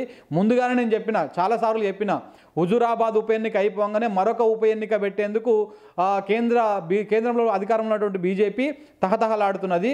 దానికి ఒకటి మునుగోడు అయినా కావచ్చు లేదంటే వేములవాడ అయినా కావచ్చు అని నేను మొదటి నుంచి చెప్తున్నా. ఇప్పుడు అదే జరుగుతున్నది. రేపు మాపో హండ్రెడ్ పర్సెంట్ రాజగోపాల్ రెడ్డి రాజీనామా చేస్తాడు. ఆయన గోడ మీద కూర్చున్నాడు. ఇవాళ ఇవ్వాలని నేను రాజీనామా చేస్తానని ప్రకటిస్తే కార్యకర్తలు తిరగబడతారు.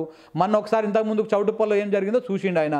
కాబట్టి ఇప్పుడే నేను రాజీనామా చేస్తున్నా అంటే హండ్రెడ్ పర్సెంట్ కార్యకర్తలు తిరగబడతారు. నాకు డ్యామేజ్ అవుతుంది. నాకు డిపాజిట్ రాదని అని చెప్పేసి అర్థం చేసుకొని అది గ్రహించి జల్ల జర్ర వాళ్ళని చల్లవరచడం కోసం ఇలా ప్రెస్ మీట్ పెట్టి ఏదో చెప్పే ప్రయత్నం చేసిండు. కానీ హండ్రెడ్ పర్సెంట్ ఆయన కాంగ్రెస్కు రాజీనామా చేసి ఎమ్మెల్యే పదవికి రాజీనామా చేసి బీజేపీలకు పోతున్నాడు.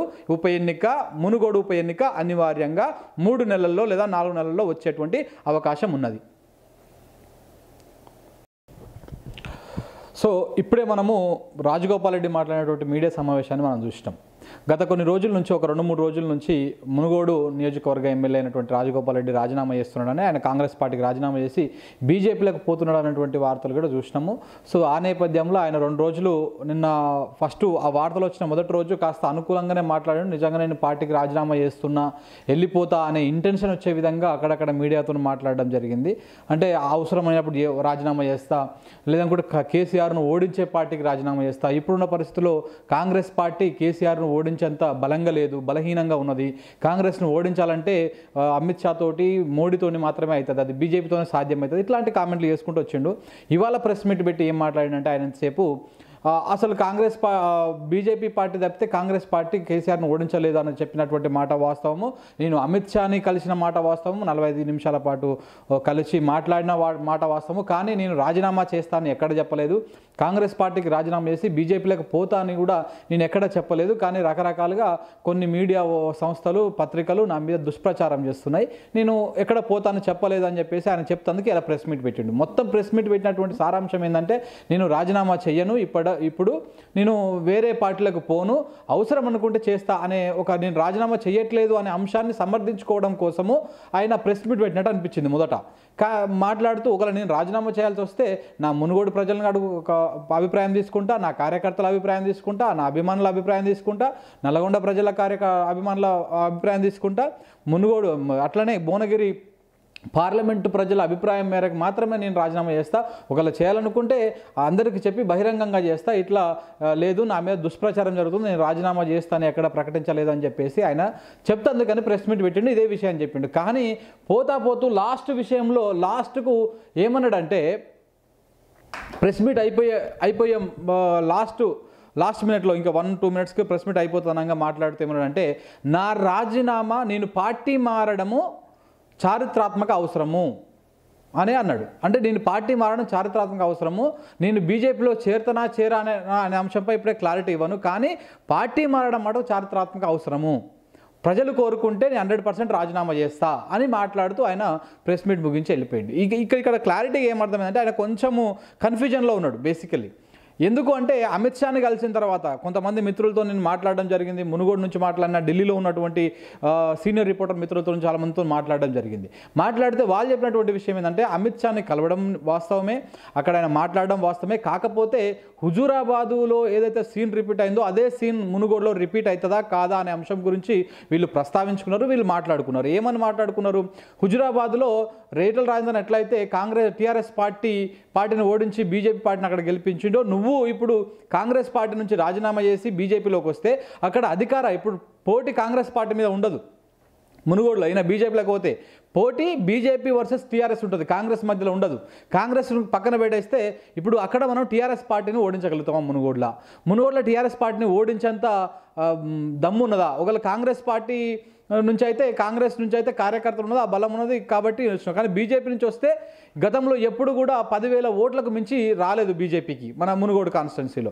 పదివేల ఓట్లు కూడా రాలేదు ఆరేడు వేల ఓట్లు పదివేల లోపల మాత్రమే వచ్చినటువంటి సందర్భాలు చాలా చూసినాం. అలాంటి సందర్భంలో నువ్వు మునుగోడు నుంచి రిజైన్ చేసి బీజేపీలోకి వస్తే అక్కడ మనం పార్టీని గెలిపించుకోగలుగుతామా? అంటే అక్కడ అక్కడనేమో నేను హండ్రెడ్ పర్సెంట్ గెలిపిస్తాం గెలుస్తాము. హండ్రెడ్ పర్సెంట్ గెలుస్తాం. కేసీఆర్ కేసీఆర్ మీద ఘోరమైనటువంటి వ్యతిరేకత ఉన్నదని చెప్పేసి అక్కడ ఆ మీటింగ్లో మాట్లాడినట్టు మనకు తెలుస్తున్నటువంటి సమాచారం. కానీ అక్కడ ఎప్పుడైతే అక్కడ నుంచి వచ్చి హైదరాబాద్కు వచ్చినాక హైదరాబాద్లో వచ్చినటువంటి తర్వాత ఇక్కడ వచ్చినటువంటి వార్తలు ఆయన సొంత నియోజకవర్గం నుంచి వస్తున్నటువంటి కార్యకర్తల రియాక్షను మండలాల అధ్యక్షుల రియాక్షను ఇట్లా ఇవన్నీ చూసిన తర్వాత కొంత కన్ఫ్యూజన్లో పడిపోయిండు. దాంతోపాటు ఈయన కోమటిరెడ్డి గారు ఒక ప్రముఖ లాయర్తోని భేటీ అయ్యి అసలు మనము రాజ రాజీనామా చేసి బీజేపీలకు పోతే ఆ రాజీనామా యాక్సెప్ట్ చేయకుండా ఆపే ఆలోచనలు ఏమైనా ఉన్నాయా? దాన్ని ఏమైనా సాగదీయొచ్చా? ఎట్లన్నా చేయొచ్చా అనే అంశం మీద కూడా ఆయన కొంతమంది ఒక ప్రముఖ లాయర్తోని మీటింగ్ జరిపి దాని గురించి మాట్లాడినట్టు కూడా మనకు తెలుస్తున్నటువంటి సమాచారం. అయితే ఆ లాయర్ గారు కూడా చెప్పారంట నువ్వు రాజీనామా చేస్తే స్పీకర్ ఫార్మాట్లో రాజీనామా చేస్తే ఎట్టి పరిస్థితుల్లో దాన్ని ఆపడానికి ఉండదు. హండ్రెడ్ పర్సెంట్ ఆయన అప్రూవ్ చేసేస్తాడు. రాజీనామా ఆమోదం అవుతుంది ఆమోదం అయిన తర్వాత ఉప- ఎన్నిక తక్షణం అవుతుంది అనివార్యంగా ఉప ఎన్నిక వస్తుంది. దాంట్లో తిరిగేలేదు అన్నారు కానీ ఓవైపు మునుగోడు నియోజకవర్గం నుంచి వస్తున్నటువంటి కార్యకర్తల ఫీడ్బ్యాక్ కానీ నాయకుల ఫీడ్బ్యాక్ కానీ ఏమున్నది? నువ్వు గనక బీజేపీ పార్టీలోకి పోతే కాంగ్రెస్ పార్టీని వదిలేసి బీజేపీ పార్టీలోకి పోతే కనీసము పదివేల ఓట్లు పదివేల ఓట్ల నుంచి ఇరవై వేల ఓట్ల కంటే ఎక్కువ రావు. కాంగ్రెస్ పార్టీకి ఉన్న బలము బీజేపీకి లేదు. మునుగోడుల దట్టు. మునుగోడు ఒకసారి మునుగోడు నేపథ్యం చూసుకుంటే మునుగోడు కమ్యూనిస్టుల కంచుకోట ఒకప్పుడు. నీకు దేశమం నీకు రాష్ట్రమంతా ఏ పార్టీ అధికారంలో ఉన్నా కానీ మునుగోడులో కమ్యూనిస్టులు ఉండేవాళ్ళు లేకపోతే కాంగ్రెస్ ఉండేటిది. కానీ బీజేపీకి కానీ లేకపోతే ఇంకా వేరే ఇతర పార్టీలకు కానీ ఛాన్స్ లేదు. అట్లాంటి కమ్యూనిస్ట్ క- కంచుకోట అయినటువంటి మునుగోడులో అప్పుడు ఆ కమ్యూనిస్టులు చాలా వరకు కాంగ్రెస్ కన్వర్ట్ అయ్యారు కొంతమంది టీఆర్ఎస్ కన్వర్ట్ అయ్యారు. అంతేగాని బీజేపీకి ఎవడు కన్వర్ట్ కాలేదు బీజేపీలో ఉన్నటువంటి వాళ్ళు ఎవరు? మొదటి నుంచి ఉన్నటువంటి అదే ఆర్ఎస్ఎస్ సంబంధించినటువంటి మూలాలు ఉన్న వాళ్ళు. ఏదైతే ఈ బీజేపీకి ఉన్నటువంటి ఆడ ఈడ జిల్లా మండలంలో ఒకరిద్దరు తప్పితే పెద్దగా ఎక్కర్లేరు ఆ జ- మునుగోడు మొత్తంలో ఒక పదివేల నుంచి పదిహేను వేల ఓట్లు కూడా వచ్చేటువంటి పరిస్థితి లేదు మునుగోడులో బీజేపీకి. కానీ ఇప్పుడు ఈయన మునుగోడు పార్టీ మునుగోడులో కాంగ్రెస్కు రిజైన్ చేసి బీజేపీలకు పోతే ఈయన మాత్రం పోగలుగుతాడు కానీ కొంతమందిని నాయకులను తీసుకుపోగలుగుతాడు కానీ కార్యకర్తలు మొత్తం బీజేపీలకు పో- తీసుకుపోయేటువంటి అవకాశం లేదు. వాళ్ళు రారు. ఎందుకంటే మునుగోడు నేపథ్యం అది మునుగోడు పోరాట నేపథ్యం అది. అలాంటి మునుగోడులో నువ్వు బీజేపీని గెలిపించాలనుకోవడం చాలా కత్తి మీద సాము లాంటి పరిస్థితి అవుతుంది. నువ్వు మునుగోడులోకి వెళ్ళి నువ్వు కాంగ్రెస్ నుంచి నిలబడు మళ్ళీ నీకు గెలిచే అవకాశాలు ఉంటాయి. నువ్వు హండ్రెడ్ పర్సెంట్ గెలిపిస్తానికి మేము ప్రయత్నం చేస్తాము మేము ప్రభుత్వ వైఫల్యాలను అటు కేంద్ర ప్రభుత్వ వైఫల్యాలను అటు రాష్ట్ర ప్రభుత్వ వైఫల్యాలను ప్రజలకు తీసుకుపోతాము హండ్రెడ్ పర్సెంట్ గెలిపిస్తాం కానీ నువ్వు బీజేపీని కాంగ్రెస్ని వదిలేసి బీజేపీలకు పోతే మాత్రము హండ్రెడ్ పర్సెంట్ మేము వెనకాల మేము రాలేము అని చెప్పి ఇప్పటికే మనం రెండు మూడు వీడియోలు కూడా పెట్టడం జరిగింది. ఒక పెద్ద మనిషి కాంగ్రెస్ని నమ్ముకున్నటువంటి ఇది పాల్వాయి గోవర్ధన్ రెడ్డి కాలం నుంచి ఉన్నటువంటి ఒక పెద్ద మనిషి మాట్లాడుతూ ఏమన్నాడు? నీకోసం కాంగ్రెస్ పార్టీ పుట్టిందా ఈడ? నీకోసం కాంగ్రెస్ పార్టీని గెలిపించుకున్నావా మేము ఈడ? కాంగ్రెస్ పార్టీ కోసం మేము గెలిపించుకున్నాము. నువ్వు ఇలా పోతే మేము ఇంకొక నాయకుడు వస్తాడు ఇంకొకరిని మేము గెలిపించుకుంటాం కానీ నీ వెనకాల మేము రావడం అనుకునేది అసాధ్యం అనేది ఆయన కుండ బదలు కొట్టినట్టు చెప్పిండు ఆ పెద్ద మనిషి. సో ఇట్లాంటి కరడు కట్టిన కట్టర్ కాంగ్రెస్ నాయకులు చాలామంది కార్యకర్తలు మునుగోడులో ఉన్నారు. నువ్వు ఇప్పుడు ఈ సమయంలో మునుగోడును వదిలేసి బీజేపీలోకి పోతే బీజేపీని గెలిపించాలనుకోవడము కళ్ళ. హుజురాబాద్ ఎన్ని- హుజురాబాద్ ఎన్నికకు మునుగోడు ఎన్నికకు చాలా డిఫరెన్స్ ఉన్నది. హుజురాబాద్లో సింపతి పనిచేసినది. హుజురాబాద్లో ఒక పార్టీలో అధికారంలో ఉన్నటువంటి పార్టీ ఈ మంత్రిని ఆయన్ని క్యాబినెట్ నుంచి తొలగించి ఆయనను మెడలు బట్టి బయటికి గెంటేశారనేటువంటి సింపతి ఒక ప్రజల లోపల వచ్చింది కాబట్టి అక్కడ ఆయన హుజురాబాద్లో ఆయన గెలవగలిగిండు. ఆ సంపత్తి ఆ సింపతి ఉన్నది. దట్టు ఈటల రాజేందర్కి కోమటిరెడ్డి రాజగోపాల్ రెడ్డికి ఎక్కడ పోలిక పెడతామండి? ఈటల రాజేందర్ రెడ్డి ఈట ఈటల రాజేందరు ఉద్యమంలో పాల్గొన్న నాయకుడు ఉద్యమంలో ఆ టీఆర్ఎస్ పార్టీకి సీఎల్ ఎల్పీగా పనిచేసిండు ఆయన. పార్టీని కాస్త రెండవ అధినాయకుడు లెక్క నడిపించిండు. అట్లా నడిచిన వ్యక్తి అలాంటి వ్యక్తి బయటకు రావడం వల్ల ఆయనకు సింపతి పనిచేసింది. హుజురాబాద్లో ఆయనకున్నటువంటి ఆ ఆ బలం పనిచేసింది. ఆ సింపతి ఇవన్నీ వర్కౌట్ అయినాయి. జాతీయ పార్టీ బీజేపీ పార్టీ కండువ కప్పుకున్నాడు కాబట్టి ఆయన గా మాత్రం మెజారిటీ వచ్చింది. అదే బీజేపీ కండువ కాకుండా వేరే ఇండిపెండెంట్గా పోటీ చేసినా కానీ దానికి రెండింతల మెజారిటీ వచ్చేది. హండ్రెడ్ పర్సెంట్ ఇందులో తిరిగేలేదు. కాబట్టి అలాంటి అసలు అక్కడ బీజేపీ హుజురాబాద్లో బీజేపీ గెలిపే కాదు అది. అది అది క్లియర్ కట్గా ఈటల రాజేందర్ గెలుపు. బీజేపీ అనే పేరు చెప్పుకున్నాడు కాబట్టి అక్కడ ఇంకా చాలా వరకు ముస్లిం ఓట్లని దూరం చేసుకున్నాడు ఆయన. అదే నువ్వు ఇండిపెండెంట్గా ఉంటే ఇంకా చాలా ఓట్లు పడేటివి ఆయనకు. సో అలాంటి పరిస్థితులు అసలు ఇవ్వు. హుజురాబాద్కి మునుగోడుకి ఏమాత్రం పోలిక లేదు. సమయము సందర్భము ఏ మాత్రం కూడా ఏ విధంగా కూడా దానికి దీనికి పోలిక చేయలేము. నాయకుని పిర నాయ నాయకుని పరంగా చేయలేము. అసలు ఈటల రాజేందరు చ- రాజకీయ అనుభవం ఎక్కడా? లేకపోతే ఆయనకున్నటువంటి పాపులారిటీ ఎక్కడ? కోమటిరెడ్డి రాజగోపాల్ రెడ్డికి ఉన్నటువంటి పాపులారిటీ ఎక్కడ? ఆయనకి ఈయనకు పోలిక ఉన్నదా? లేదు. హుజురాబాద్లో ఆ రాజీనామా ఎన్నిక రావడానికి ఒక ఘటన ఉన్నది. ఏంది ఆయన ప్రభుత్వం నుంచి బయటికి వెళ్ళగొట్టిరని లేదంటే పార్టీ నుంచి బయటికి వెళ్ళగొట్టిరని ఒక సింపతి గెయిన్ అయింది. కేసీఆర్ నమ్మిన బంటుగా ఉన్న కుడిభుజంగా ఉన్న అన్నదమ్ములు లెక్క ఉన్నటువంటి ఈటలందరూ బయటికి వెళ్ళగొట్టడం వల్ల ఆ, ఎన్నిక వచ్చింది. దాని మీద ఆయన మీద హండ్రెడ్ పర్సెంట్ రాష్ట్ర వ్యాప్తంగా అనుకూల పవనాలు ఏమంటారు సానుభూతి పవనాలు వీసినాయి. కానీ మునుగోడులో ఆ పరిస్థితి లేదు కదా. మునుగోడులో ఆ పరిస్థితి ఎట్టి పరిస్థితిలో లేదు. మునుగోడ్ల నువ్వు అసలు బేసిక్గా మునుగోడ్ల కాంగ్రెస్ కేసీఆర్ ఇంతవా ఉన్న టైంలో రెండు వేల పద్దెనిమిది ఎన్నికల్లో కాంగ్రెస్గా నువ్వు నువ్వు గెలిచిందే అదొక పెద్ద సంచలనం. గెలిచిన తర్వాత కూడా ఆ మునుగోడు ప్రయోజక ప్రజలకు ఆ మునుగోడులో ఉన్నటువంటి సమస్యల పట్ల ఎక్కడగడైనా పెద్దగా ఫైట్ చేసినట్టు ఏం లేదు. ఏమన్నా అంటే ఆడ ఈడ కార్యకర్తలకు ఇన్నోన్ని అవసరం వచ్చినప్పుడు లేకపోతే ఎవరు ఆపదలో ఉన్నప్పుడు సాపదలో ఉన్నప్పుడు ఇన్ని పైసలు ఇచ్చుడు కానీ అభివృద్ధి కార్యక్రమాలు చెప్పుకోదగ్గటువంటి కార్యక్రమాలు ఏం లేవు. ఇప్పుడు ఆయన ప్రెస్ మీట్లో మొత్తం మాట్లాడడం జరిగింది. కేసీఆర్ అవినీతి మీద కేసీఆర్ను ఓడించడానికి నేను ప్రయత్నం చేస్తున్నాను. కానీ అక్కడ ఏది బై బహిరంగంగా వచ్చి కేసీఆర్కు వ్యతిరేకంగా ధర్నా చేయడమో లేదనుకుంటే పోయి ప్రాజెక్టుల దగ్గర కూర్చొని ధర్నా చేయడమో లేకపోతే ఇట్లాంటివన్నీ చేసినట్టు ఎక్కడ దాఖలాలు లేవు. మునుగోడులో ఎంతసేపు ఉన్న కార్యకర్తలకు ఎవడో ఇబ్బంది పెడతానో ఏమో అయితేనో ఏదైనా ప్రమాదం వస్తే ఎవరైనా చనిపోతానో వాళ్ళకి ఆర్థికంగా సాయం చేసుడు తప్పితే అసలు ఎమ్మెల్యేని ఎన్నుకునేందుకు రోడ్లు చక్కగా ఉన్నాయా? లేకుంటే ఆ నియోజకవర్గంలో అభివృద్ధి కార్యక్రమాలు ఏంది? సంక్షేమ కార్యక్రమాలు ఏంది? అందుతున్నాయా? లేవా? ఎవరెవరికి ఏ విధంగా వస్తున్నాయి? రోడ్లు ఎట్లా ఉన్నాయి? ఈ మున్సిపాలిటీలో లైట్ల పరిస్థితి డ్రైనేజీ పరిస్థితి ఇట్లాంటివన్నీ ఉంటాయి. ఇలాంటి విషయాల్లో కోమటిరెడ్డి రాజగోపాల్ రెడ్డి మార్కు ఏమాత్రం కనిపించడం లేదు నియోజకవర్గంలో. సో అలాంటి నేపథ్యంలో ఇప్పుడు నువ్వు నీ స్వార్థ రాజకీయ ప్రయోజనాల కోసము కాంగ్రెస్ పార్టీకి రిజైన్ చేసి బీజేపీకి పోయి బీజేపీలో పోటీ చేస్తే బీజేపీ నుంచి పోటీ చేస్తే ఎందుకు ప్రజలు నీ వెనకాల ఉంటారనేది కాంగ్రెస్ నాయకులు చెప్పేటువంటి మాట. ఏది ఆయన కింద ఉన్నటువంటి కాంగ్రెస్ నాయకులు చెప్పేటువంటి మాట. కాబట్టి ఇది ఇవన్నీ ఆలోచించుకొని ఇవన్నీ బేరుజు వేసుకొని కాస్త కన్ఫ్యూజన్లో ఉన్నటువంటి రాజగోపాల్ రెడ్డి గారు ఇవాళ ప్రెస్ మీట్ పెట్టి ఏదో చెప్దాం అనుకొని మళ్ళీ ఏదో చెప్పి ముగించిండు. చివరికి ఏం చెప్పిండు? నా రాజకీయ నా నా నేను పార్టీ మారడం చారిత్రాత్మక అవసరం. నేను రిజైన్ ప్రజలు కోరుకుంటే రిజైన్ చేస్తా. ప్రజలు ఎవరు కోరుకుంటారు? ప్రజలు నేను ఎందుకు కోరుకుంటారు? ప్రజలు నీకు ఐదు సంవత్సరాలు నువ్వు మమ్మల్ని లేలు అని చెప్పేసి నీకు అధికారం ఇచ్చిర్రు. నిన్ను పార్టీగా గెలిపి నేను ఒక ఎమ్మెల్యేగా గెలిపించిర్రు నువ్వు దానికి ఐదు సంవత్సరాలు నువ్వు పాలించాల్సిందే. ప్రజలు రాజీనామా చేయమని ఎవడు అడగట్లేదు నిన్ను. నువ్వు పార్టీ మారమని ఏ ప్రజలు అడగట్లేరు ఏ కార్యకర్తలు అడగడం లేదు. నువ్వు నమ్మిన పార్టీ కోసం ఏ పార్టీ కోసం అయితే పనిచేసినావో ఆ పార్టీ కోసం పనిచేయి ఈయన కాంగ్రెస్ పార్టీ మీద రకరకాలుగా బుర్ర తల్లేటువంటి ప్రయత్నం చేస్తారు. మళ్ళీ వీళ్ళన్ననేమో పొద్దుగాలేసి ఇంకో విధమైనటువంటి వాదన చేస్తారు. ఈయన రాహుల్ గాంధీ వచ్చినప్పుడు స్వయంగా ఆయన అధినాయకత్వం కేంద్ర అధినాయకత్వం నాయకుడు వచ్చినప్పుడు రాహుల్ గాంధీ వచ్చినప్పుడు కూడా కనీసం సభకు పోలేదు. ఇట్లాంటి సందర్భాల్లో ఈయన కాంగ్రెస్ నుంచి కాంగ్రెస్ తోటి అంటిముట్టనంటే ఉన్నాడు. ఫస్ట్లో గెలిచినప్పుడు కూడా ఆ మోడీని పొగిడి రాహుల్ గాంధీని తక్కువ చేసే ప్రయత్నం చేసిండు ఈయన. ఓ మోడీతోనే అవుతుంది ఇంకా రాహుల్ గాంధీతో ఏం కాదు అని చెప్పేసి చెప్పే ప్రయత్నం చేసిండు. కానీ ఇప్పుడు ఇప్పుడు చూస్తుంటే ఈ మొత్తానికైతే ఇవాళ మొత్తం ప్రెస్ మీట్లో రాజగోపాల్ రెడ్డి రిజైన్ చేసుడు కామన్ ఖాయం అయిపోయింది హండ్రెడ్ పర్సెంట్ ఖాయం అయిపోయింది ఎప్పుడో ఒకరోజు ఈ వారం పది రోజుల నెల రోజుల లోపల ఈ మూడు నెలల లోపల ఎన్నికలు వస్తాయని చెప్పేసి ఇప్పటికే వార్తలు వస్తున్న నేపథ్యంలో ఈ నెల లోపల ఎప్పుడో కానీ రాజగోపాల్ రెడ్డి రాజీనామా చేసుడు ఖాయము. ఆయన చెప్పిన మాటలు లాస్ట్కు ప్రెస్ మీట్ అయిపోయే ముంగల చెప్పిన మాటలు మనం బట్టి చూస్తుంటే రాజగోపాల్ రెడ్డి రాజీనామా చేసుడు ఖాయము ఉజు మునుగోడులో ఉప ఎన్నిక వచ్చుడు ఖాయము ఆ ఉప ఎన్నికల్లో మునుగోడులో బీజేపీ ఓడిపోవుడు ఖాయం నువ్వు రాజగోపాల్ రెడ్డి నిలబడతాడా ఆడ వేరే వాడు నిలబడతాడా పక్కన పెడితే? కానీ బీజేపీ మటుకు ఆడ గెలిచే ఛాన్సే ఉండదు. ఎందుకంటే ఒకవేళ మీకు ఇప్పుడు రేవంత్ రెడ్డికి కూడా అగ్ని పరీక్షనే ఈ ఈ మునుగోడు ఉప ఎన్నిక వస్తే. కాంగ్రెస్ టీఆర్ఎస్ పార్టీకి ఒక అభ్యర్థి ఉన్నాడు. కూచుకుంట్ల ప్రభాకర్ రెడ్డి మాజీ ఎమ్మెల్యేగా ఉన్నారు.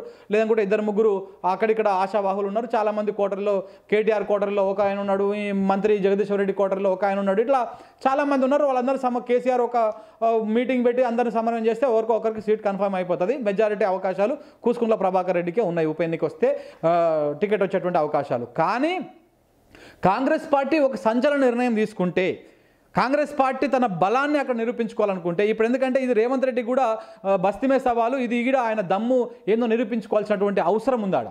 కాబట్టి కాంగ్రెస్ పార్టీ అలాంటి నిర్ణయం తీసుకుంటే ఎలాంటి నిర్ణయము? ఈయన కాంగ్రెస్ పార్టీ నుంచి ఎమ్మెల్యేగా గెలిచి రిజైన్ చేసి ఇప్పుడు బీజేపీలోకి పోయినటువంటి కోమటిరెడ్డి రాజగోపాల్ రెడ్డికి వ్యతిరేకంగా కాంగ్రెస్ పార్టీ దమ్ము ధైర్యం చేసి కోమటిరెడ్డి వెంకటరెడ్డిని ఒప్పించి కోమటిరెడ్డి వెంకటరెడ్డి మునుగోడు నుంచి ఎమ్మెల్యేగా పోటీ చేసేటువంటి అవకాశం కల్పిస్తే లేదంటే ఆయన ఒప్పు ఆయన నొప్పించి అక్కడ పోటీ చేపిస్తే ఇటు కాంగ్రెస్ నుంచి కోమటిరెడ్డి వెంకటరెడ్డి ఉంటాడు ఇటు బీజేపీ నుంచి కోమటిరెడ్డి రాజగోపాల్ రెడ్డి ఉంటాడు అటు టీఆర్ఎస్ నుంచి అప్పుడు కూసుకుంట్లని కాకుండా గుత్తా సుఖేందర్ రెడ్డిని బరిలోకి దింపేటువంటి అవకాశాలు కూడా కనపడుతున్నాయి. కానీ ఇది రేవంత్ రెడ్డి మరి ఇంత ధైర్యం చేయగలుగుతాడా?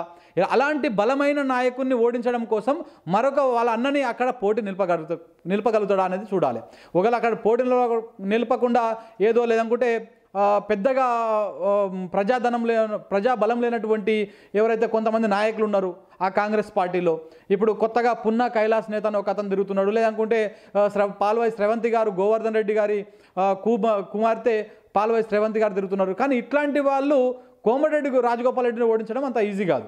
దా లేకపోతే ఈ టీఆర్ఎస్ పార్టీని ఓడించడం అంత ఈజీ కాదు. కానీ అంత బలమైన అంతే ఈ రెండు ఏమంటారు ఏనుగులు కొట్లాట చేస్తుంటే ఇంకొక ఏనుగు రావాలి కానీ ఇంకొక చిన్న జీవిని తీసుకొచ్చి పెడితే అందులో సాధ్యం కాదు. ఇప్పుడు ఓ, రేవంత్ రెడ్డి పరిస్థితి కూడా అట్లనే ఉన్నది. పోయినసారి హుజురాబాద్ ఎన్నికలప్పుడు అంటే అప్పుడే నేను వచ్చినా కొత్తగా వచ్చినా ఇది మేము కోరుకున్న ఎన్నిక కాదు లేదనుకుంటే ఇదేదో ఆ కాంగ్రెస్ ఈటల రాజేందర్కు కేసీఆర్కు మధ్య జరుగుతున్న ఎన్నిక అని చెప్పేసి ఏదో మాటలు చెప్పి తప్పించుకున్నాడు. కానీ ఇప్పుడు మునుగోడు నియోజకవర్గంలో ఉప ఎన్నిక వస్తే ఈ మాటలు చెప్పి తప్పించుకోవడానికి లేదు. నీ పార్టీ ఎమ్మెల్యే రాజీనామా చేసి నీకు అపోజిషన్గా ఉన్నటువంటి బీజేపీ పార్టీ నుంచి పోటీ చేస్తే నువ్వు పెట్టేటువంటి క్యాండిడేట్ని నువ్వు అక్కడ వేసేటువంటి ఎన్నిక ప్రచారము లేదనుకుంటే నువ్వు చూపిస్తున్నటువంటి శ్రద్ధ మీద పడి ఈయన పీసీసీగా ఈయన ఎంత పాతారా ఉన్నది ఈయనకు ఎంత ప్రజల్లో పలుకుబడి ఉన్నది తేలుతుంది. మరి ఎవరిని పెడతాడా లేకపోతే పీసీసీ పోయి పోటీ చేస్తాడా? మునుగోడులా. ఏందనేది చూడాలి. ఎంత ఇంట్రెస్టింగ్గా ఉంటుందో గల్లా ఇన్ కేసు కనుక మునుగోడు ఉప ఎన్నిక వస్తే చాలా అద్భుతంగా ఉంటుంది. మునుగోడు ఉప ఎన్నిక మీద వచ్చే అసెంబ్లీ ఎన్నికల రిజల్ట్ కూడా ఆధారపడి ఉండేటువంటి అవకాశం ఉన్నది. ఎందుకంటే మునుగోడు అనేది కాస్త మునుగోడే కాదు ఒక నల్లగొండ ప్రాంతం మొత్తం తీసుకుంటే నల్లగొండ ప్రాంతం మొత్తంలో బీజేపీ పాగా వేసేటువంటి అవకాశం ఏమాత్రం లేదు. ఎందుకంటే బీజేపీ పలుకుబడి లేదు అక్కడ. ఏదో అక్కడిక్కడ కొంతమంది కార్యకర్తలు ఈ బ్యాచ్ తప్పితే పోరగాలు తప్పితే పెద్దగా ఎక్కడ లేదు. ఆ ప్రభావం లేదు. అలాంటి నల్లగొండలో దట్టు మునుగోడులో బీజేపీ గెలిచిందనుకోండి కోమరెడ్డి రాజగోపాల్ రెడ్డి రూపంలో ఇక బీజేపీకి రాష్ట్రంలో తిరుగులేదని కూడా చెప్పవచ్చు. కానీ అలాంటి పరిస్థితి వస్తుందా? మునుగోడులో బీజేపీని గెలిచే అవ బీజేపీ గెలిచే అవకాశం ఉన్నదా?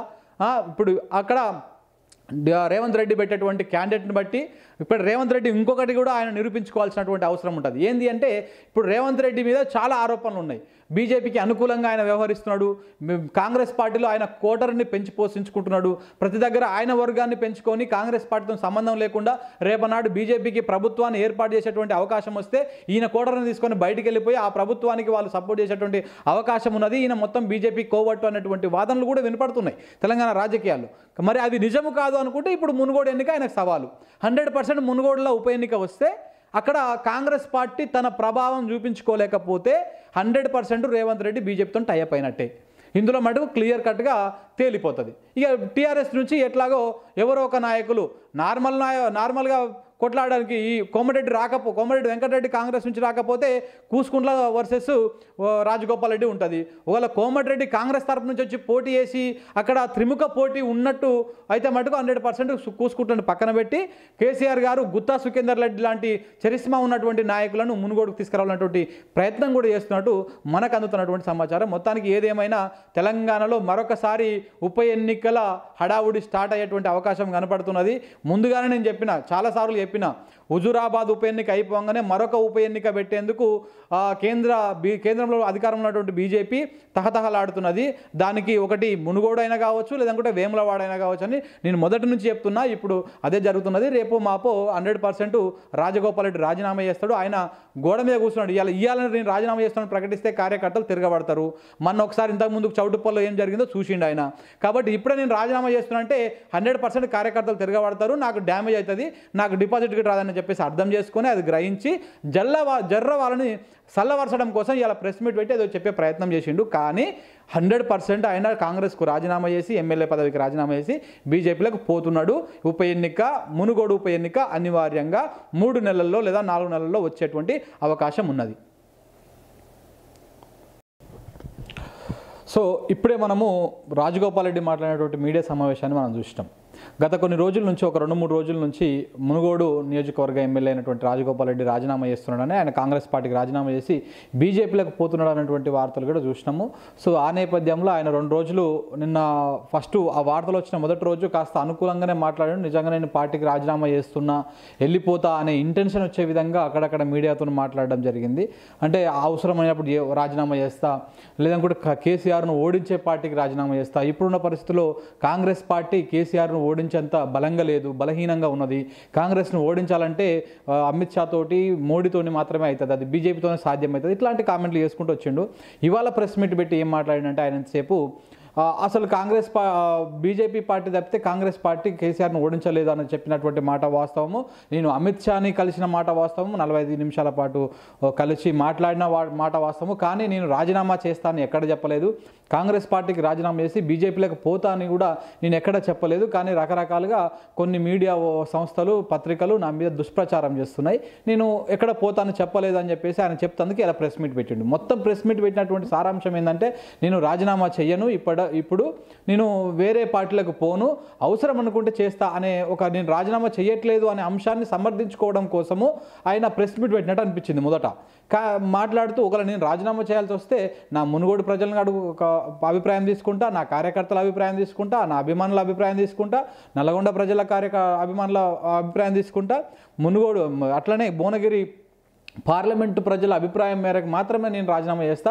ఒకవేళ చేయాలనుకుంటే అందరికీ చెప్పి బహిరంగంగా చేస్తా. ఇట్లా లేదు నా మీద దుష్ప్రచారం జరుగుతుంది నేను రాజీనామా చేస్తాను ఎక్కడ ప్రకటించలేదు అని చెప్పేసి ఆయన చెప్తందుకని ప్రెస్ మీట్ పెట్టిండు ఇదే విషయం చెప్పిండు. కానీ పోతా పోతూ లాస్ట్ విషయంలో లాస్ట్కు ఏమన్నాడంటే ప్రెస్ మీట్ అయిపోయే అయిపోయే లాస్ట్ లాస్ట్ మినిట్లో ఇంకా వన్ టూ మినిట్స్కి ప్రెస్ మీట్ అయిపోతానంగా మాట్లాడుతూ ఏమన్నాడంటే నా రాజీనామా నేను పార్టీ మారడము చారిత్రాత్మక అవసరము అని అన్నాడు. అంటే నేను పార్టీ మారడం చారిత్రాత్మక అవసరము.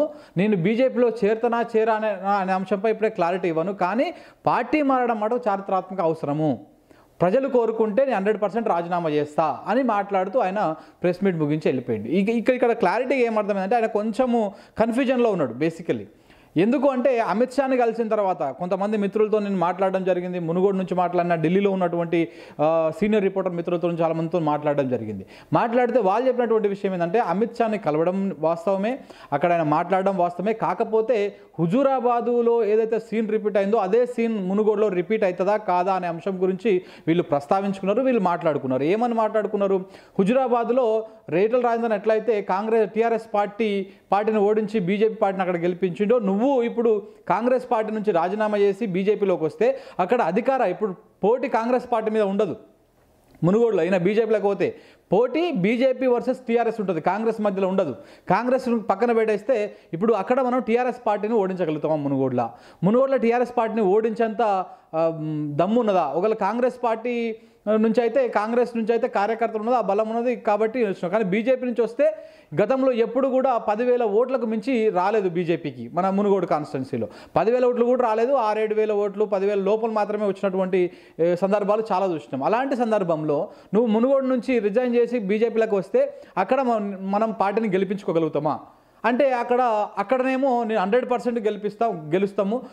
హండ్రెడ్ పర్సెంట్ గెలుస్తాం. కేసీఆర్ కేసీఆర్ మీద ఘోరమైనటువంటి వ్యతిరేకత ఉన్నదని చెప్పేసి అక్కడ ఆ మీటింగ్లో మాట్లాడినట్టు మనకు తెలుస్తున్నటువంటి సమాచారం. కానీ అక్కడ ఎప్పుడైతే అక్కడ నుంచి వచ్చి హైదరాబాద్కు వచ్చినాక హైదరాబాద్లో వచ్చినటువంటి తర్వాత ఇక్కడ వచ్చినటువంటి వార్తలు ఆయన సొంత నియోజకవర్గం నుంచి వస్తున్నటువంటి కార్యకర్తల రియాక్షను మండలాల అధ్యక్షుల రియాక్షను ఇట్లా ఇవన్నీ చూసిన తర్వాత కొంత కన్ఫ్యూజన్లో పడిపోయాడు.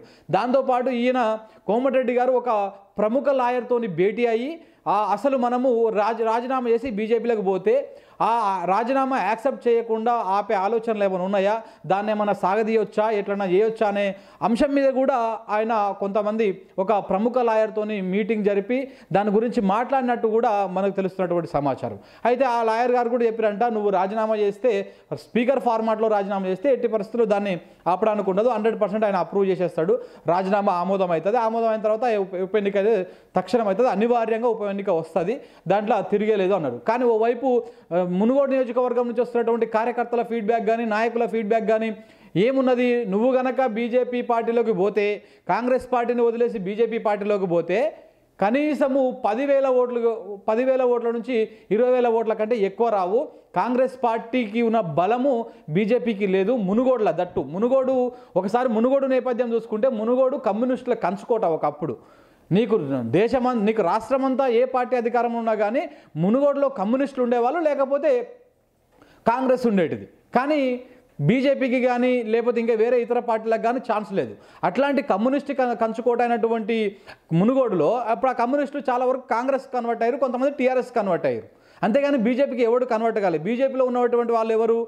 ఆ మొదటి నుంచి ఉన్నటువంటి అదే ఆర్ఎస్ఎస్ సంబంధించినటువంటి మూలాలు ఉన్న వాళ్ళు ఏదైతే ఈ బీజేపీకి ఉన్నటువంటి ఆడ ఈడ జిల్లా మండలంలో ఒకరిద్దరు తప్పితే పెద్దగా ఎక్కర్లేరు. ఆ ఆ జ- మునుగోడు మొత్తంలో ఒక పదివేల నుంచి పదిహేను వేల ఓట్లు కూడా వచ్చేటువంటి పరిస్థితి లేదు మునుగోడులో బీజేపీకి. కానీ ఇప్పుడు ఈయన మునుగోడు పార్టీ మునుగోడులో కాంగ్రెస్కు రిజైన్ చేసి బీజేపీలకు పోతే ఈయన మాత్రం పోగలుగుతాడు కానీ కొంతమందిని నాయకులను తీసుకుపోగలుగుతాడు కానీ కార్యకర్తలు మొత్తం బీజేపీలకు పో- తీసుకుపోయేటువంటి అవకాశం లేదు. వాళ్ళు రారు. ఎందుకంటే మునుగోడు నేపథ్యం అది మునుగోడు పోరాట నేపథ్యం అది. అలాంటి మునుగోడులో నువ్వు బీజేపీని గెలిపించాలనుకోవడం చాలా కత్తి మీద సాము లాంటి పరిస్థితి అవుతుంది. నువ్వు మునుగోడులోకి వెళ్ళి నువ్వు కాంగ్రెస్ నుంచి నిలబడు మళ్ళీ నీకు గెలిచే అవకాశాలు ఉంటాయి.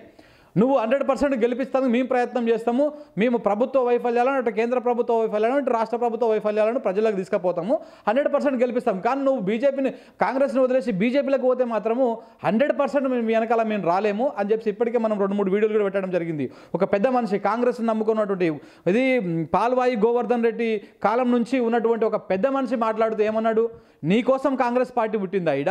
నీకోసం కాంగ్రెస్ పార్టీని గెలిపించుకున్నావా మేము ఈడ? కాంగ్రెస్ పార్టీ కోసం మేము నిన్ను గెలిపించుకున్నాము. నువ్వు ఇలా పోతే మేము ఇంకొక నాయకుడు వస్తాడు ఇంకొకరిని మేము గెలిపించుకుంటాం కానీ నీ వెనకాల మేము రావడం అనుకునేది అసాధ్యం అనేది ఆయన కుండ బదలు కొట్టినట్టు చెప్పిండు ఆ పెద్ద మనిషి. సో ఇట్లాంటి కరడు కట్టిన కట్టర్ కాంగ్రెస్ నాయకులు చాలామంది కార్యకర్తలు మునుగోడులో ఉన్నారు.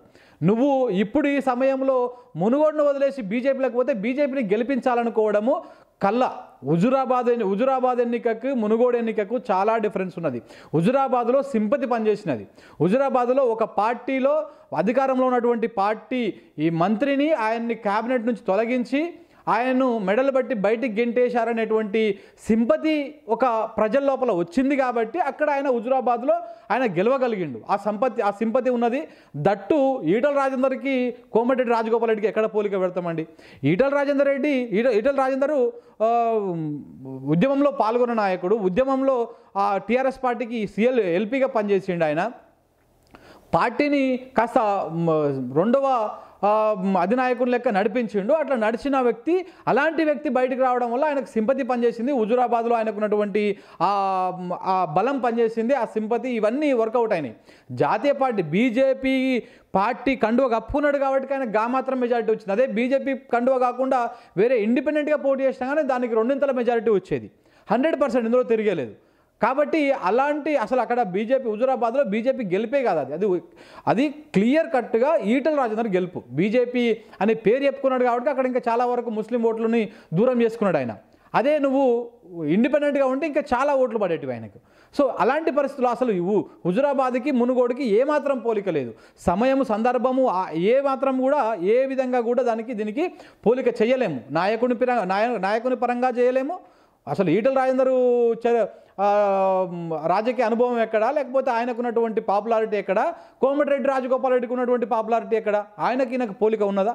లేదు. హుజురాబాద్లో ఆ రాజీనామా ఎన్నిక రావడానికి ఒక ఘటన ఉన్నది. ఏంది ఆయన ప్రభుత్వం నుంచి బయటికి వెళ్ళగొట్టిరని లేదంటే పార్టీ నుంచి బయటికి వెళ్ళగొట్టిరని ఒక సింపతి గెయిన్ అయింది. కేసీఆర్ నమ్మిన బంటుగా ఉన్న కుడిభుజంగా ఉన్న అన్నదమ్ములు ఎక్కున్నటువంటి ఈటలందరూ బయటికి వెళ్ళగొట్టడం వల్ల ఆ, ఎన్నిక వచ్చింది. దాని మీద ఆయన మీద హండ్రెడ్ పర్సెంట్ రాష్ట్ర వ్యాప్తంగా అనుకూల పవనాలు ఏమంటారు సానుభూతి పవనాలు వీసినాయి. కానీ మునుగోడులో ఆ పరిస్థితి లేదు కదా. మునుగోడులో ఆ పరిస్థితి ఎట్టి పరిస్థితిలో లేదు. మునుగోడ్ల నువ్వు అసలు బేసిక్గా మునుగోడ్ల కాంగ్రెస్ కేసీఆర్ ఇంతవా ఉన్న టైంలో రెండు వేల పద్దెనిమిది ఎన్నికల్లో కాంగ్రెస్గా నువ్వు నువ్వు గెలిచిందే అదొక పెద్ద సంచలనం. గెలిచిన తర్వాత కూడా ఆ మునుగోడు ప్రయోజక ప్రజలకు ఆ మునుగోడులో ఉన్నటువంటి సమస్యల పట్ల ఎక్కడగడైనా పెద్దగా ఫైట్ చేసినట్టు ఏం లేదు.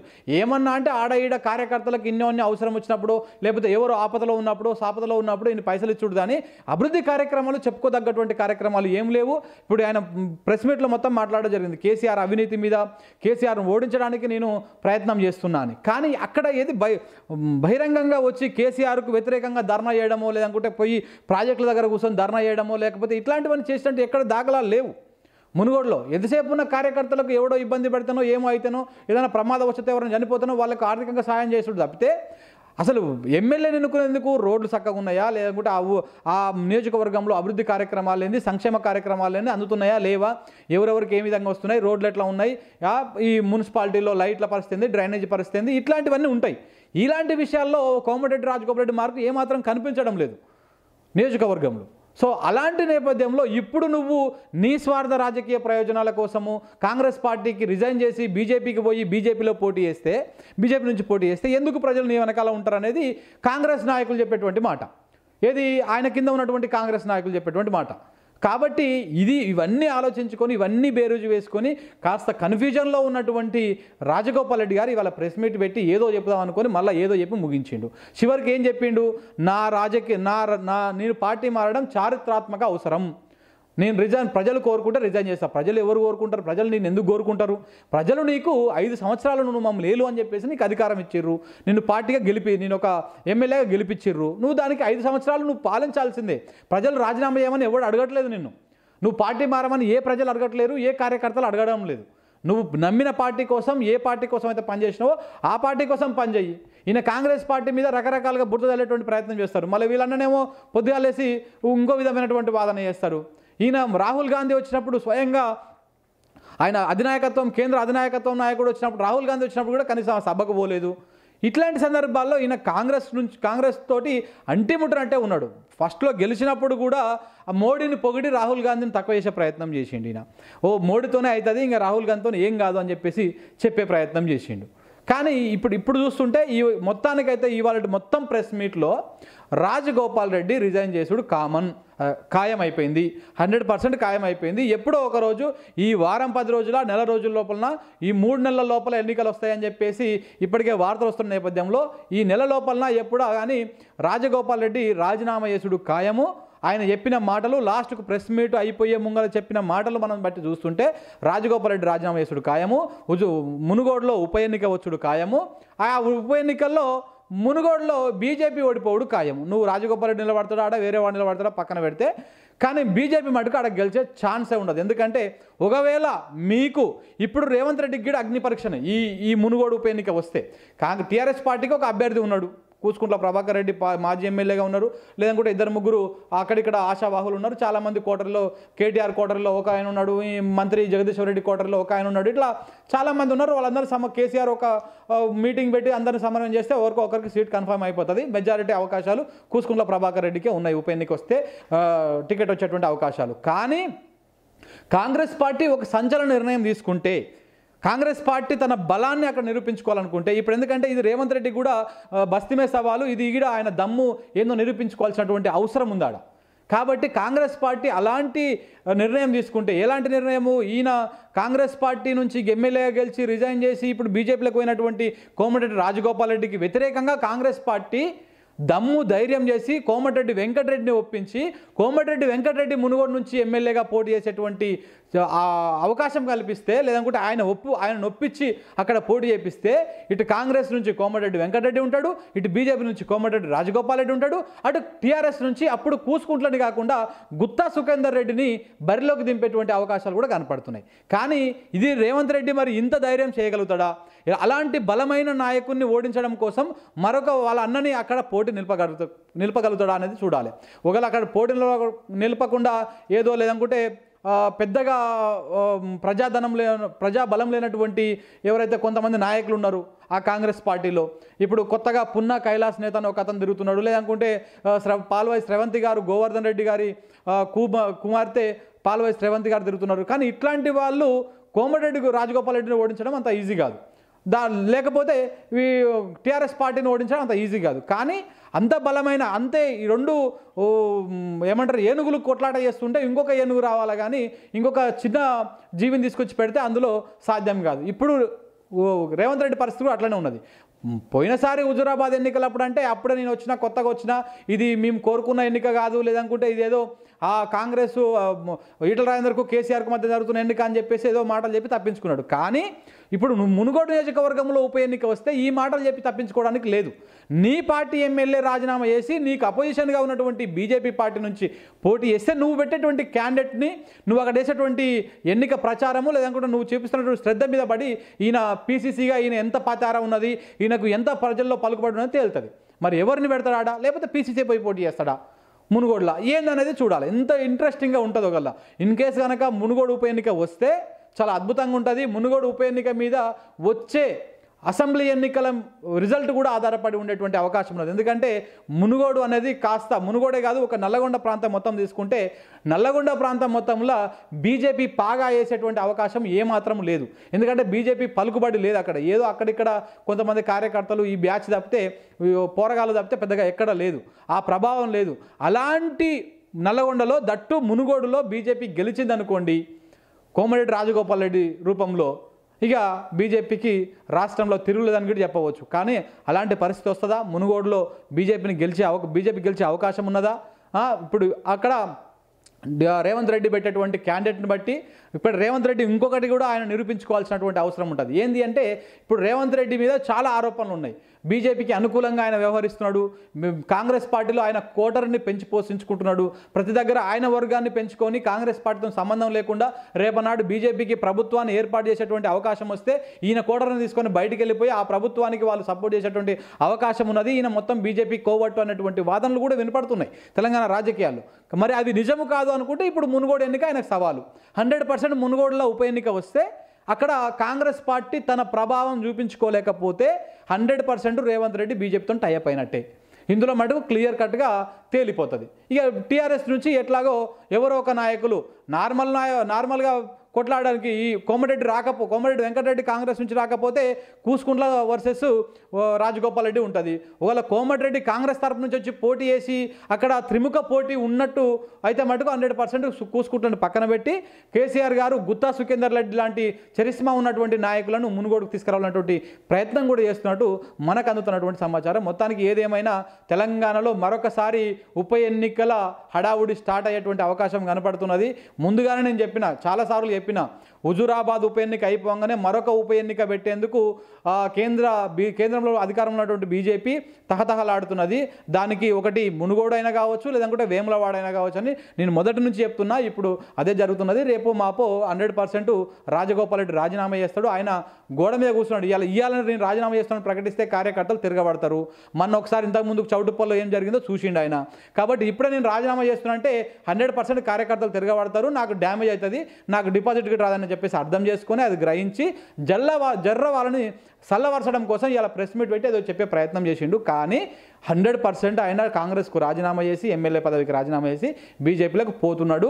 ఉప ఎన్నిక మునుగోడు ఉప ఎన్నిక అనివార్యంగా మూడు నెలల్లో లేదా నాలుగు నెలల్లో వచ్చేటువంటి అవకాశం ఉన్నది. సో ఇప్పుడే మనము రాజగోపాల్ రెడ్డి మాట్లాడేటువంటి మీడియా సమావేశాన్ని మనం చూసినాం.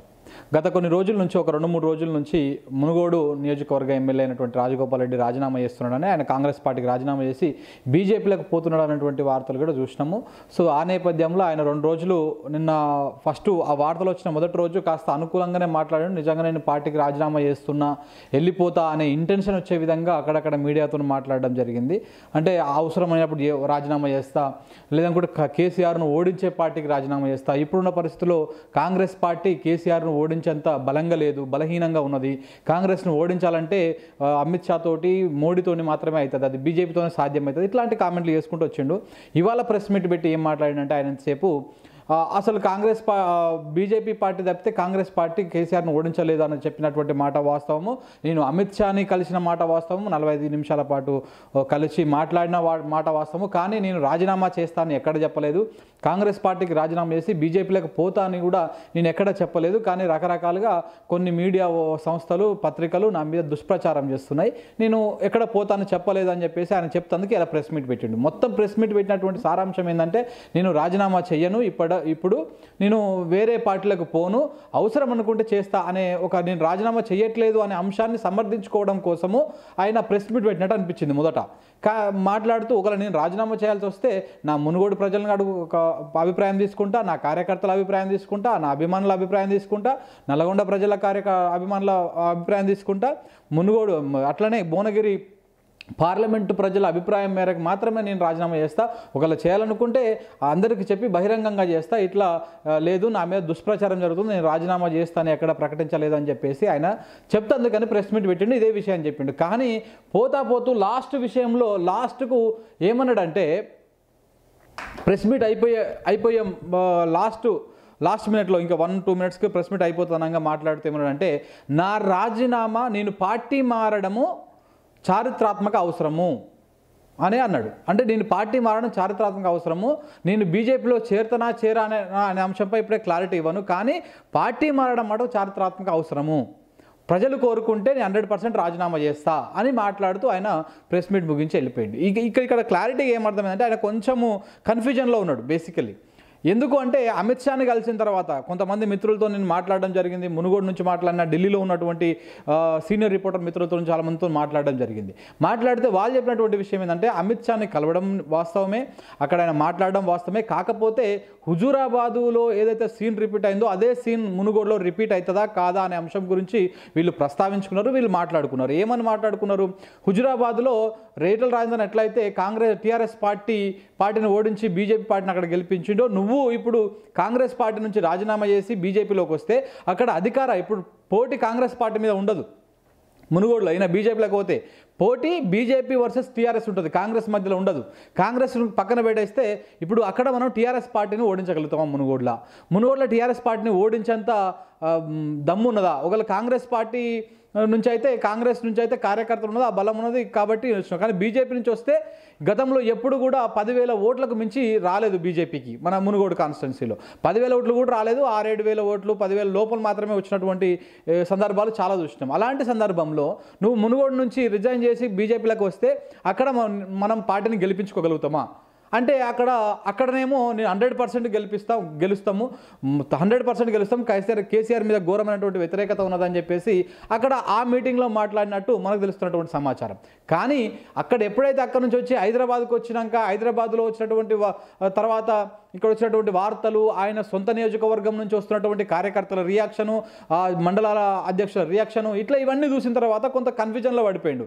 దాంతోపాటు ఈయన కోమటిరెడ్డి గారు ఒక ప్రముఖ లాయర్తోని భేటీ అయ్యి అసలు మనము రాజ రాజీనామా చేసి బీజేపీలకు పోతే ఆ రాజీనామా యాక్సెప్ట్ చేయకుండా ఆపే ఆలోచనలు ఏమైనా ఉన్నాయా? దాన్ని ఏమైనా సాగదీయొచ్చా? ఎట్లన్నా చేయొచ్చా అనే అంశం మీద కూడా ఆయన కొంతమంది ఒక ప్రముఖ లాయర్తోని మీటింగ్ జరిపి దాని గురించి మాట్లాడినట్టు కూడా మనకు తెలుస్తున్నటువంటి సమాచారం. అయితే ఆ లాయర్ గారు కూడా చెప్పారంట నువ్వు రాజీనామా చేస్తే స్పీకర్ ఫార్మాట్లో రాజీనామా చేస్తే ఎట్టి పరిస్థితుల్లో దాన్ని ఆపడానికి ఉండదు. హండ్రెడ్ పర్సెంట్ ఆయన అప్రూవ్ చేసేస్తాడు. రాజీనామా ఆమోదం అవుతుంది ఆమోదం అయిన తర్వాత ఉప- ఎన్నిక అయితే తక్షణం అవుతుంది అనివార్యంగా ఉప ఎన్నిక వస్తుంది. దాంట్లో తిరిగేలేదు అన్నారు కానీ ఓవైపు మునుగోడు నియోజకవర్గం నుంచి వస్తున్నటువంటి కార్యకర్తల ఫీడ్బ్యాక్ కానీ నాయకుల ఫీడ్బ్యాక్ కానీ ఏమున్నది? నువ్వు గనక బీజేపీ పార్టీలోకి పోతే కాంగ్రెస్ పార్టీని వదిలేసి బీజేపీ పార్టీలోకి పోతే కనీసము పదివేల ఓట్లు పదివేల ఓట్ల నుంచి ఇరవై వేల ఓట్ల కంటే ఎక్కువ రావు.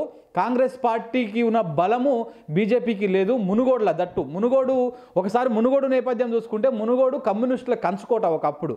నీకు దేశమం నీకు రాష్ట్రమంతా ఏ పార్టీ అధికారంలో ఉన్నా కానీ మునుగోడులో కమ్యూనిస్టులు ఉండేవాళ్ళు లేకపోతే కాంగ్రెస్ ఉండేటిది. కానీ బీజేపీకి కానీ లేకపోతే ఇంకా వేరే ఇతర పార్టీలకు కానీ ఛాన్స్ లేదు. అట్లాంటి కమ్యూనిస్ట్ కం- కంచుకోట అయినటువంటి మునుగోడులో అప్పుడు ఆ కమ్యూనిస్టులు చాలా వరకు కాంగ్రెస్ కన్వర్ట్ అయ్యారు కొంతమంది టీఆర్ఎస్ కన్వర్ట్ అయ్యారు.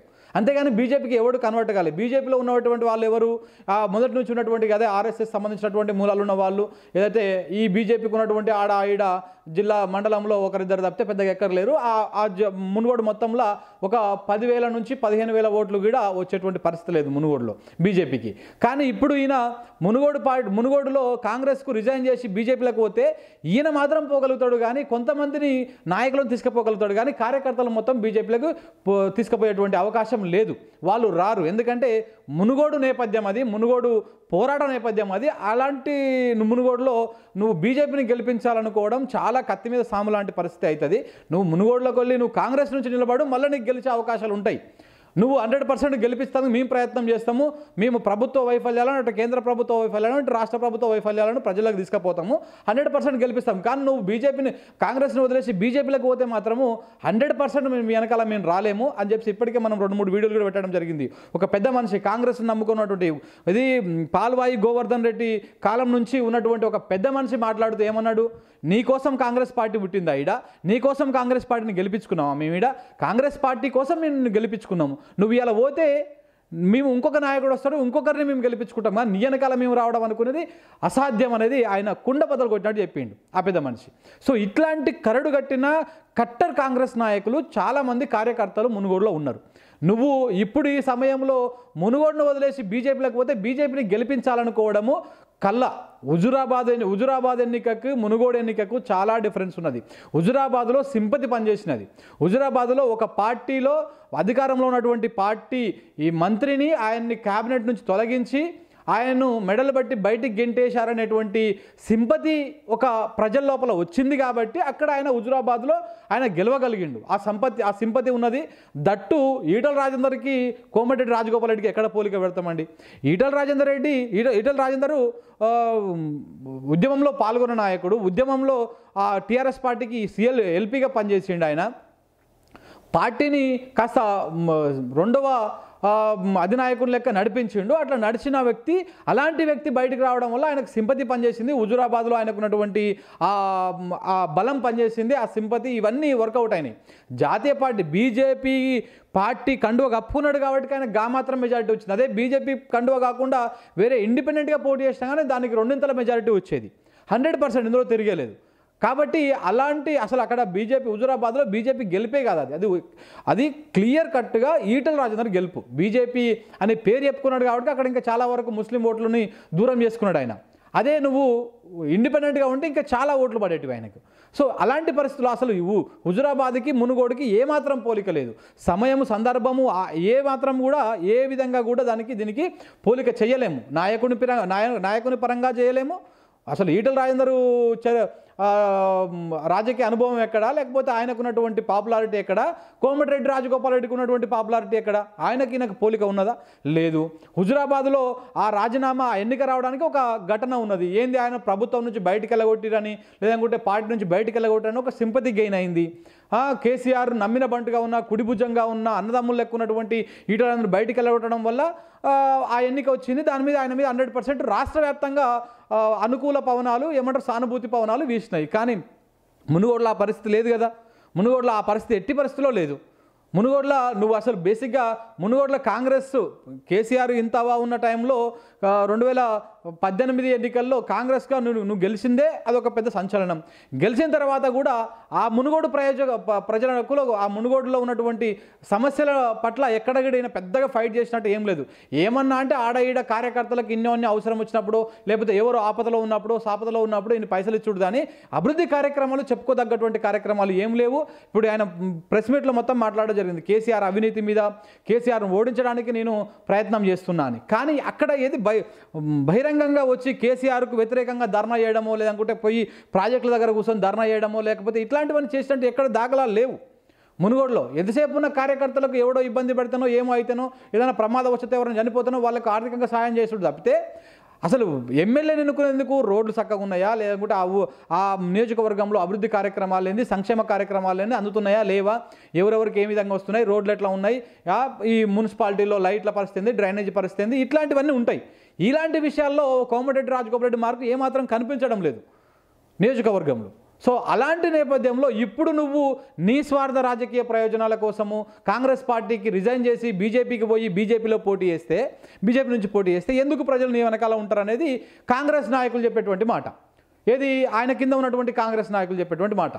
కాబట్టి ఇది ఇవన్నీ ఆలోచించుకొని ఇవన్నీ బేరుజు వేసుకొని కాస్త కన్ఫ్యూజన్లో ఉన్నటువంటి రాజగోపాల్ రెడ్డి గారు ఇవాళ ప్రెస్ మీట్ పెట్టి ఏదో చెప్దాం అనుకొని మళ్ళీ ఏదో చెప్పి ముగించిండు. చివరికి ఏం చెప్పిండు? నా రాజకీయ నా నా నేను పార్టీ మారడం చారిత్రాత్మక అవసరం.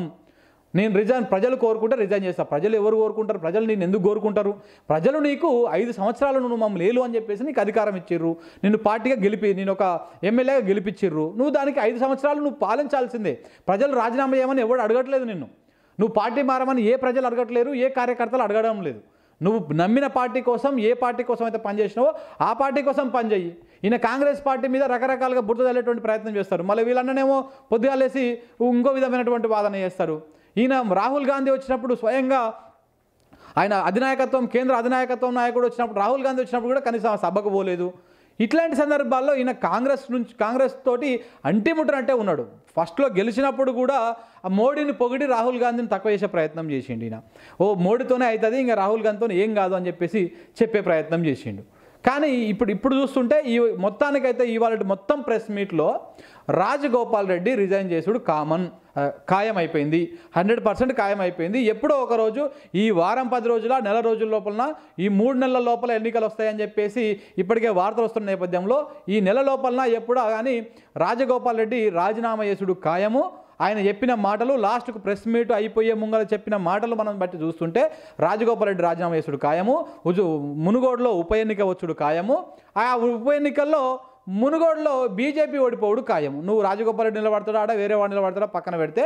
కానీ బీజేపీ మటుకు ఆడ గెలిచే ఛాన్సే ఉండదు. ఎందుకంటే ఒకవేళ మీకు ఇప్పుడు రేవంత్ రెడ్డికి కూడా అగ్ని పరీక్షనే ఈ ఈ మునుగోడు ఉప ఎన్నిక వస్తే. కాంగ్రెస్ టీఆర్ఎస్ పార్టీకి ఒక అభ్యర్థి ఉన్నాడు. కూచుకుంట్ల ప్రభాకర్ రెడ్డి మాజీ ఎమ్మెల్యేగా ఉన్నారు. లేదంటే ఇద్దరు ముగ్గురు అక్కడిక్కడ ఆశావాహులు ఉన్నారు. చాలామంది కోటర్లో కేటీఆర్ కోటర్లో ఒక ఆయన ఉన్నాడు. ఈ మంత్రి జగదీశ్వర్ రెడ్డి కోటర్లో ఒక ఆయన ఉన్నాడు. ఇట్లా చాలామంది ఉన్నారు. వాళ్ళందరూ సమ కేసీఆర్ ఒక మీటింగ్ పెట్టి అందరిని సమన్వయం చేస్తే ఎవరికో ఒకరికి సీట్ కన్ఫర్మ్ అయిపోతుంది. మెజారిటీ అవకాశాలు కూసుకుంట్ల ప్రభాకర్ రెడ్డికే ఉన్నాయి. ఉప ఎన్నిక వస్తే టికెట్ వచ్చేటువంటి అవకాశాలు. కానీ కాంగ్రెస్ పార్టీ ఒక సంచలన నిర్ణయం తీసుకుంటే కాంగ్రెస్ పార్టీ తన బలాన్ని అక్కడ నిరూపించుకోవాలనుకుంటే ఇప్పుడు ఎందుకంటే ఇది రేవంత్ రెడ్డి కూడా బస్తిమే సవాలు ఇది కూడా ఆయన దమ్ము ఏందో నిరూపించుకోవాల్సినటువంటి అవసరం ఉందాడ. కాబట్టి కాంగ్రెస్ పార్టీ అలాంటి నిర్ణయం తీసుకుంటే ఎలాంటి నిర్ణయము? ఈయన కాంగ్రెస్ పార్టీ నుంచి ఎమ్మెల్యేగా గెలిచి రిజైన్ చేసి ఇప్పుడు బీజేపీలోకి పోయినటువంటి కోమటిరెడ్డి రాజగోపాల్ రెడ్డికి వ్యతిరేకంగా కాంగ్రెస్ పార్టీ దమ్ము ధైర్యం చేసి కోమటిరెడ్డి వెంకటరెడ్డిని ఒప్పించి కోమటిరెడ్డి వెంకటరెడ్డి మునుగోడు నుంచి ఎమ్మెల్యేగా పోటీ చేసేటువంటి అవకాశం కల్పిస్తే లేదనుకుంటే ఆయన ఒప్పు ఆయన నొప్పించి అక్కడ పోటీ చేపిస్తే ఇటు కాంగ్రెస్ నుంచి కోమటిరెడ్డి వెంకటరెడ్డి ఉంటాడు ఇటు బీజేపీ నుంచి కోమటిరెడ్డి రాజగోపాల్ రెడ్డి ఉంటాడు అటు టీఆర్ఎస్ నుంచి అప్పుడు కూసుకుంటులని కాకుండా గుత్తా సుఖేందర్ రెడ్డిని బరిలోకి దింపేటువంటి అవకాశాలు కూడా కనపడుతున్నాయి. కానీ ఇది రేవంత్ రెడ్డి మరి ఇంత ధైర్యం చేయగలుగుతాడా? అలాంటి బలమైన నాయకుడిని ఓడించడం కోసం మరొక వాళ్ళ అన్నని అక్కడ పోటీ నిలపగలుగుతా నిలపగలుగుతాడా అనేది చూడాలి. ఒకవేళ అక్కడ పోటీ నిలపకుండా ఏదో లేదనుకుంటే పెద్దగా ప్రజాధనం లే ప్రజాబలం లేనటువంటి ఎవరైతే కొంతమంది నాయకులు ఉన్నారు ఆ కాంగ్రెస్ పార్టీలో ఇప్పుడు కొత్తగా పున్నా కైలాస్ నేత అని ఒక అతను తిరుగుతున్నాడు. లేదనుకుంటే శ్రవ పాల్వాయి శ్రవంతి గారు గోవర్ధన్ రెడ్డి గారి కుమార్తె పాల్వాయి శ్రవంతి గారు తిరుగుతున్నారు. కానీ ఇట్లాంటి వాళ్ళు కోమటిరెడ్డి రాజగోపాల్ రెడ్డిని ఓడించడం అంత ఈజీ కాదు.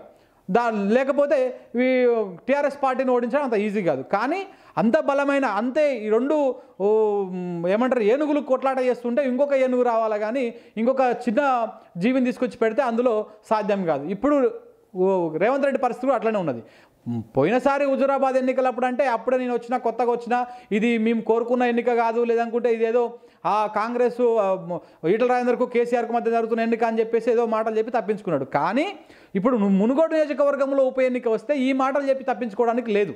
నీ పార్టీ ఎమ్మెల్యే రాజీనామా చేసి నీకు అపోజిషన్గా ఉన్నటువంటి బీజేపీ పార్టీ నుంచి పోటీ చేస్తే నువ్వు పెట్టేటువంటి క్యాండిడేట్ని నువ్వు అక్కడ వేసేటువంటి ఎన్నిక ప్రచారము లేదనుకుంటే నువ్వు చూపిస్తున్నటువంటి శ్రద్ధ మీద పడి ఈయన పీసీసీగా ఈయన ఎంత పాతారా ఉన్నది ఈయనకు ఎంత ప్రజల్లో పలుకుబడి ఉన్నది తేలుతుంది.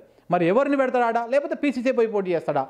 మునుగోడులో. ఏందనేది చూడాలి. ఎంత ఇంట్రెస్టింగ్గా ఉంటుందో గల్లా ఇన్ కేసు కనుక మునుగోడు ఉప ఎన్నిక వస్తే చాలా అద్భుతంగా ఉంటుంది. మునుగోడు ఉప ఎన్నిక మీద వచ్చే అసెంబ్లీ ఎన్నికల రిజల్ట్ కూడా ఆధారపడి ఉండేటువంటి అవకాశం ఉన్నది. ఎందుకంటే మునుగోడు అనేది కాస్త మునుగోడే కాదు ఒక నల్లగొండ ప్రాంతం మొత్తం తీసుకుంటే నల్లగొండ ప్రాంతం మొత్తంలో బీజేపీ పాగా వేసేటువంటి అవకాశం ఏమాత్రం లేదు. ఎందుకంటే బీజేపీ పలుకుబడి లేదు అక్కడ. ఏదో అక్కడిక్కడ కొంతమంది కార్యకర్తలు ఈ బ్యాచ్ తప్పితే పోరగాలు తప్పితే పెద్దగా ఎక్కడ లేదు. ఆ ప్రభావం లేదు. అలాంటి నల్లగొండలో దట్టు మునుగోడులో బీజేపీ గెలిచిందనుకోండి కోమరెడ్డి రాజగోపాల్ రెడ్డి రూపంలో ఇక బీజేపీకి రాష్ట్రంలో తిరుగులేదని కూడా చెప్పవచ్చు. కానీ అలాంటి పరిస్థితి వస్తుందా? మునుగోడులో బీజేపీని గెలిచే అవ బీజేపీ గెలిచే అవకాశం ఉన్నదా? ఇప్పుడు అక్కడ రేవంత్ రెడ్డి పెట్టేటువంటి క్యాండిడేట్ని బట్టి ఇప్పుడు రేవంత్ రెడ్డి ఇంకొకటి కూడా ఆయన నిరూపించుకోవాల్సినటువంటి అవసరం ఉంటుంది. ఏంటి అంటే ఇప్పుడు రేవంత్ రెడ్డి మీద చాలా ఆరోపణలు ఉన్నాయి. బీజేపీకి అనుకూలంగా ఆయన వ్యవహరిస్తున్నాడు. కాంగ్రెస్ పార్టీలో ఆయన కోటర్ని పెంచి పోషించుకుంటున్నాడు. ప్రతి దగ్గర ఆయన వర్గాన్ని పెంచుకొని కాంగ్రెస్ పార్టీతో సంబంధం లేకుండా రేపనాడు బీజేపీకి ప్రభుత్వాన్ని ఏర్పాటు చేసేటువంటి అవకాశం వస్తే ఈయన కోటర్ని తీసుకొని బయటికి వెళ్ళిపోయి ఆ ప్రభుత్వానికి వాళ్ళు సపోర్ట్ చేసేటువంటి అవకాశం ఉన్నది. ఈయన మొత్తం బీజేపీ కోవట్టు అనేటువంటి వాదనలు కూడా వినపడుతున్నాయి తెలంగాణ రాజకీయాలు మరి అది నిజము కాదు అనుకుంటే ఇప్పుడు మునుగోడు ఎన్నిక ఆయనకు సవాలు. హండ్రెడ్ పర్సెంట్ మునుగోడులో ఉప ఎన్నిక వస్తే అక్కడ కాంగ్రెస్ పార్టీ తన ప్రభావం చూపించుకోలేకపోతే హండ్రెడ్ పర్సెంట్ రేవంత్ రెడ్డి బీజేపీతో టైప్ అయినట్టే. ఇందులో మటుకు క్లియర్ కట్గా తేలిపోతుంది. ఇక టీఆర్ఎస్ నుంచి ఎట్లాగో ఎవరో ఒక నాయకులు నార్మల్ నాయ నార్మల్గా కొట్లాడడానికి ఈ కోమటిరెడ్డి రాకపో కోమరెడ్డి వెంకటరెడ్డి కాంగ్రెస్ నుంచి రాకపోతే కూసుకుంట్ల వర్సెస్ రాజగోపాల్ రెడ్డి ఉంటుంది. ఒకవేళ కోమటిరెడ్డి కాంగ్రెస్ తరపు నుంచి వచ్చి పోటీ చేసి అక్కడ త్రిముఖ పోటీ ఉన్నట్టు అయితే మటుకు హండ్రెడ్ పర్సెంట్ కూసుకుంట్లను పక్కన పెట్టి కేసీఆర్ గారు గుత్తా సుఖేందర్ రెడ్డి లాంటి చరిస్మా ఉన్నటువంటి నాయకులను మునుగోడుకు తీసుకురావాలన్నటువంటి ప్రయత్నం కూడా చేస్తున్నట్టు మనకు అందుతున్నటువంటి సమాచారం. మొత్తానికి ఏదేమైనా తెలంగాణలో మరొకసారి ఉప ఎన్నికల హడావుడి స్టార్ట్ అయ్యేటువంటి అవకాశం కనపడుతున్నది. ముందుగానే నేను చెప్పిన చాలాసార్లు చెప్పిన హుజురాబాద్ ఉప ఎన్నిక అయిపోగానే మరొక ఉప ఎన్నిక పెట్టేందుకు కేంద్ర బీ కేంద్రంలో అధికారంలో ఉన్నటువంటి బీజేపీ తహతహలాడుతున్నది. దానికి ఒకటి మునుగోడు అయినా కావచ్చు లేదంటే వేములవాడైనా కావచ్చు అని నేను మొదటి నుంచి చెప్తున్నా. ఇప్పుడు అదే జరుగుతున్నది. రేపు మాపో హండ్రెడ్ పర్సెంట్ రాజగోపాల్ రెడ్డి రాజీనామా చేస్తాడు. ఆయన గోడ మీద కూర్చున్నాడు. ఇవాళ ఇవ్వాలని నేను రాజీనామా చేస్తాను ప్రకటిస్తే కార్యకర్తలు తిరగబడతారు. మొన్న ఒకసారి ఇంతకు ముందుకు చౌటుప్పల్లో ఏం జరిగిందో చూసిండు ఆయన. కాబట్టి ఇప్పుడే నేను రాజీనామా చేస్తున్నా అంటే హండ్రెడ్ పర్సెంట్ కార్యకర్తలు తిరగబడతారు. నాకు డ్యామేజ్ అవుతుంది. నాకు డిపాజిట్ రాదని చెప్పేసి అర్థం చేసుకొని అది గ్రహించి జల్ల జర్ర వాళ్ళని చల్లవరచడం కోసం ఇలా ప్రెస్ మీట్ పెట్టి ఏదో చెప్పే ప్రయత్నం చేసిండు. కానీ హండ్రెడ్ పర్సెంట్ ఆయన కాంగ్రెస్కు రాజీనామా చేసి ఎమ్మెల్యే పదవికి రాజీనామా చేసి బీజేపీలకు పోతున్నాడు. ఉప ఎన్నిక మునుగోడు ఉప ఎన్నిక అనివార్యంగా మూడు నెలల్లో లేదా నాలుగు నెలల్లో వచ్చేటువంటి అవకాశం ఉన్నది. సో ఇప్పుడే మనము రాజగోపాల్ రెడ్డి మాట్లాడినటువంటి మీడియా సమావేశాన్ని మనం చూసినాం. గత కొన్ని రోజుల నుంచి ఒక రెండు మూడు రోజుల నుంచి మునుగోడు నియోజకవర్గ ఎమ్మెల్యే అయినటువంటి రాజగోపాల్ రెడ్డి రాజీనామా చేస్తున్నాడని ఆయన కాంగ్రెస్ పార్టీకి రాజీనామా చేసి బీజేపీలకు పోతున్నాడు అనేటువంటి వార్తలు కూడా చూసినాము. సో ఆ నేపథ్యంలో ఆయన రెండు రోజులు నిన్న ఫస్ట్ ఆ వార్తలు వచ్చిన మొదటి రోజు కాస్త అనుకూలంగానే మాట్లాడాడు. నిజంగా నేను పార్టీకి రాజీనామా చేస్తున్నా వెళ్ళిపోతా అనే ఇంటెన్షన్ వచ్చే విధంగా అక్కడక్కడ మీడియాతో మాట్లాడడం జరిగింది. అంటే అవసరమైనప్పుడు ఏ- రాజీనామా చేస్తా లేదనుకుంటే కేసీఆర్ను ఓడించే పార్టీకి రాజీనామా చేస్తా. ఇప్పుడున్న పరిస్థితుల్లో కాంగ్రెస్ పార్టీ కేసీఆర్ను ఓడి ఓడించేంత బలంగా లేదు బలహీనంగా ఉన్నది. కాంగ్రెస్ను ఓడించాలంటే అమిత్ షా తోటి మోడీతోని మాత్రమే అవుతుంది అది బీజేపీతోనే సాధ్యమవుతుంది ఇట్లాంటి కామెంట్లు చేసుకుంటూ వచ్చిండు. ఇవాళ ప్రెస్ మీట్ పెట్టి ఏం మాట్లాడినంటే ఆయన సేపు అసలు కాంగ్రెస్ పా బీజేపీ పార్టీ తప్పితే కాంగ్రెస్ పార్టీ కేసీఆర్ను ఓడించలేదు అని చెప్పినటువంటి మాట వాస్తవము. నేను అమిత్ షాని కలిసిన మాట వాస్తవము. నలభై ఐదు నిమిషాల పాటు కలిసి మాట్లాడిన వా- మాట వాస్తవము. కానీ నేను రాజీనామా చేస్తానని ఎక్కడ చెప్పలేదు.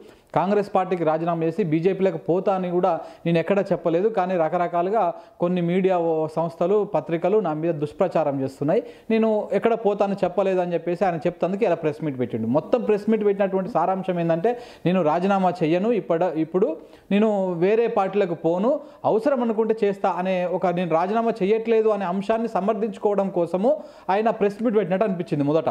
కా మాట్లాడుతూ ఒకవేళ నేను రాజీనామా చేయాల్సి వస్తే నా మునుగోడు ప్రజలను అడుగు ఒక అభిప్రాయం తీసుకుంటా నా కార్యకర్తల అభిప్రాయం తీసుకుంటా నా అభిమానుల అభిప్రాయం తీసుకుంటా నల్గొండ ప్రజల కార్యక అభిమానుల అభిప్రాయం తీసుకుంటా మునుగోడు అట్లనే భువనగిరి పార్లమెంటు ప్రజల అభిప్రాయం మేరకు మాత్రమే నేను రాజీనామా చేస్తా.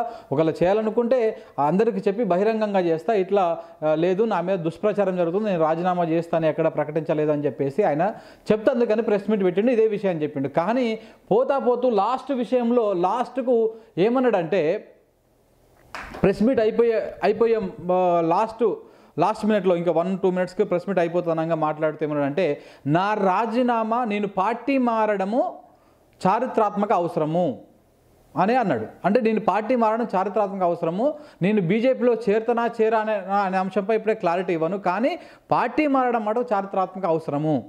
ప్రజలు కోరుకుంటే నేను హండ్రెడ్ పర్సెంట్ రాజీనామా చేస్తా అని మాట్లాడుతూ ఆయన ప్రెస్ మీట్ ముగించి వెళ్ళిపోయింది ఇక ఇక్కడ ఇక్కడ క్లారిటీ ఏమర్థమైందంటే ఆయన కొంచెము కన్ఫ్యూజన్లో ఉన్నాడు బేసికలీ ఎందుకు అంటే అమిత్ షాని కలిసిన తర్వాత కొంతమంది మిత్రులతో నేను మాట్లాడడం జరిగింది మునుగోడు నుంచి మాట్లాడిన ఢిల్లీలో ఉన్నటువంటి సీనియర్ రిపోర్టర్ మిత్రులతో చాలా మందితో మాట్లాడడం జరిగింది.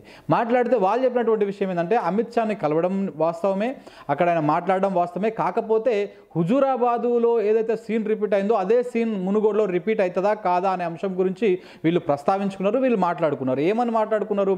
హుజూరాబాద్లో రేటల్ రాజేందర్ ఎట్లయితే కాంగ్రెస్ టీఆర్ఎస్ పార్టీ పార్టీని ఓడించి బీజేపీ పార్టీని అక్కడ గెలిపించిండో నువ్వు నువ్వు ఇప్పుడు కాంగ్రెస్ పార్టీ నుంచి రాజీనామా చేసి బీజేపీలోకి వస్తే అక్కడ అధికార ఇప్పుడు పోటీ కాంగ్రెస్ పార్టీ మీద ఉండదు. మునుగోడులో అయినా బీజేపీలోకి పోతే పోటీ బీజేపీ వర్సెస్ టీఆర్ఎస్ ఉంటుంది. కాంగ్రెస్ మధ్యలో ఉండదు. కాంగ్రెస్ పక్కన పెట్టేస్తే ఇప్పుడు అక్కడ మనం టీఆర్ఎస్ పార్టీని ఓడించగలుగుతాం మునుగోడులో?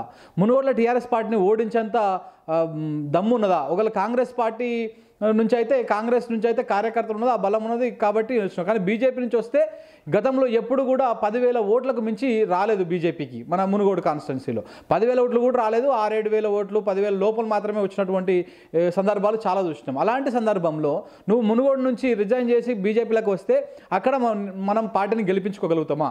అంటే అక్కడ అక్కడనేమో నేను హండ్రెడ్ పర్సెంట్ గెలిపిస్తాం గెలుస్తాము. హండ్రెడ్ పర్సెంట్ గెలుస్తాం. కేసీఆర్ కేసీఆర్ మీద ఘోరమైనటువంటి వ్యతిరేకత ఉన్నదని చెప్పేసి అక్కడ ఆ మీటింగ్లో మాట్లాడినట్టు మనకు తెలుస్తున్నటువంటి సమాచారం. కానీ అక్కడ ఎప్పుడైతే అక్కడ నుంచి వచ్చి హైదరాబాద్కు వచ్చినాక హైదరాబాద్లో వచ్చినటువంటి తర్వాత ఇక్కడ వచ్చినటువంటి వార్తలు ఆయన సొంత నియోజకవర్గం నుంచి వస్తున్నటువంటి కార్యకర్తల రియాక్షను మండలాల అధ్యక్షుల రియాక్షను ఇట్లా ఇవన్నీ చూసిన తర్వాత కొంత కన్ఫ్యూజన్లో పడిపోయిండు. దాంతోపాటు ఈయన కోమటిరెడ్డి గారు ఒక ప్రముఖ లాయర్తోని భేటీ అయ్యి అసలు మనము రాజ రాజీనామా చేసి బీజేపీలకు పోతే ఆ రాజీనామా యాక్సెప్ట్ చేయకుండా ఆపే ఆలోచనలు ఏమైనా ఉన్నాయా? దాన్ని ఏమైనా సాగదీయొచ్చా? ఎట్లన్నా చేయొచ్చా అనే అంశం మీద కూడా ఆయన కొంతమంది ఒక ప్రముఖ లాయర్తోని మీటింగ్ జరిపి దాని గురించి మాట్లాడినట్టు కూడా మనకు తెలుస్తున్నటువంటి సమాచారం. అయితే ఆ లాయర్ గారు కూడా చెప్పారంట నువ్వు రాజీనామా చేస్తే స్పీకర్ ఫార్మాట్లో రాజీనామా చేస్తే ఎట్టి పరిస్థితుల్లో దాన్ని ఆపడానికి ఉండదు. హండ్రెడ్ పర్సెంట్ ఆయన అప్రూవ్ చేసేస్తాడు. రాజీనామా ఆమోదం అవుతుంది ఆమోదం అయిన తర్వాత ఉప ఎన్నిక తక్షణం అవుతుంది అనివార్యంగా ఉప ఎన్నిక వస్తుంది. దాంట్లో తిరిగేలేదు అన్నాడు. కానీ ఓవైపు మునుగోడు నియోజకవర్గం నుంచి వస్తున్నటువంటి కార్యకర్తల ఫీడ్బ్యాక్ కానీ నాయకుల ఫీడ్బ్యాక్ కానీ ఏమున్నది? నువ్వు గనక బీజేపీ పార్టీలోకి పోతే కాంగ్రెస్ పార్టీని వదిలేసి బీజేపీ పార్టీలోకి పోతే కనీసము పదివేల ఓట్లు పదివేల ఓట్ల నుంచి ఇరవై వేల ఓట్ల కంటే ఎక్కువ రావు. కాంగ్రెస్ పార్టీకి ఉన్న బలము బీజేపీకి లేదు. మునుగోడుల దట్టు. మునుగోడు ఒకసారి మునుగోడు నేపథ్యం చూసుకుంటే మునుగోడు కమ్యూనిస్టుల కంచుకోట ఒకప్పుడు. నీకు దేశమం నీకు రాష్ట్రమంతా ఏ పార్టీ అధికారంలో ఉన్నా కానీ మునుగోడులో కమ్యూనిస్టులు ఉండేవాళ్ళు లేకపోతే కాంగ్రెస్ ఉండేటిది. కానీ బీజేపీకి కానీ లేకపోతే ఇంకా వేరే ఇతర పార్టీలకు కానీ ఛాన్స్ లేదు. అట్లాంటి కమ్యూనిస్ట్ కన్- కంచుకోట అయినటువంటి మునుగోడులో అప్పుడు ఆ కమ్యూనిస్టులు చాలా వరకు కాంగ్రెస్ కన్వర్ట్ అయ్యారు కొంతమంది టీఆర్ఎస్ కన్వర్ట్ అయ్యారు. అంతేగాని బీజేపీకి ఎవడు కన్వర్ట్ కాలేదు బీజేపీలో ఉన్నటువంటి వాళ్ళు ఎవరు? ఆ మొదటి నుంచి ఉన్నటువంటి అదే ఆర్ఎస్ఎస్ సంబంధించినటువంటి మూలాలు ఉన్న వాళ్ళు ఏదైతే ఈ బీజేపీకి ఉన్నటువంటి ఆడ ఈడ జిల్లా మండలంలో ఒకరిద్దరు తప్పితే పెద్దగా ఎక్కర్లేరు. ఆ జ- మునుగోడు మొత్తంలో ఒక పదివేల నుంచి పదిహేను వేల ఓట్లు కూడా వచ్చేటువంటి పరిస్థితి లేదు మునుగోడులో బీజేపీకి. కానీ ఇప్పుడు ఈయన మునుగోడు పార్టీ మునుగోడులో కాంగ్రెస్కు రిజైన్ చేసి బీజేపీలకు పోతే ఈయన మాత్రం పోగలుగుతాడు కానీ కొంతమందిని నాయకులను తీసుకుపోగలుగుతాడు కానీ కార్యకర్తలు మొత్తం బీజేపీలకు పో- తీసుకుపోయేటువంటి అవకాశం లేదు. వాళ్ళు రారు. ఎందుకంటే మునుగోడు నేపథ్యం అది మునుగోడు పోరాట నేపథ్యం అది. అలాంటి మునుగోడులో నువ్వు బీజేపీని గెలిపించాలనుకోవడం చాలా కత్తి మీద సాము లాంటి పరిస్థితి అవుతుంది. నువ్వు మునుగోడులోకి వెళ్ళి నువ్వు కాంగ్రెస్ నుంచి నిలబడు మళ్ళీ నీకు గెలిచే అవకాశాలు ఉంటాయి. నువ్వు హండ్రెడ్ పర్సెంట్ గెలిపిస్తానికి మేము ప్రయత్నం చేస్తాము మేము ప్రభుత్వ వైఫల్యాలను అటు కేంద్ర ప్రభుత్వ వైఫల్యాలను ఇటు రాష్ట్ర ప్రభుత్వ వైఫల్యాలను ప్రజలకు తీసుకుపోతాము. హండ్రెడ్ పర్సెంట్ గెలిపిస్తాం. కానీ నువ్వు బీజేపీని కాంగ్రెస్ని వదిలేసి బీజేపీలకు పోతే మాత్రము హండ్రెడ్ పర్సెంట్ మేము మీ వెనకాల మేము రాలేము అని చెప్పి ఇప్పటికే మనం రెండు మూడు వీడియోలు కూడా పెట్టడం జరిగింది. ఒక పెద్ద మనిషి కాంగ్రెస్ నమ్ముకున్నటువంటి ఇది పాల్వాయి గోవర్ధన్ రెడ్డి కాలం నుంచి ఉన్నటువంటి ఒక పెద్ద మనిషి మాట్లాడుతూ ఏమన్నాడు? నీ కోసం కాంగ్రెస్ పార్టీ పుట్టిందా ఈడ? నీ కోసం కాంగ్రెస్ పార్టీని గెలిపించుకున్నావా మేము ఈడ? కాంగ్రెస్ పార్టీ కోసం మేము గెలిపించుకున్నాము. నువ్వు ఇలా పోతే మేము ఇంకొక నాయకుడు వస్తాడు ఇంకొకరిని మేము గెలిపించుకుంటాం కానీ నీ వెనకాల మేము రావడం అనుకునేది అసాధ్యం అనేది ఆయన కుండ బదలు కొట్టినట్టు చెప్పిండు ఆ పెద్ద మనిషి. సో ఇట్లాంటి కరడు కట్టిన కట్టర్ కాంగ్రెస్ నాయకులు చాలామంది కార్యకర్తలు మునుగోడులో ఉన్నారు. నువ్వు ఇప్పుడు ఈ సమయంలో మునుగోడును వదిలేసి బీజేపీలోకి పోతే బీజేపీని గెలిపించాలనుకోవడము కళ్ళ. హుజురాబాద్ ఎన్ని- హుజురాబాద్ ఎన్నికకు మునుగోడు ఎన్నికకు చాలా డిఫరెన్స్ ఉన్నది. హుజురాబాద్లో సింపతి పనిచేసినది. హుజురాబాద్లో ఒక పార్టీలో అధికారంలో ఉన్నటువంటి పార్టీ ఈ మంత్రిని ఆయన్ని క్యాబినెట్ నుంచి తొలగించి ఆయనను మెడలు బట్టి బయటికి గెంటేశారనేటువంటి సింపతి ఒక ప్రజల లోపల వచ్చింది కాబట్టి అక్కడ ఆయన హుజురాబాద్లో ఆయన గెలవగలిగిండు. ఆ సంపత్తి ఆ సింపతి ఉన్నది. దట్టు ఈటల రాజేందర్కి కోమటిరెడ్డి రాజగోపాల్ రెడ్డికి ఎక్కడ పోలిక పెడతామండి? ఈటల రాజేందర్ రెడ్డి ఈట ఈటల రాజేందరు ఉద్యమంలో పాల్గొన్న నాయకుడు ఉద్యమంలో ఆ టీఆర్ఎస్ పార్టీకి సీఎల్ ఎల్పీగా పనిచేసిండు ఆయన. పార్టీని కాస్త రెండవ అధినాయకుని లెక్క నడిపించిండు. అట్లా నడిచిన వ్యక్తి అలాంటి వ్యక్తి బయటకు రావడం వల్ల ఆయనకు సింపతి పనిచేసింది. హుజురాబాద్లో ఆయనకు ఉన్నటువంటి ఆ ఆ బలం పనిచేసింది. ఆ సింపతి ఇవన్నీ వర్కౌట్ అయినాయి. జాతీయ పార్టీ బీజేపీ పార్టీ కండువ కప్పుకున్నాడు కాబట్టి ఆయన గా మాత్రం మెజారిటీ వచ్చింది. అదే బీజేపీ కండువ కాకుండా వేరే ఇండిపెండెంట్గా పోటీ చేసినా కానీ దానికి రెండింతల మెజారిటీ వచ్చేది. హండ్రెడ్ పర్సెంట్ ఇందులో తిరిగేలేదు. కాబట్టి అలాంటి అసలు అక్కడ బీజేపీ హుజురాబాద్లో బీజేపీ గెలిపే కాదు అది. అది అది క్లియర్ కట్గా ఈటల రాజేందర్ గెలుపు. బీజేపీ అనే పేరు చెప్పుకున్నాడు కాబట్టి అక్కడ ఇంకా చాలా వరకు ముస్లిం ఓట్లని దూరం చేసుకున్నాడు ఆయన. అదే నువ్వు ఇండిపెండెంట్గా ఉంటే ఇంకా చాలా ఓట్లు పడేటివి ఆయనకు. సో అలాంటి పరిస్థితులు అసలు ఇవ్వు. హుజురాబాద్కి మునుగోడుకి ఏమాత్రం పోలిక లేదు. సమయము సందర్భము ఏ మాత్రం కూడా ఏ విధంగా కూడా దానికి దీనికి పోలిక చేయలేము. నాయకుని పిర నాయ నాయకుని పరంగా చేయలేము. అసలు ఈటల రాజేందరు చ- రాజకీయ అనుభవం ఎక్కడా? లేకపోతే ఆయనకున్నటువంటి పాపులారిటీ ఎక్కడ? కోమటిరెడ్డి రాజగోపాల్ రెడ్డికి ఉన్నటువంటి పాపులారిటీ ఎక్కడ? ఆయనకి ఈయనకు పోలిక ఉన్నదా? లేదు. హుజురాబాద్లో ఆ రాజీనామా ఎన్నిక రావడానికి ఒక ఘటన ఉన్నది. ఏంది ఆయన ప్రభుత్వం నుంచి బయటికి వెళ్ళగొట్టిరని లేదంటే పార్టీ నుంచి బయటికి వెళ్ళగొట్టిరని ఒక సింపతి గెయిన్ అయింది. కేసీఆర్ నమ్మిన బంటుగా ఉన్న కుడిభుజంగా ఉన్న అన్నదమ్ములు లెక్క ఉన్నటువంటి ఈటలందరూ బయటికి వెళ్ళగొట్టడం వల్ల ఆ, ఎన్నిక వచ్చింది. దాని మీద ఆయన మీద హండ్రెడ్ పర్సెంట్ రాష్ట్ర వ్యాప్తంగా అనుకూల పవనాలు ఏమంటారు సానుభూతి పవనాలు వీసినాయి. కానీ మునుగోడులో ఆ పరిస్థితి లేదు కదా. మునుగోడులో ఆ పరిస్థితి ఎట్టి పరిస్థితిలో లేదు. మునుగోడులో నువ్వు అసలు బేసిక్గా మునుగోడులో కాంగ్రెస్ కేసీఆర్ ఇంతవా ఉన్న టైంలో రెండు వేల పద్దెనిమిది ఎన్నికల్లో కాంగ్రెస్గా నువ్వు నువ్వు గెలిచిందే అదొక పెద్ద సంచలనం. గెలిచిన తర్వాత కూడా ఆ మునుగోడు ప్రయోజక ప్రజల ప్రజలకు ఆ మునుగోడులో ఉన్నటువంటి సమస్యల పట్ల ఎక్కడగడైనా పెద్దగా ఫైట్ చేసినట్టు ఏం లేదు. ఏమన్నా అంటే ఆడ ఈడ కార్యకర్తలకు ఇన్నోన్ని అవసరం వచ్చినప్పుడు లేకపోతే ఎవరు ఆపదలో ఉన్నప్పుడు సాపదలో ఉన్నప్పుడు ఈయన పైసలు ఇచ్చుడు కానీ అభివృద్ధి కార్యక్రమాలు చెప్పుకోదగ్గటువంటి కార్యక్రమాలు ఏం లేవు. ఇప్పుడు ఆయన ప్రెస్ మీట్లో మొత్తం మాట్లాడడం జరిగింది. కేసీఆర్ అవినీతి మీద కేసీఆర్ను ఓడించడానికి నేను ప్రయత్నం చేస్తున్నాను కానీ అక్కడ ఏది బై బహిరంగంగా వచ్చి కేసీఆర్కు వ్యతిరేకంగా ధర్నా చేయడమో లేదనుకుంటే పోయి ప్రాజెక్టుల దగ్గర కూర్చొని ధర్నా చేయడమో లేకపోతే ఇట్లాంటివన్నీ చేసినట్టు ఎక్కడ దాఖలాలు లేవు. మునుగోడులో ఎంతసేపు ఉన్న కార్యకర్తలకు ఎవడో ఇబ్బంది పెడతానో ఏమో అయితేనో ఏదైనా ప్రమాదం వచ్చితే ఎవరైనా చనిపోతానో వాళ్ళకి ఆర్థికంగా సాయం చేసుడు తప్పితే అసలు ఎమ్మెల్యేని ఎన్నుకునేందుకు రోడ్లు చక్కగా ఉన్నాయా? లేకుంటే ఆ నియోజకవర్గంలో అభివృద్ధి కార్యక్రమాలు ఏంది? సంక్షేమ కార్యక్రమాలు ఏంది? అందుతున్నాయా? లేవా? ఎవరెవరికి ఏ విధంగా వస్తున్నాయి? రోడ్లు ఎట్లా ఉన్నాయి? ఈ మున్సిపాలిటీలో లైట్ల పరిస్థితి ఏంది? డ్రైనేజ్ పరిస్థితి ఏంది? ఇట్లాంటివన్నీ ఉంటాయి. ఇలాంటి విషయాల్లో కోమటిరెడ్డి రాజగోపాల్ రెడ్డి మార్కు ఏమాత్రం కనిపించడం లేదు నియోజకవర్గంలో.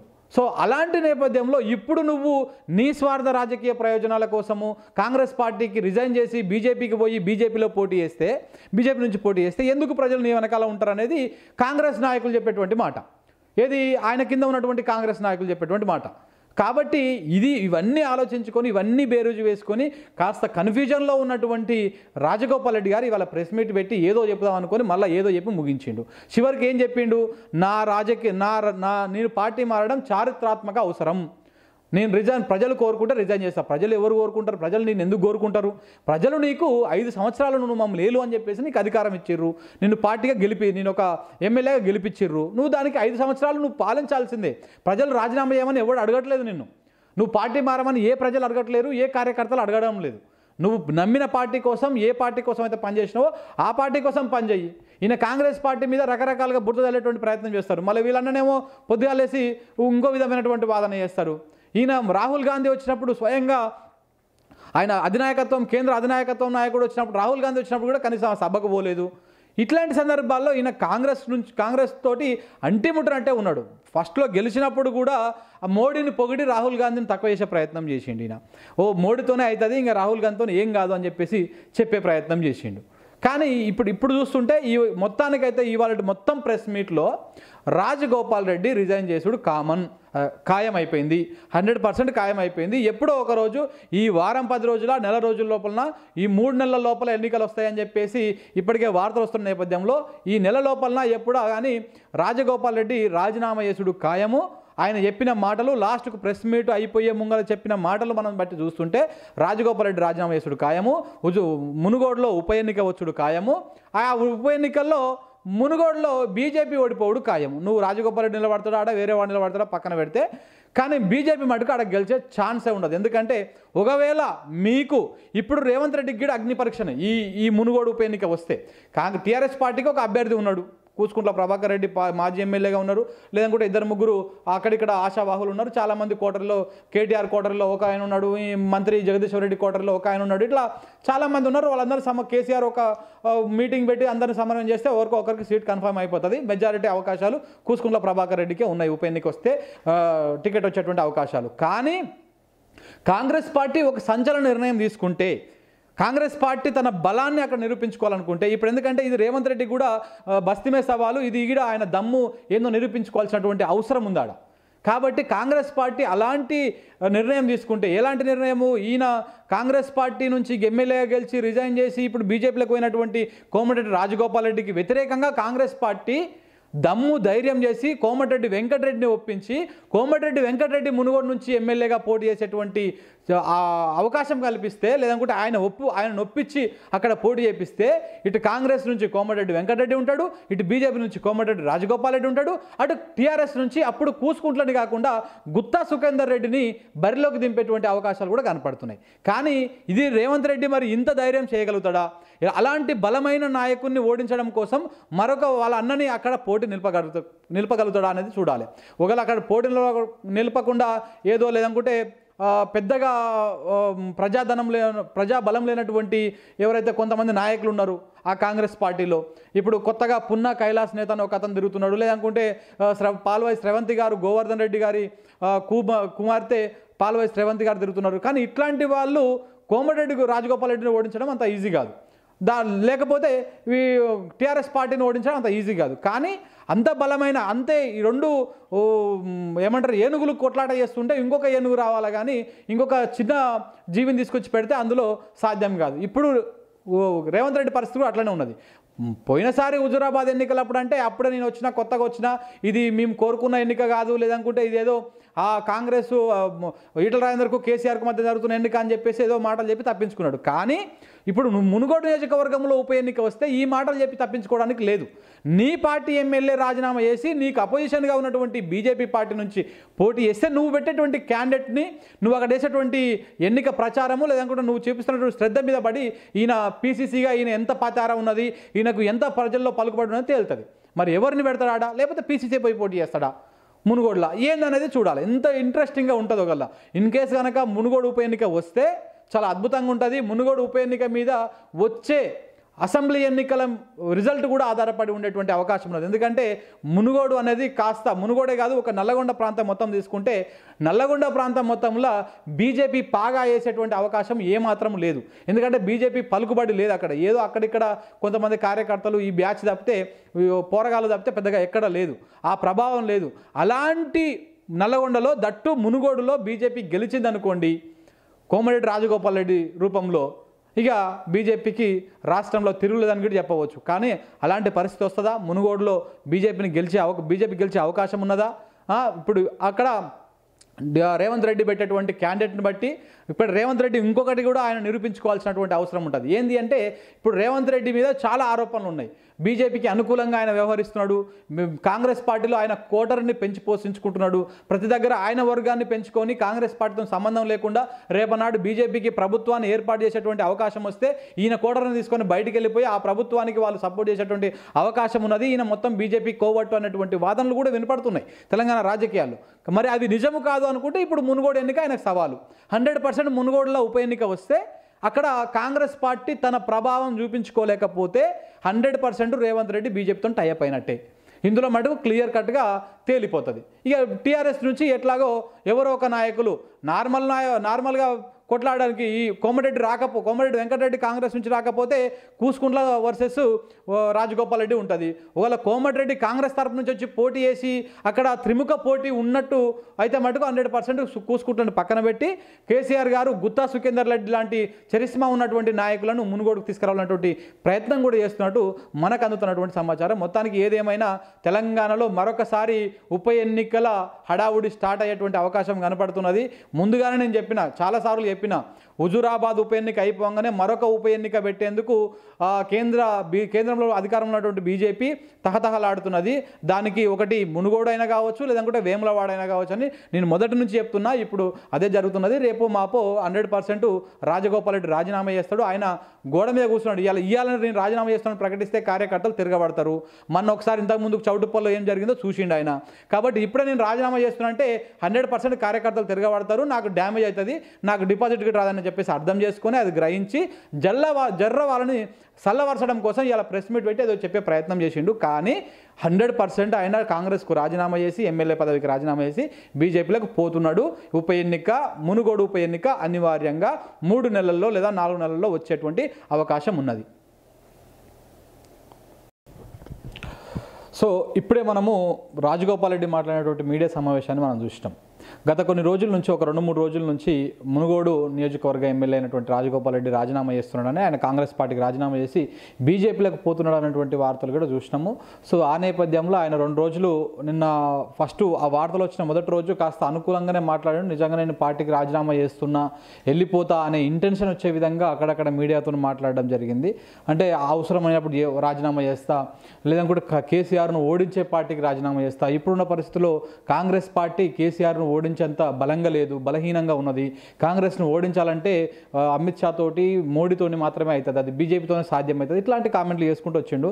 ఇవాళ ప్రెస్ మీట్ పెట్టి ఏం మాట్లాడినంటే ఆయన సేపు అసలు కాంగ్రెస్ పా బీజేపీ పార్టీ తప్పితే కాంగ్రెస్ పార్టీ కేసీఆర్ను ఓడించలేదు అని చెప్పినటువంటి మాట వాస్తవము. నేను అమిత్ షాని కలిసిన మాట వాస్తవము. నలభై ఐదు నిమిషాల పాటు కలిసి మాట్లాడిన వా- మాట వాస్తవము. కానీ నేను రాజీనామా చేస్తానని ఎక్కడ చెప్పలేదు. కాంగ్రెస్ పార్టీకి రాజీనామా చేసి బీజేపీలకు పోతా అని కూడా నేను ఎక్కడ చెప్పలేదు. కానీ రకరకాలుగా కొన్ని మీడియా సంస్థలు పత్రికలు నా మీద దుష్ప్రచారం చేస్తున్నాయి. నేను ఎక్కడ పోతాను చెప్పలేదు అని చెప్పేసి ఆయన చెప్తందుకు ఇలా ప్రెస్ మీట్ పెట్టిండు. మొత్తం ప్రెస్ మీట్ పెట్టినటువంటి సారాంశం ఏంటంటే నేను రాజీనామా చెయ్యను. ఇప్పుడు ఇప్పుడు నేను వేరే పార్టీలకు పోను అవసరం అనుకుంటే చేస్తా అనే ఒక నేను రాజీనామా చేయట్లేదు అనే అంశాన్ని సమర్థించుకోవడం కోసము ఆయన ప్రెస్ మీట్ పెట్టినట్టు అనిపించింది మొదట. కా మాట్లాడుతూ ఒకవేళ నేను రాజీనామా చేయాల్సి వస్తే నా మునుగోడు ప్రజలను అడుగు ఒక అభిప్రాయం తీసుకుంటా నా కార్యకర్తల అభిప్రాయం తీసుకుంటా నా అభిమానుల అభిప్రాయం తీసుకుంటా నల్గొండ ప్రజల కార్యక అభిమానుల అభిప్రాయం తీసుకుంటా మునుగోడు అట్లనే భువనగిరి పార్లమెంటు ప్రజల అభిప్రాయం మేరకు మాత్రమే నేను రాజీనామా చేస్తా. ఒకవేళ చేయాలనుకుంటే అందరికీ చెప్పి బహిరంగంగా చేస్తా. ఇట్లా లేదు నా మీద దుష్ప్రచారం జరుగుతుంది నేను రాజీనామా చేస్తాను ఎక్కడ ప్రకటించలేదు అని చెప్పేసి ఆయన చెప్తందుకని ప్రెస్ మీట్ పెట్టిండు ఇదే విషయం చెప్పిండు. కానీ పోతా పోతూ లాస్ట్ విషయంలో లాస్ట్కు ఏమన్నాడంటే ప్రెస్ మీట్ అయిపోయే అయిపోయే లాస్ట్ లాస్ట్ మినిట్లో ఇంకా వన్ టూ మినిట్స్కి ప్రెస్ మీట్ అయిపోతానంగా మాట్లాడితే ఏమన్నాడంటే నా రాజీనామా నేను పార్టీ మారడము చారిత్రాత్మక అవసరము అని అన్నాడు. అంటే నేను పార్టీ మారడం చారిత్రాత్మక అవసరము. నేను బీజేపీలో చేరుతానా చేరా అనే అనే అంశంపై ఇప్పుడే క్లారిటీ ఇవ్వను. కానీ పార్టీ మారడం మాట చారిత్రాత్మక అవసరము.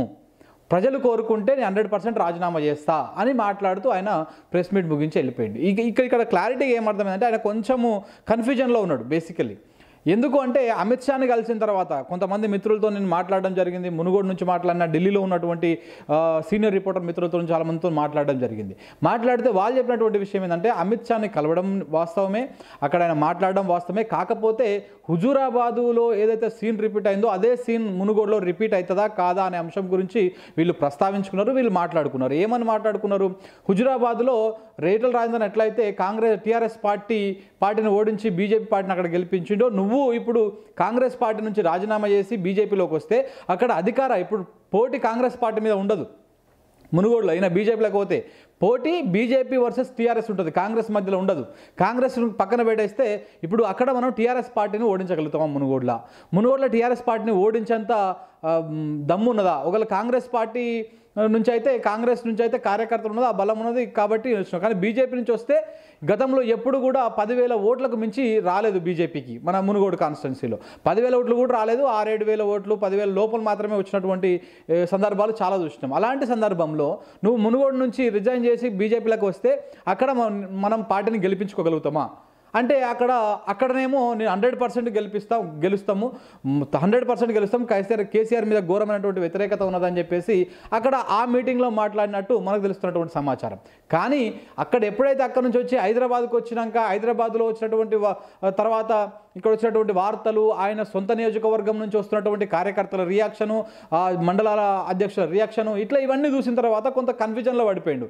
దాంతోపాటు ఈయన కోమటిరెడ్డి గారు ఒక ప్రముఖ లాయర్తోని భేటీ అయ్యి అసలు మనము రాజ రాజీనామా చేసి బీజేపీలకు పోతే ఆ రాజీనామా యాక్సెప్ట్ చేయకుండా ఆపే ఆలోచనలు ఏమైనా ఉన్నాయా? దాన్ని ఏమైనా సాగదీయొచ్చా? ఎట్లన్నా చేయొచ్చా అనే అంశం మీద కూడా ఆయన కొంతమంది ఒక ప్రముఖ లాయర్తోని మీటింగ్ జరిపి దాని గురించి మాట్లాడినట్టు కూడా మనకు తెలుస్తున్నటువంటి సమాచారం. అయితే ఆ లాయర్ గారు కూడా చెప్పారంట నువ్వు రాజీనామా చేస్తే స్పీకర్ ఫార్మాట్లో రాజీనామా చేస్తే ఎట్టి పరిస్థితుల్లో దాన్ని ఆపడానికి ఉండదు. హండ్రెడ్ పర్సెంట్ ఆయన అప్రూవ్ చేసేస్తాడు. రాజీనామా ఆమోదం అవుతుంది ఆమోదం అయిన తర్వాత ఉప- ఎన్నిక తక్షణం అవుతుంది అనివార్యంగా ఉప ఎన్నిక వస్తుంది. దాంట్లో తిరిగేలేదు అన్నారు కానీ ఓవైపు మునుగోడు నియోజకవర్గం నుంచి వస్తున్నటువంటి కార్యకర్తల ఫీడ్బ్యాక్ కానీ నాయకుల ఫీడ్బ్యాక్ కానీ ఏమున్నది? నువ్వు గనక బీజేపీ పార్టీలోకి పోతే కాంగ్రెస్ పార్టీని వదిలేసి బీజేపీ పార్టీలోకి పోతే కనీసము పదివేల ఓట్లు పదివేల ఓట్ల నుంచి ఇరవై వేల ఓట్ల కంటే ఎక్కువ రావు. కాంగ్రెస్ పార్టీకి ఉన్న బలము బీజేపీకి లేదు. మునుగోడుల దట్టు. మునుగోడు ఒకసారి మునుగోడు నేపథ్యం చూసుకుంటే మునుగోడు కమ్యూనిస్టుల కంచుకోట ఒకప్పుడు. నీకు దేశమం నీకు రాష్ట్రమంతా ఏ పార్టీ అధికారంలో ఉన్నా కానీ మునుగోడులో కమ్యూనిస్టులు ఉండేవాళ్ళు లేకపోతే కాంగ్రెస్ ఉండేటిది. కానీ బీజేపీకి కానీ లేకపోతే ఇంకా వేరే ఇతర పార్టీలకు కానీ ఛాన్స్ లేదు. అట్లాంటి కమ్యూనిస్ట్ కం- కంచుకోటైనటువంటి మునుగోడులో అప్పుడు ఆ కమ్యూనిస్టులు చాలా వరకు కాంగ్రెస్ కన్వర్ట్ అయ్యారు కొంతమంది టీఆర్ఎస్ కన్వర్ట్ అయ్యారు. అంతేగాని బీజేపీకి ఎవడు కన్వర్ట్ కాలేదు బీజేపీలో ఉన్నటువంటి వాళ్ళు ఎవరు? ఆ మొదటి నుంచి ఉన్నటువంటి అదే ఆర్ఎస్ఎస్ సంబంధించినటువంటి మూలాలు ఉన్న వాళ్ళు. ఏదైతే ఈ బీజేపీకి ఉన్నటువంటి ఆడ ఈడ జిల్లా మండలంలో ఒకరిద్దరు తప్పితే పెద్దగా ఎక్కర్లేరు ఆ జ- మునుగోడు మొత్తంలో ఒక పదివేల నుంచి పదిహేను వేల ఓట్లు కూడా వచ్చేటువంటి పరిస్థితి లేదు మునుగోడులో బీజేపీకి.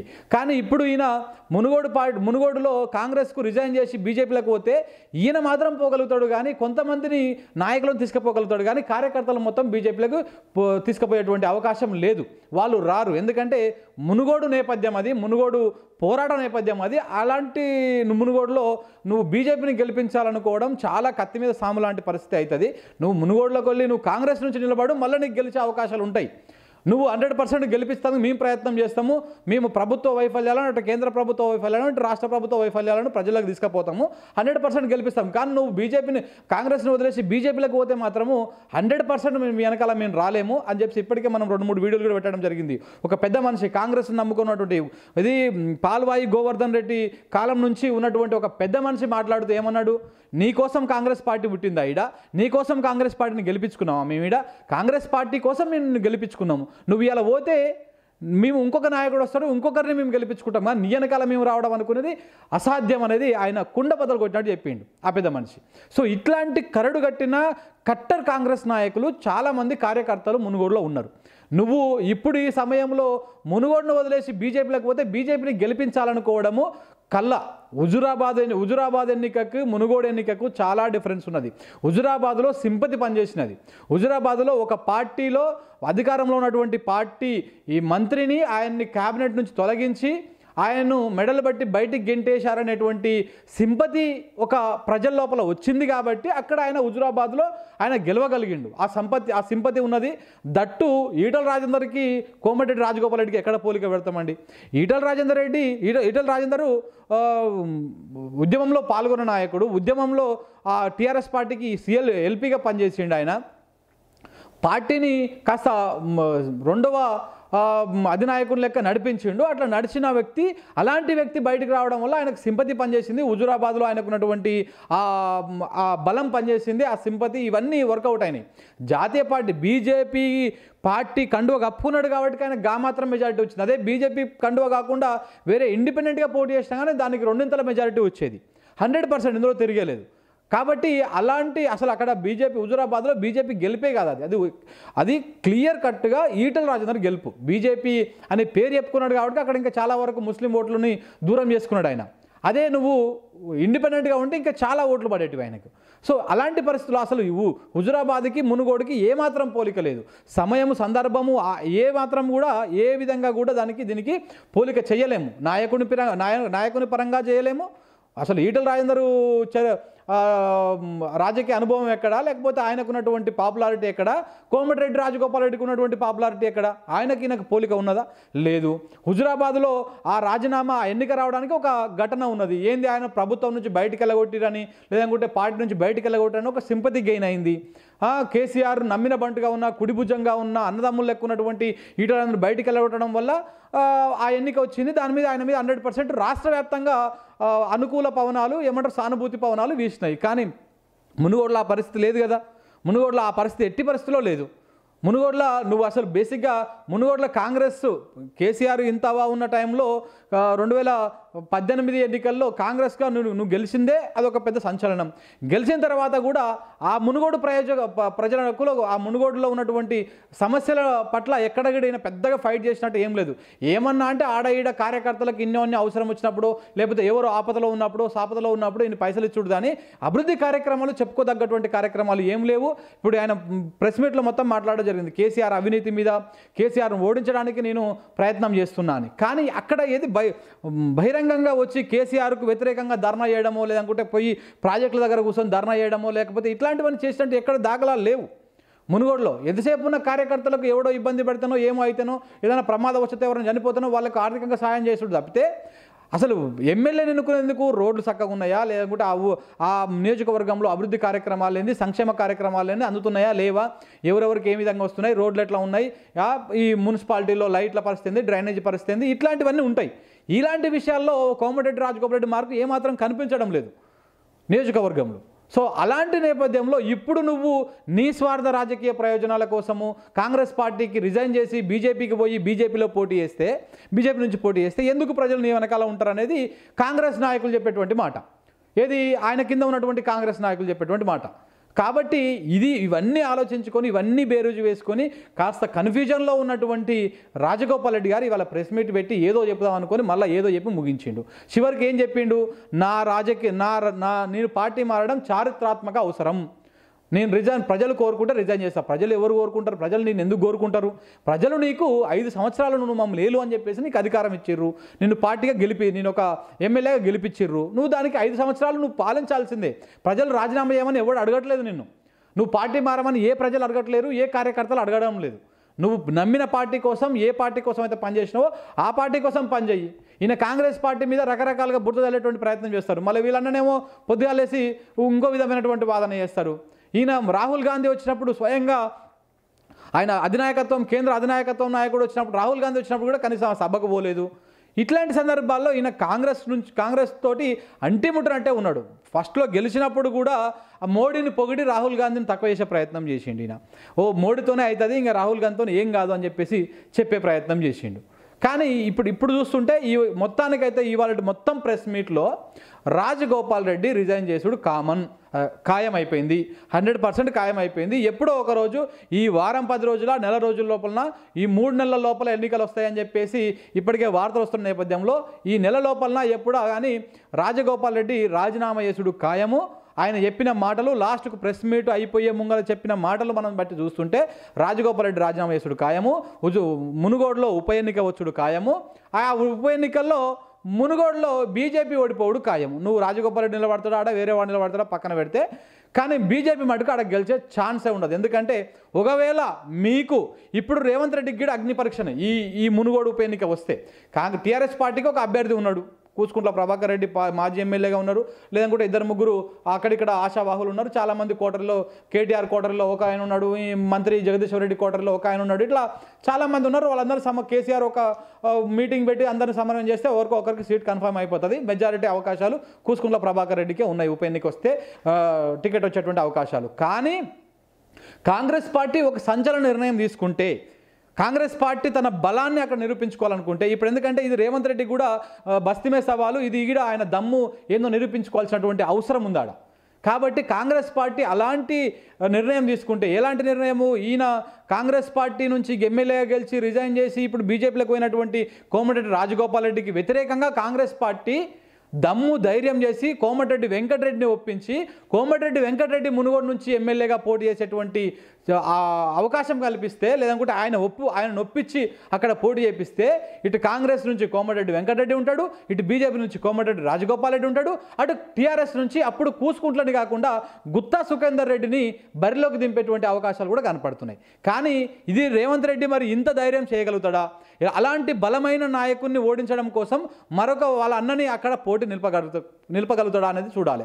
ఒకవేళ అక్కడ పోటీ నిలపకుండా ఏదో లేదనుకుంటే పెద్దగా ప్రజాధనం లే ప్రజాబలం లేనటువంటి ఎవరైతే కొంతమంది నాయకులు ఉన్నారు ఆ కాంగ్రెస్ పార్టీలో ఇప్పుడు కొత్తగా పున్నా కైలాస్ నేత అని ఒక అతను తిరుగుతున్నాడు. లేదనుకుంటే శ్రవ పాల్వాయి శ్రవంతి గారు గోవర్ధన్ రెడ్డి గారి కుమార్తె పాల్వాయి శ్రవంతి గారు తిరుగుతున్నారు. కానీ ఇట్లాంటి వాళ్ళు కోమటిరెడ్డి రాజగోపాల్ రెడ్డిని ఓడించడం అంత ఈజీ కాదు. దా లేకపోతే ఈ టీఆర్ఎస్ పార్టీని ఓడించడం అంత ఈజీ కాదు. కానీ అంత బలమైన అంతే ఈ రెండు ఏమంటారు ఏనుగులు కొట్లాట చేస్తుంటే ఇంకొక ఏనుగు రావాలి కానీ ఇంకొక చిన్న జీవిని తీసుకొచ్చి పెడితే అందులో సాధ్యం కాదు. ఇప్పుడు ఓ, రేవంత్ రెడ్డి పరిస్థితి కూడా అట్లనే ఉన్నది. పోయినసారి హుజురాబాద్ ఎన్నికలప్పుడు అంటే అప్పుడే నేను వచ్చినా కొత్తగా వచ్చినా ఇది మేము కోరుకున్న ఎన్నిక కాదు లేదనుకుంటే ఇదేదో ఆ కాంగ్రెస్ ఈటల రాజేందర్కు కేసీఆర్కు మధ్య జరుగుతున్న ఎన్నిక అని చెప్పేసి ఏదో మాటలు చెప్పి తప్పించుకున్నాడు. కానీ ఇప్పుడు నువ్వు మునుగోడు నియోజకవర్గంలో ఉప ఎన్నిక వస్తే ఈ మాటలు చెప్పి తప్పించుకోవడానికి లేదు. నీ పార్టీ ఎమ్మెల్యే రాజీనామా చేసి నీకు అపోజిషన్గా ఉన్నటువంటి బీజేపీ పార్టీ నుంచి పోటీ చేస్తే నువ్వు పెట్టేటువంటి క్యాండిడేట్ని నువ్వు అక్కడ వేసేటువంటి ఎన్నిక ప్రచారము లేదనుకుంటే నువ్వు చూపిస్తున్నటువంటి శ్రద్ధ మీద పడి ఈయన పీసీసీగా ఈయన ఎంత పాతారా ఉన్నది ఈయనకు ఎంత ప్రజల్లో పలుకుబడి ఉన్నది తేలుతుంది. మరి ఎవరిని పెడతాడా లేకపోతే పీసీసీ పోయి పోటీ చేస్తాడా?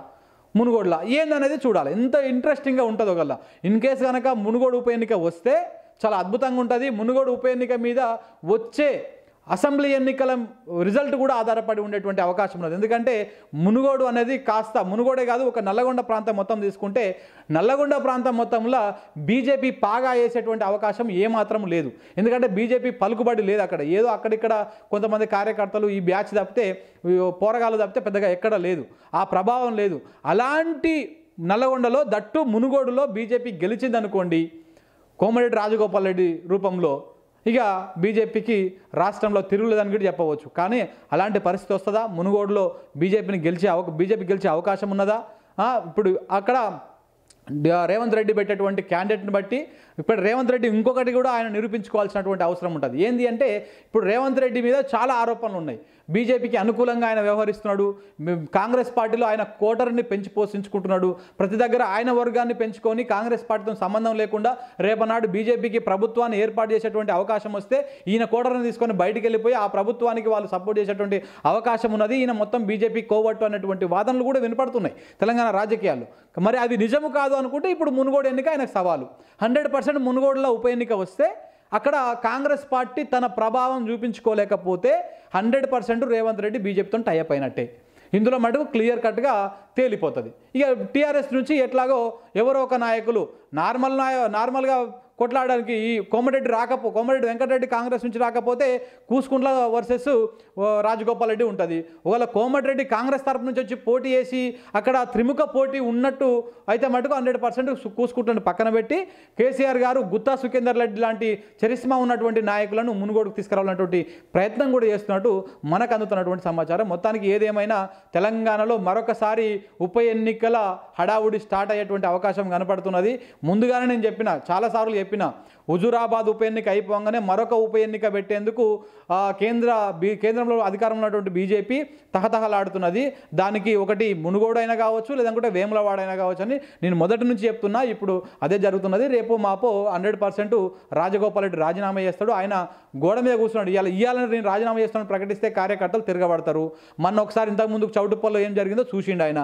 కాబట్టి ఇప్పుడే నేను రాజీనామా చేస్తున్నా అంటే హండ్రెడ్ పర్సెంట్ కార్యకర్తలు తిరగబడతారు. నాకు డ్యామేజ్ అవుతుంది. నాకు డిపాజిట్ రాదని చెప్పేసి అర్థం చేసుకొని అది గ్రహించి జల్లవా జర్ర వాళ్ళని చల్లవరచడం కోసం ఇలా ప్రెస్ మీట్ పెట్టి ఏదో చెప్పే ప్రయత్నం చేసిండు. కానీ హండ్రెడ్ పర్సెంట్ ఆయన కాంగ్రెస్కు రాజీనామా చేసి ఎమ్మెల్యే పదవికి రాజీనామా చేసి బీజేపీలకు పోతున్నాడు. ఉప ఎన్నిక మునుగోడు ఉప ఎన్నిక అనివార్యంగా మూడు నెలల్లో లేదా నాలుగు నెలల్లో వచ్చేటువంటి అవకాశం ఉన్నది. సో ఇప్పుడే మనము రాజగోపాల్ రెడ్డి మాట్లాడేటువంటి మీడియా సమావేశాన్ని మనం చూసినాం. గత కొన్ని రోజుల నుంచి ఒక రెండు మూడు రోజుల నుంచి మునుగోడు నియోజకవర్గ ఎమ్మెల్యే అయినటువంటి రాజగోపాల్ రెడ్డి రాజీనామా చేస్తున్నాడని ఆయన కాంగ్రెస్ పార్టీకి రాజీనామా చేసి బీజేపీలకు పోతున్నాడు అనేటువంటి వార్తలు కూడా చూసినాము. సో ఆ నేపథ్యంలో ఆయన రెండు రోజులు నిన్న ఫస్ట్ ఆ వార్తలు వచ్చిన మొదటి రోజు కాస్త అనుకూలంగానే మాట్లాడాడు. నిజంగా నేను పార్టీకి రాజీనామా చేస్తున్నా వెళ్ళిపోతా అనే ఇంటెన్షన్ వచ్చే విధంగా అక్కడక్కడ మీడియాతో మాట్లాడడం జరిగింది. అంటే అవసరమైనప్పుడు ఏ- రాజీనామా చేస్తా లేదంటే కేసీఆర్ను ఓడించే పార్టీకి రాజీనామా చేస్తా. ఇప్పుడున్న పరిస్థితుల్లో కాంగ్రెస్ పార్టీ కేసీఆర్ను ఓడించేంత బలంగా లేదు బలహీనంగా ఉన్నది. కాంగ్రెస్ను ఓడించాలంటే అమిత్ షా తోటి మోడీతోని మాత్రమే అవుతుంది అది బీజేపీతోనే సాధ్యమవుతుంది ఇట్లాంటి కామెంట్లు చేసుకుంటూ వచ్చిండు. ఇవాళ ప్రెస్ మీట్ పెట్టి ఏం మాట్లాడినంటే ఆయన సేపు అసలు కాంగ్రెస్ పా బీజేపీ పార్టీ తప్పితే కాంగ్రెస్ పార్టీ కేసీఆర్ను ఓడించలేదు అని చెప్పినటువంటి మాట వాస్తవము. నేను అమిత్ షాని కలిసిన మాట వాస్తవము. నలభై ఐదు నిమిషాల పాటు కలిసి మాట్లాడిన మాట వాస్తవము. కానీ నేను రాజీనామా చేస్తానని ఎక్కడ చెప్పలేదు. కాంగ్రెస్ పార్టీకి రాజీనామా చేసి బీజేపీలకు పోతా అని కూడా నేను ఎక్కడ చెప్పలేదు. కానీ రకరకాలుగా కొన్ని మీడియా సంస్థలు పత్రికలు నా మీద దుష్ప్రచారం చేస్తున్నాయి. నేను ఎక్కడ పోతాను చెప్పలేదు అని చెప్పేసి ఆయన చెప్తందుకు ఇలా ప్రెస్ మీట్ పెట్టిండు. మొత్తం ప్రెస్ మీట్ పెట్టినటువంటి సారాంశం ఏంటంటే నేను రాజీనామా చెయ్యను. ఇప్పటి ఇప్పుడు నేను వేరే పార్టీలకు పోను అవసరం అనుకుంటే చేస్తా అనే ఒక నేను రాజీనామా చేయట్లేదు అనే అంశాన్ని సమర్థించుకోవడం కోసము ఆయన ప్రెస్ మీట్ పెట్టినట్టు అనిపించింది మొదట. కా మాట్లాడుతూ ఒకవేళ నేను రాజీనామా చేయాల్సి వస్తే నా మునుగోడు ప్రజలను అడుగు ఒక అభిప్రాయం తీసుకుంటా నా కార్యకర్తల అభిప్రాయం తీసుకుంటా నా అభిమానుల అభిప్రాయం తీసుకుంటా నల్గొండ ప్రజల కార్యక అభిమానుల అభిప్రాయం తీసుకుంటా మునుగోడు అట్లనే భువనగిరి పార్లమెంటు ప్రజల అభిప్రాయం మేరకు మాత్రమే నేను రాజీనామా చేస్తా. ఒకవేళ చేయాలనుకుంటే అందరికీ చెప్పి బహిరంగంగా చేస్తా. ఇట్లా లేదు నా మీద దుష్ప్రచారం జరుగుతుంది నేను రాజీనామా చేస్తాను ఎక్కడ ప్రకటించలేదు అని చెప్పేసి ఆయన చెప్తందుకని ప్రెస్ మీట్ పెట్టిండు ఇదే విషయం చెప్పిండు. కానీ పోతా పోతూ లాస్ట్ విషయంలో లాస్ట్కు ఏమన్నాడంటే ప్రెస్ మీట్ అయిపోయే అయిపోయే లాస్ట్ లాస్ట్ మినిట్లో ఇంకా వన్ టూ మినిట్స్కి ప్రెస్ మీట్ అయిపోతానంగా మాట్లాడితే ఏమన్నాడంటే నా రాజీనామా నేను పార్టీ మారడము చారిత్రాత్మక అవసరము అని అన్నాడు. అంటే నేను పార్టీ మారడం చారిత్రాత్మక అవసరము. నేను బీజేపీలో చేరుతానా చేరా అనే అనే అంశంపై ఇప్పుడే క్లారిటీ ఇవ్వను. కానీ పార్టీ మారడం మాట చారిత్రాత్మక అవసరము. ప్రజలు కోరుకుంటే నేను హండ్రెడ్ పర్సెంట్ రాజీనామా చేస్తా అని మాట్లాడుతూ ఆయన ప్రెస్ మీట్ ముగించి వెళ్ళిపోయింది ఇక ఇక్కడ ఇక్కడ క్లారిటీ ఏమర్థమైందంటే ఆయన కొంచెము కన్ఫ్యూజన్లో ఉన్నాడు బేసికలీ ఎందుకు అంటే అమిత్ షాని కలిసిన తర్వాత కొంతమంది మిత్రులతో నేను మాట్లాడడం జరిగింది మునుగోడు నుంచి మాట్లాడిన ఢిల్లీలో ఉన్నటువంటి సీనియర్ రిపోర్టర్ మిత్రులతో చాలా మందితో మాట్లాడడం జరిగింది. మాట్లాడితే వాళ్ళు చెప్పినటువంటి విషయం ఏంటంటే అమిత్ షాని కలవడం వాస్తవమే అక్కడ ఆయన మాట్లాడడం వాస్తవమే. కాకపోతే హుజూరాబాదులో ఏదైతే సీన్ రిపీట్ అయిందో అదే సీన్ మునుగోడులో రిపీట్ అవుతుందా కాదా అనే అంశం గురించి వీళ్ళు ప్రస్తావించుకున్నారు వీళ్ళు మాట్లాడుకున్నారు. ఏమని మాట్లాడుకున్నారు? హుజూరాబాద్లో రేటల రాజేంద్రన్ ఎట్లయితే కాంగ్రెస్ టీఆర్ఎస్ పార్టీ పార్టీని ఓడించి బీజేపీ పార్టీని అక్కడ గెలిపించిండో నువ్వు ఇప్పుడు కాంగ్రెస్ పార్టీ నుంచి రాజీనామా చేసి బీజేపీలోకి వస్తే అక్కడ అధికార ఇప్పుడు పోటీ కాంగ్రెస్ పార్టీ మీద ఉండదు.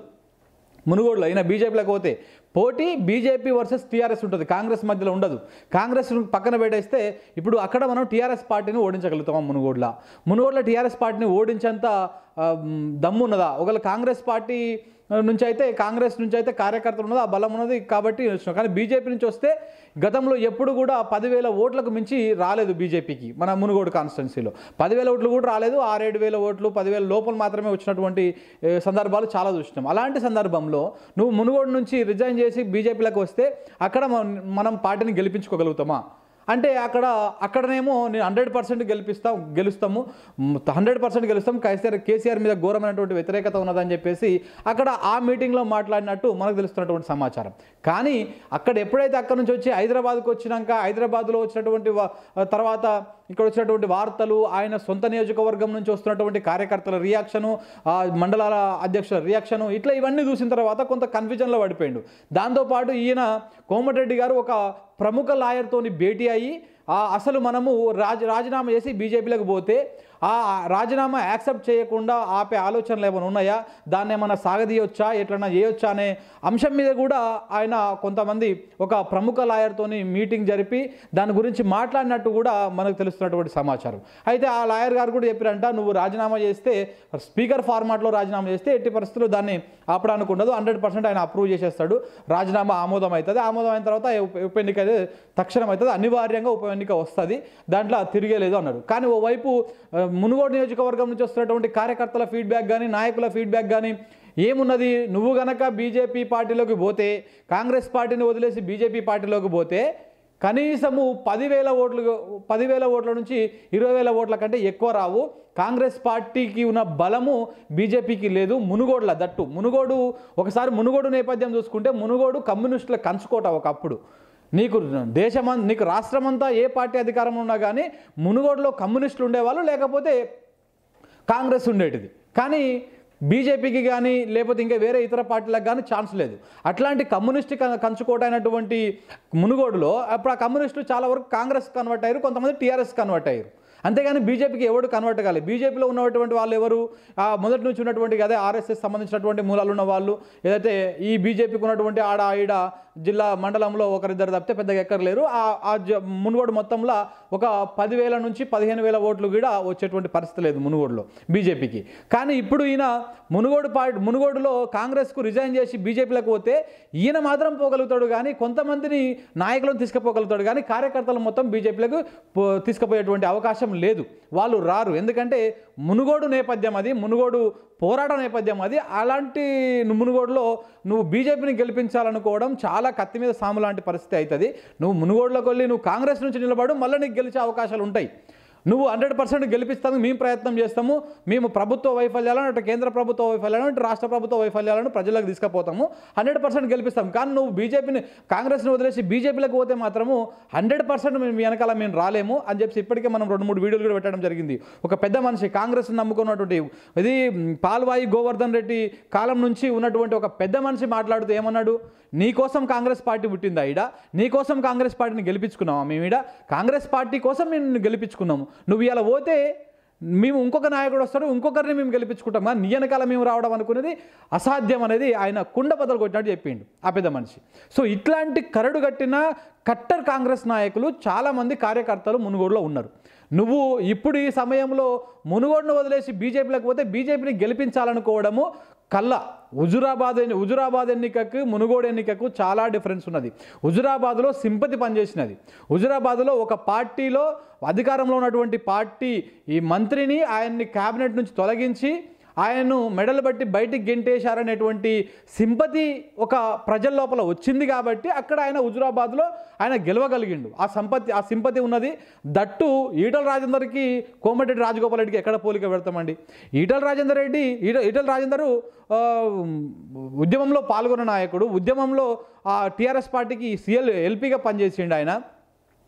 పార్టీని కాస్త రెండవ అధినాయకుని లెక్క నడిపించిండు. అట్లా నడిచిన వ్యక్తి అలాంటి వ్యక్తి బయటకు రావడం వల్ల ఆయనకు సింపతి పనిచేసింది. హుజురాబాద్లో ఆయనకున్నటువంటి ఆ బలం పనిచేసింది. ఆ సింపతి ఇవన్నీ వర్కౌట్ అయినాయి. జాతీయ పార్టీ బీజేపీ పార్టీ కండువ కప్పుకున్నాడు కాబట్టి ఆయన గా మాత్రం మెజారిటీ వచ్చింది. అదే బీజేపీ కండువ కాకుండా వేరే ఇండిపెండెంట్గా పోటీ చేసినా కానీ దానికి రెండింతల మెజారిటీ వచ్చేది. హండ్రెడ్ పర్సెంట్ ఇందులో తిరిగేలేదు. కాబట్టి అలాంటి అసలు అక్కడ బీజేపీ హుజురాబాద్లో బీజేపీ గెలిపే కాదు అది. అది అది క్లియర్ కట్గా ఈటల రాజేందర్ గెలుపు. బీజేపీ అనే పేరు చెప్పుకున్నాడు కాబట్టి అక్కడ ఇంకా చాలా వరకు ముస్లిం ఓట్లని దూరం చేసుకున్నాడు ఆయన.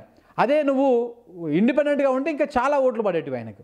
సో అలాంటి పరిస్థితులు అసలు ఇవ్వు. హుజురాబాద్కి మునుగోడుకి ఏమాత్రం పోలిక లేదు. సమయము సందర్భము ఏ మాత్రం కూడా ఏ విధంగా కూడా దానికి దీనికి పోలిక చేయలేము. నాయకుని పిర నాయ నాయకుని పరంగా చేయలేము. అసలు ఈటల రాజేందరు చ- రాజకీయ అనుభవం ఎక్కడా? లేకపోతే ఆయనకున్నటువంటి పాపులారిటీ ఎక్కడ? కోమటిరెడ్డి రాజగోపాల్ రెడ్డికి ఉన్నటువంటి పాపులారిటీ ఎక్కడ? ఆయనకి ఈయనకు పోలిక ఉన్నదా? లేదు. హుజురాబాద్లో ఆ రాజీనామా ఎన్నిక రావడానికి ఒక ఘటన ఉన్నది. ఏంది ఆయన ప్రభుత్వం నుంచి బయటికి వెళ్ళగొట్టిరని లేదంటే పార్టీ నుంచి బయటికి వెళ్ళగొట్టిరని ఒక సింపతి గెయిన్ అయింది. కేసీఆర్ నమ్మిన బంటుగా ఉన్న కుడిభుజంగా ఉన్న అన్నదమ్ములు ఎక్కున్నటువంటి ఈటలందరూ బయటికి వెళ్ళగొట్టడం వల్ల ఆ, ఎన్నిక వచ్చింది. దాని మీద ఆయన మీద హండ్రెడ్ పర్సెంట్ రాష్ట్ర వ్యాప్తంగా అనుకూల పవనాలు ఏమంటారు సానుభూతి పవనాలు వీసినాయి. కానీ మునుగోడులో ఆ పరిస్థితి లేదు కదా. మునుగోడులో ఆ పరిస్థితి ఎట్టి పరిస్థితిలో లేదు. మునుగోడులో నువ్వు అసలు బేసిక్గా మునుగోడులో కాంగ్రెస్ కేసీఆర్ ఇంతవా ఉన్న టైంలో రెండు వేల పద్దెనిమిది ఎన్నికల్లో కాంగ్రెస్గా నువ్వు నువ్వు గెలిచిందే అదొక పెద్ద సంచలనం.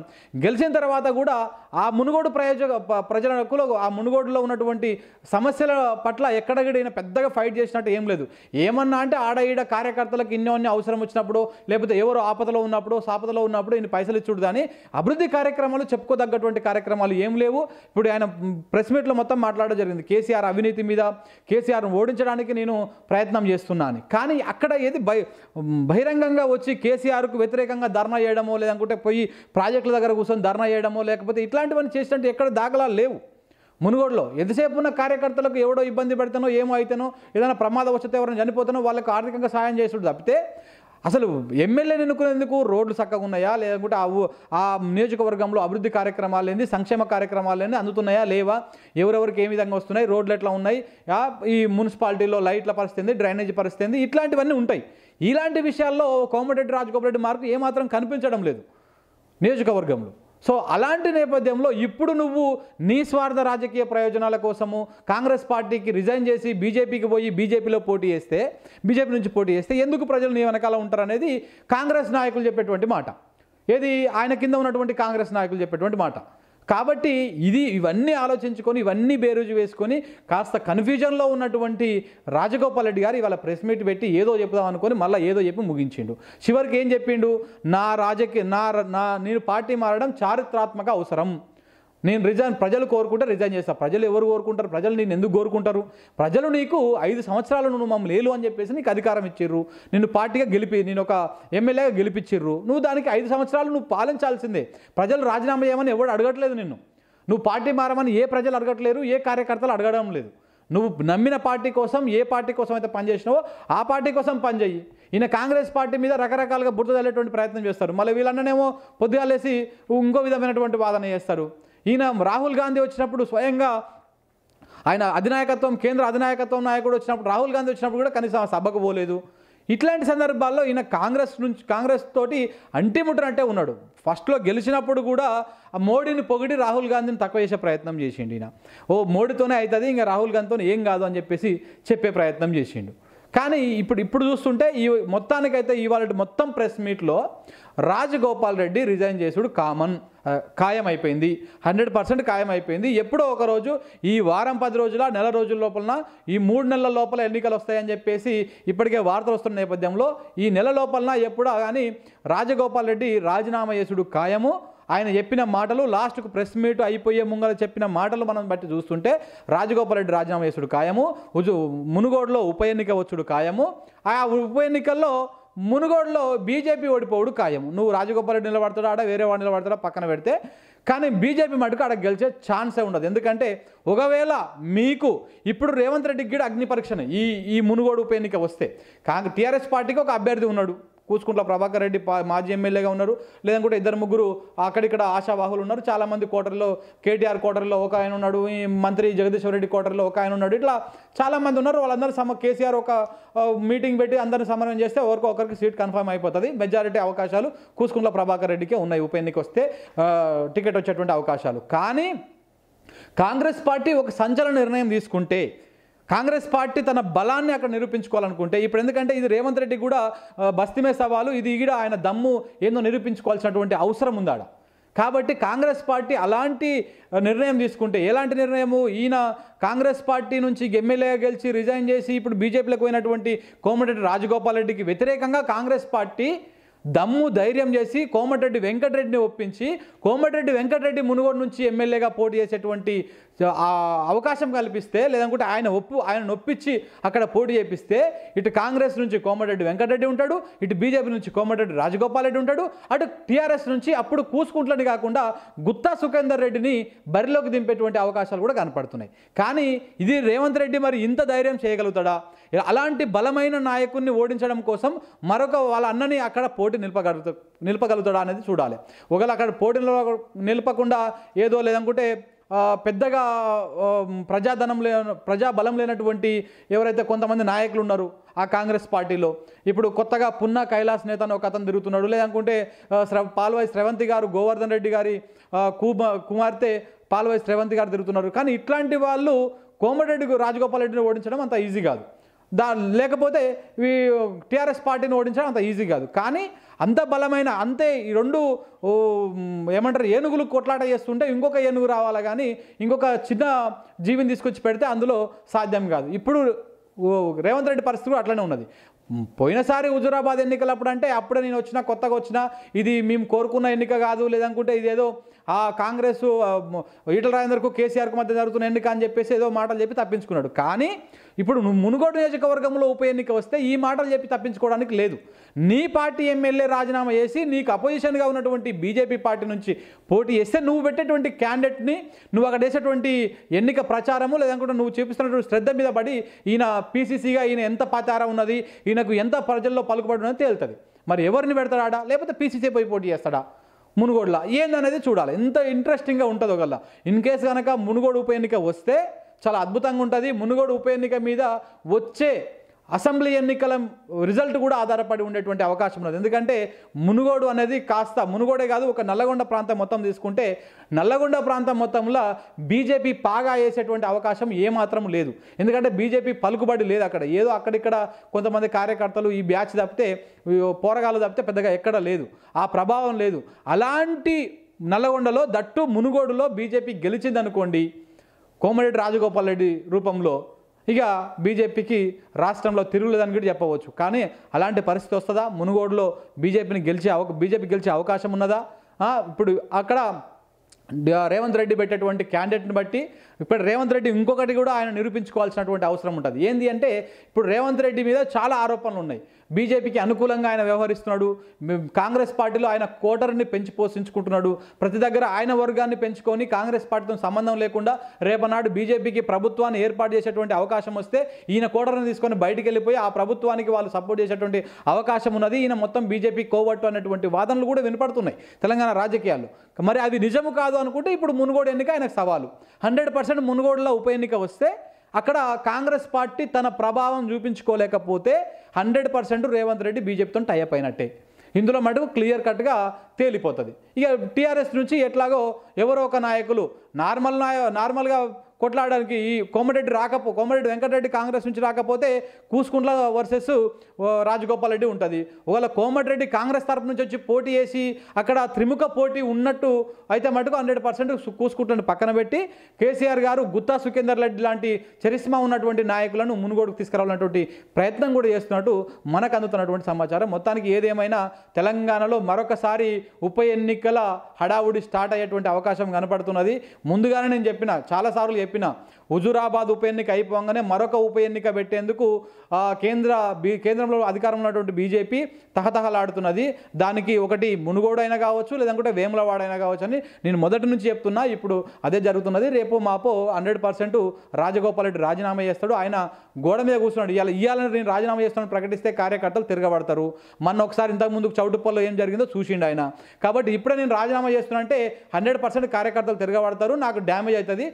నాకు డిపాజిట్ రాదని చెప్పేసి అర్థం చేసుకొని అది గ్రహించి జల్లవా జర్ర వాళ్ళని చల్లవరచడం కోసం ఇలా ప్రెస్ మీట్ పెట్టి ఏదో చెప్పే ప్రయత్నం చేసిండు. కానీ హండ్రెడ్ పర్సెంట్ ఆయన కాంగ్రెస్కు రాజీనామా చేసి ఎమ్మెల్యే పదవికి రాజీనామా చేసి బీజేపీలకు పోతున్నాడు. ఉప ఎన్నిక మునుగోడు ఉప ఎన్నిక అనివార్యంగా మూడు నెలల్లో లేదా నాలుగు నెలల్లో వచ్చేటువంటి అవకాశం ఉన్నది.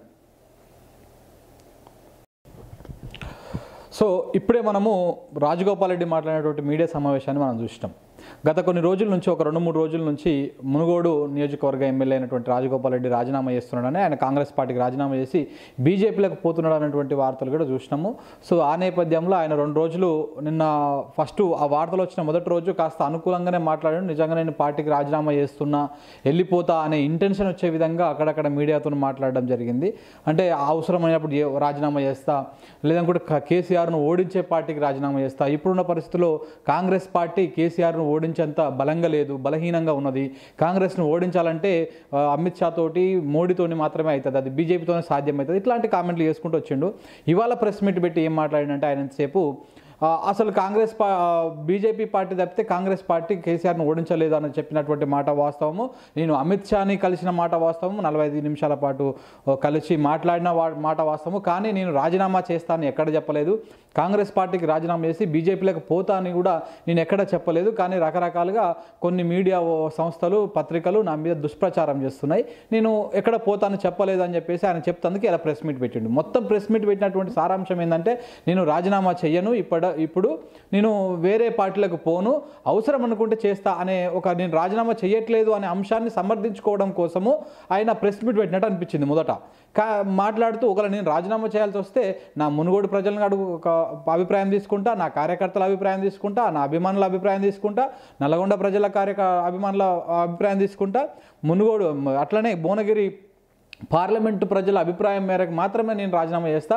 ఒకవేళ చేయాలనుకుంటే అందరికీ చెప్పి బహిరంగంగా చేస్తా. ఇట్లా లేదు నా మీద దుష్ప్రచారం జరుగుతుంది నేను రాజీనామా చేస్తాను ఎక్కడ ప్రకటించలేదు అని చెప్పేసి ఆయన చెప్తందుకని ప్రెస్ మీట్ పెట్టిండు ఇదే విషయం చెప్పిండు. కానీ పోతా పోతూ లాస్ట్ విషయంలో లాస్ట్కు ఏమన్నాడంటే ప్రెస్ మీట్ అయిపోయే అయిపోయే లాస్ట్ లాస్ట్ మినిట్లో ఇంకా వన్ టూ మినిట్స్కి ప్రెస్ మీట్ అయిపోతానంగా మాట్లాడితే ఏమన్నాడంటే నా రాజీనామా నేను పార్టీ మారడము చారిత్రాత్మక అవసరము అని అన్నాడు. అంటే నేను పార్టీ మారడం చారిత్రాత్మక అవసరము.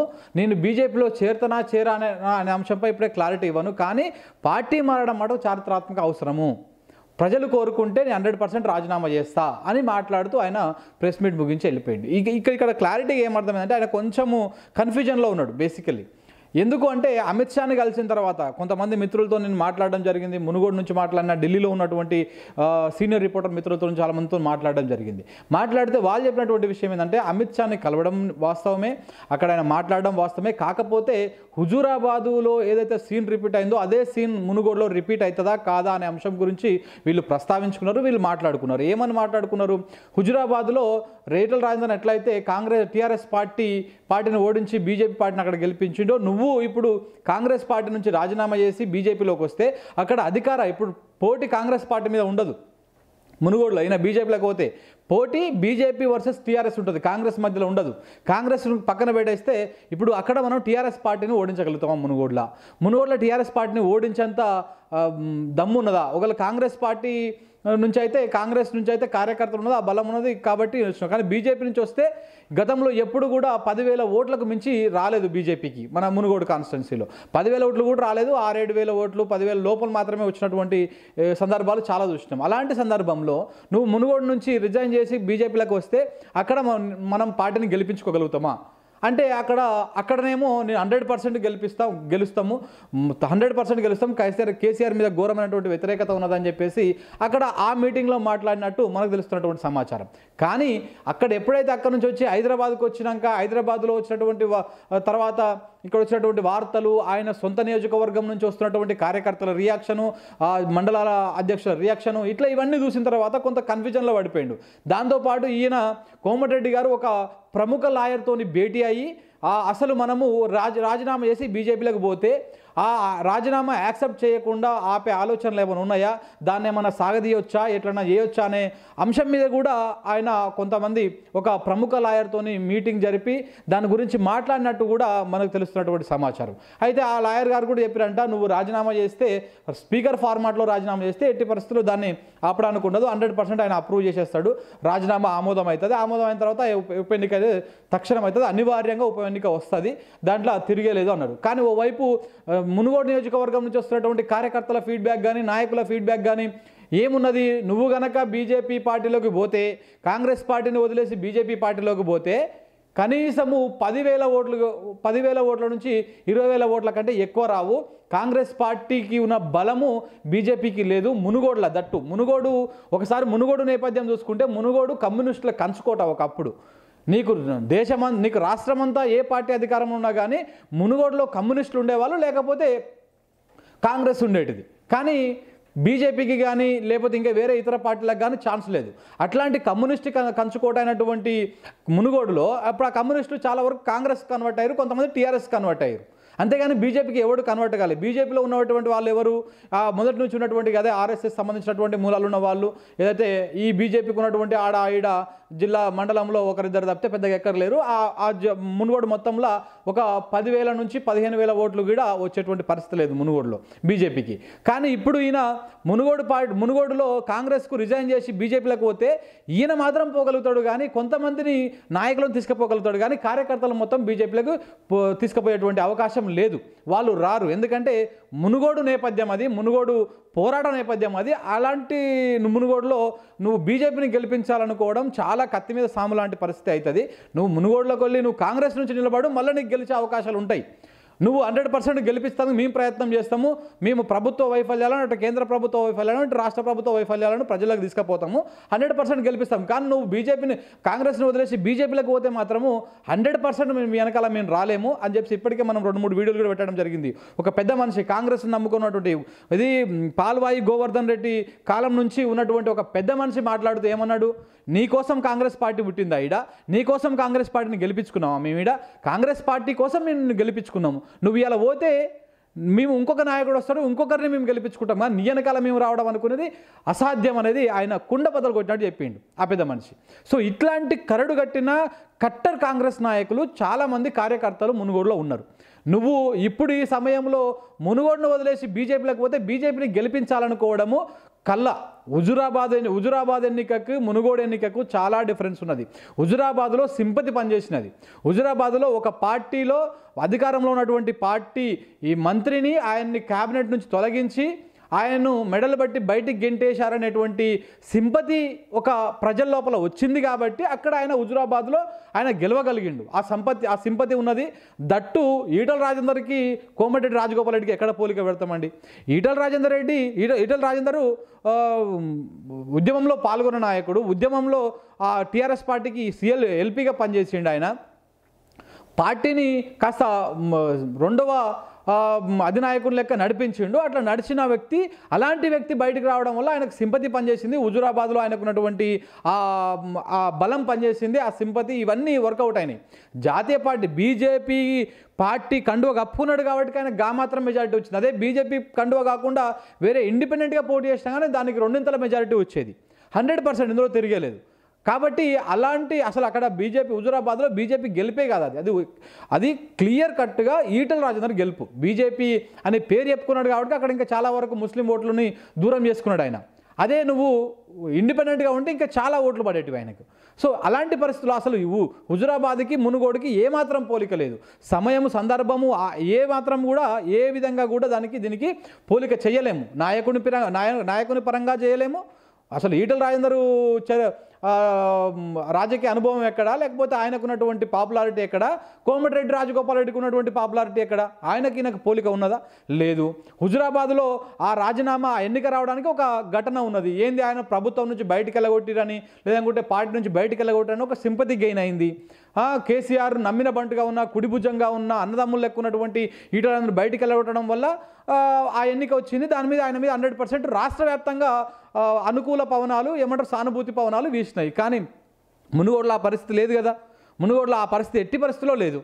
మునుగోడులో నువ్వు అసలు బేసిక్గా మునుగోడులో కాంగ్రెస్ కేసీఆర్ ఇంతవా ఉన్న టైంలో రెండు వేల పద్దెనిమిది ఎన్నికల్లో కాంగ్రెస్గా నువ్వు నువ్వు గెలిచిందే అదొక పెద్ద సంచలనం.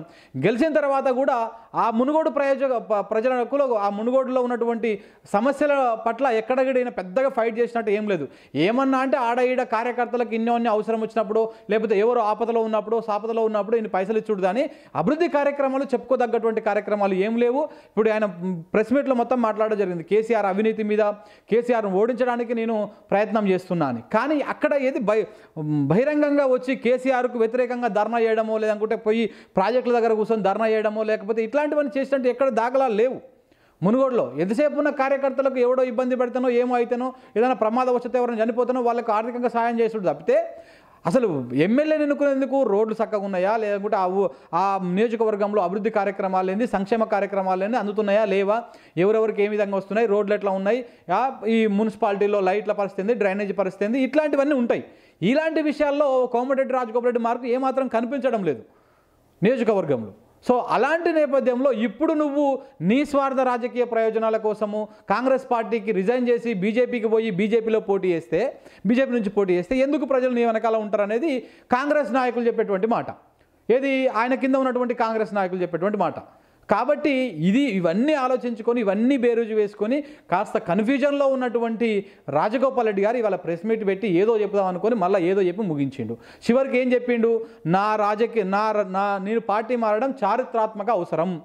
నేను రిజైన్ ప్రజలు కోరుకుంటే రిజైన్ చేస్తా. ప్రజలు ఎవరు కోరుకుంటారు? ప్రజలు నేను ఎందుకు కోరుకుంటారు? ప్రజలు నీకు ఐదు సంవత్సరాలు నువ్వు మమ్మల్ని లేలు అని చెప్పేసి నీకు అధికారం ఇచ్చిర్రు. నిన్ను పార్టీగా గెలిపి నేను ఒక ఎమ్మెల్యేగా గెలిపించిర్రు నువ్వు దానికి ఐదు సంవత్సరాలు నువ్వు పాలించాల్సిందే. ప్రజలు రాజీనామా చేయమని ఎవడు అడగట్లేదు నిన్ను. నువ్వు పార్టీ మారమని ఏ ప్రజలు అడగట్లేరు ఏ కార్యకర్తలు అడగడం లేదు.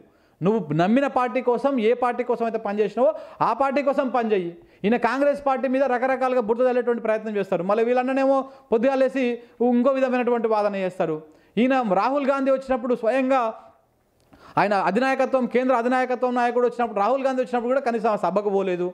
ఇట్లాంటి సందర్భాల్లో ఈయన కాంగ్రెస్ నుంచి కాంగ్రెస్ తోటి అంటిముట్టనంటే ఉన్నాడు. ఫస్ట్లో గెలిచినప్పుడు కూడా ఆ మోడీని పొగిడి రాహుల్ గాంధీని తక్కువ చేసే ప్రయత్నం చేసిండు ఈయన. ఓ మోడీతోనే అవుతుంది ఇంకా రాహుల్ గాంధీతో ఏం కాదు అని చెప్పేసి చెప్పే ప్రయత్నం చేసిండు. కానీ ఇప్పుడు ఇప్పుడు చూస్తుంటే ఈ మొత్తానికైతే ఇవాళ మొత్తం ప్రెస్ మీట్లో రాజగోపాల్ రెడ్డి రిజైన్ చేసుడు కామన్ ఖాయం అయిపోయింది హండ్రెడ్ పర్సెంట్ ఖాయం అయిపోయింది ఎప్పుడో ఒకరోజు ఈ వారం పది రోజుల నెల రోజుల లోపల ఈ మూడు నెలల లోపల ఎన్నికలు వస్తాయని చెప్పేసి ఇప్పటికే వార్తలు వస్తున్న నేపథ్యంలో ఈ నెల లోపల ఎప్పుడో కానీ రాజగోపాల్ రెడ్డి రాజీనామా చేసుడు ఖాయము. ఆయన చెప్పిన మాటలు లాస్ట్కు ప్రెస్ మీట్ అయిపోయే ముంగల చెప్పిన మాటలు మనం బట్టి చూస్తుంటే రాజగోపాల్ రెడ్డి రాజీనామా చేసుడు ఖాయము. ఉజు మునుగోడులో ఉప ఎన్నిక వచ్చుడు ఖాయము. ఆ ఉప ఎన్నికల్లో మునుగోడులో బీజేపీ ఓడిపోవుడు ఖాయం. నువ్వు రాజగోపాల్ రెడ్డి నిలబడతాడు? ఆడ వేరే వాడు నిలబడతాడా? పక్కన పెడితే. కానీ బీజేపీ మటుకు ఆడ గెలిచే ఛాన్సే ఉండదు. ఎందుకంటే ఒకవేళ మీకు ఇప్పుడు రేవంత్ రెడ్డికి కూడా అగ్ని పరీక్షనే. ఈ ఈ మునుగోడు ఉప ఎన్నిక వస్తే. కాంగ్రెస్ టీఆర్ఎస్ పార్టీకి ఒక అభ్యర్థి ఉన్నాడు. కూచుకుంట్ల ప్రభాకర్ రెడ్డి మాజీ ఎమ్మెల్యేగా ఉన్నారు.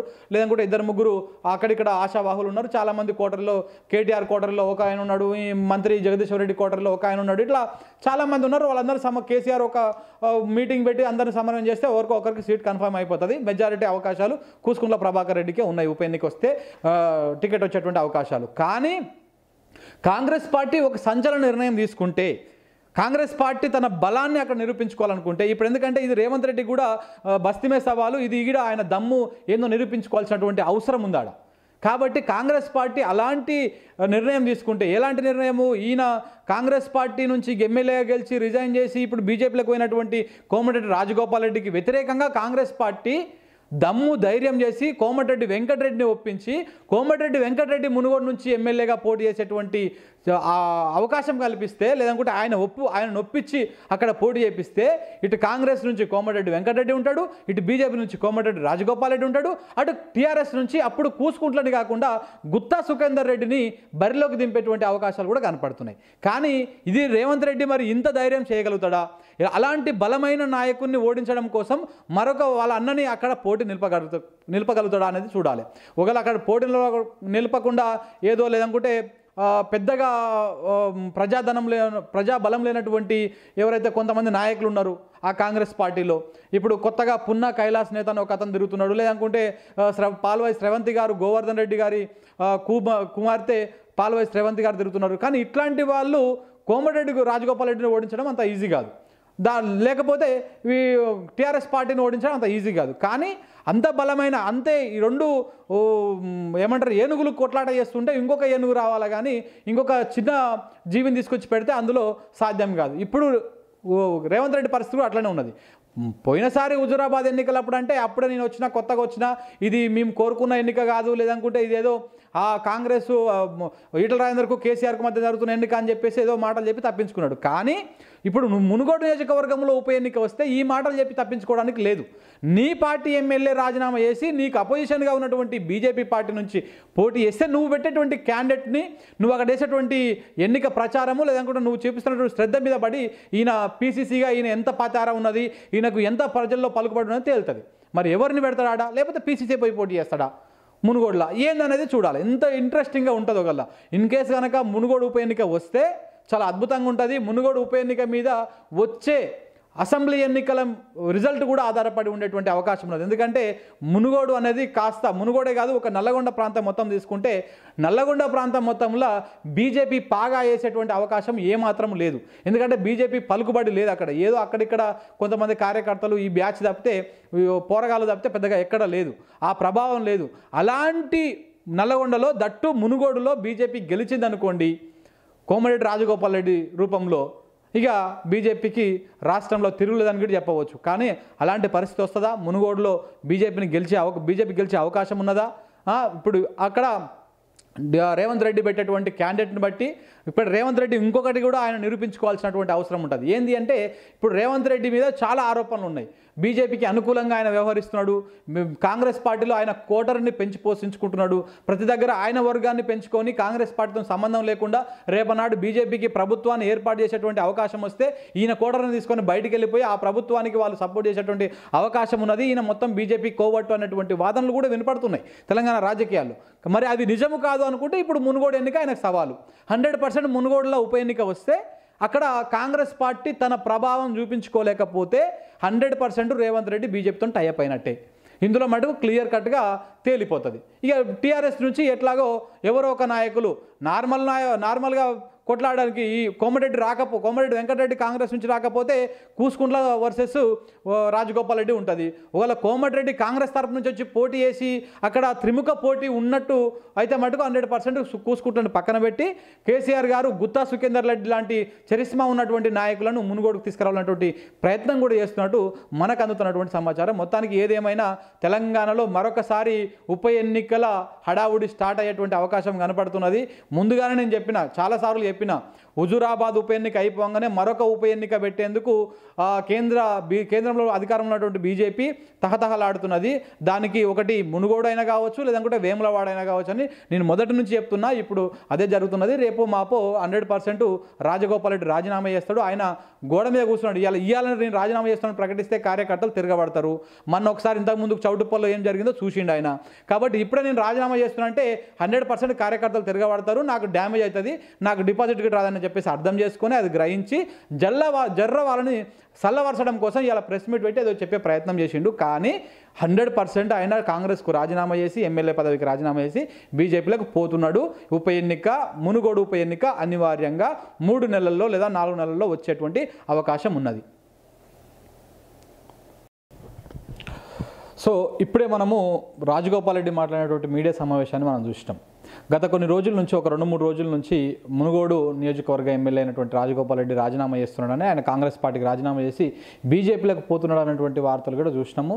సో ఆ నేపథ్యంలో ఆయన రెండు రోజులు నిన్న ఫస్ట్ ఆ వార్తలు వచ్చిన మొదటి రోజు కాస్త అనుకూలంగానే మాట్లాడాడు. నిజంగా నేను పార్టీకి రాజీనామా చేస్తున్నా వెళ్ళిపోతా అనే ఇంటెన్షన్ వచ్చే విధంగా అక్కడక్కడ మీడియాతో మాట్లాడడం జరిగింది.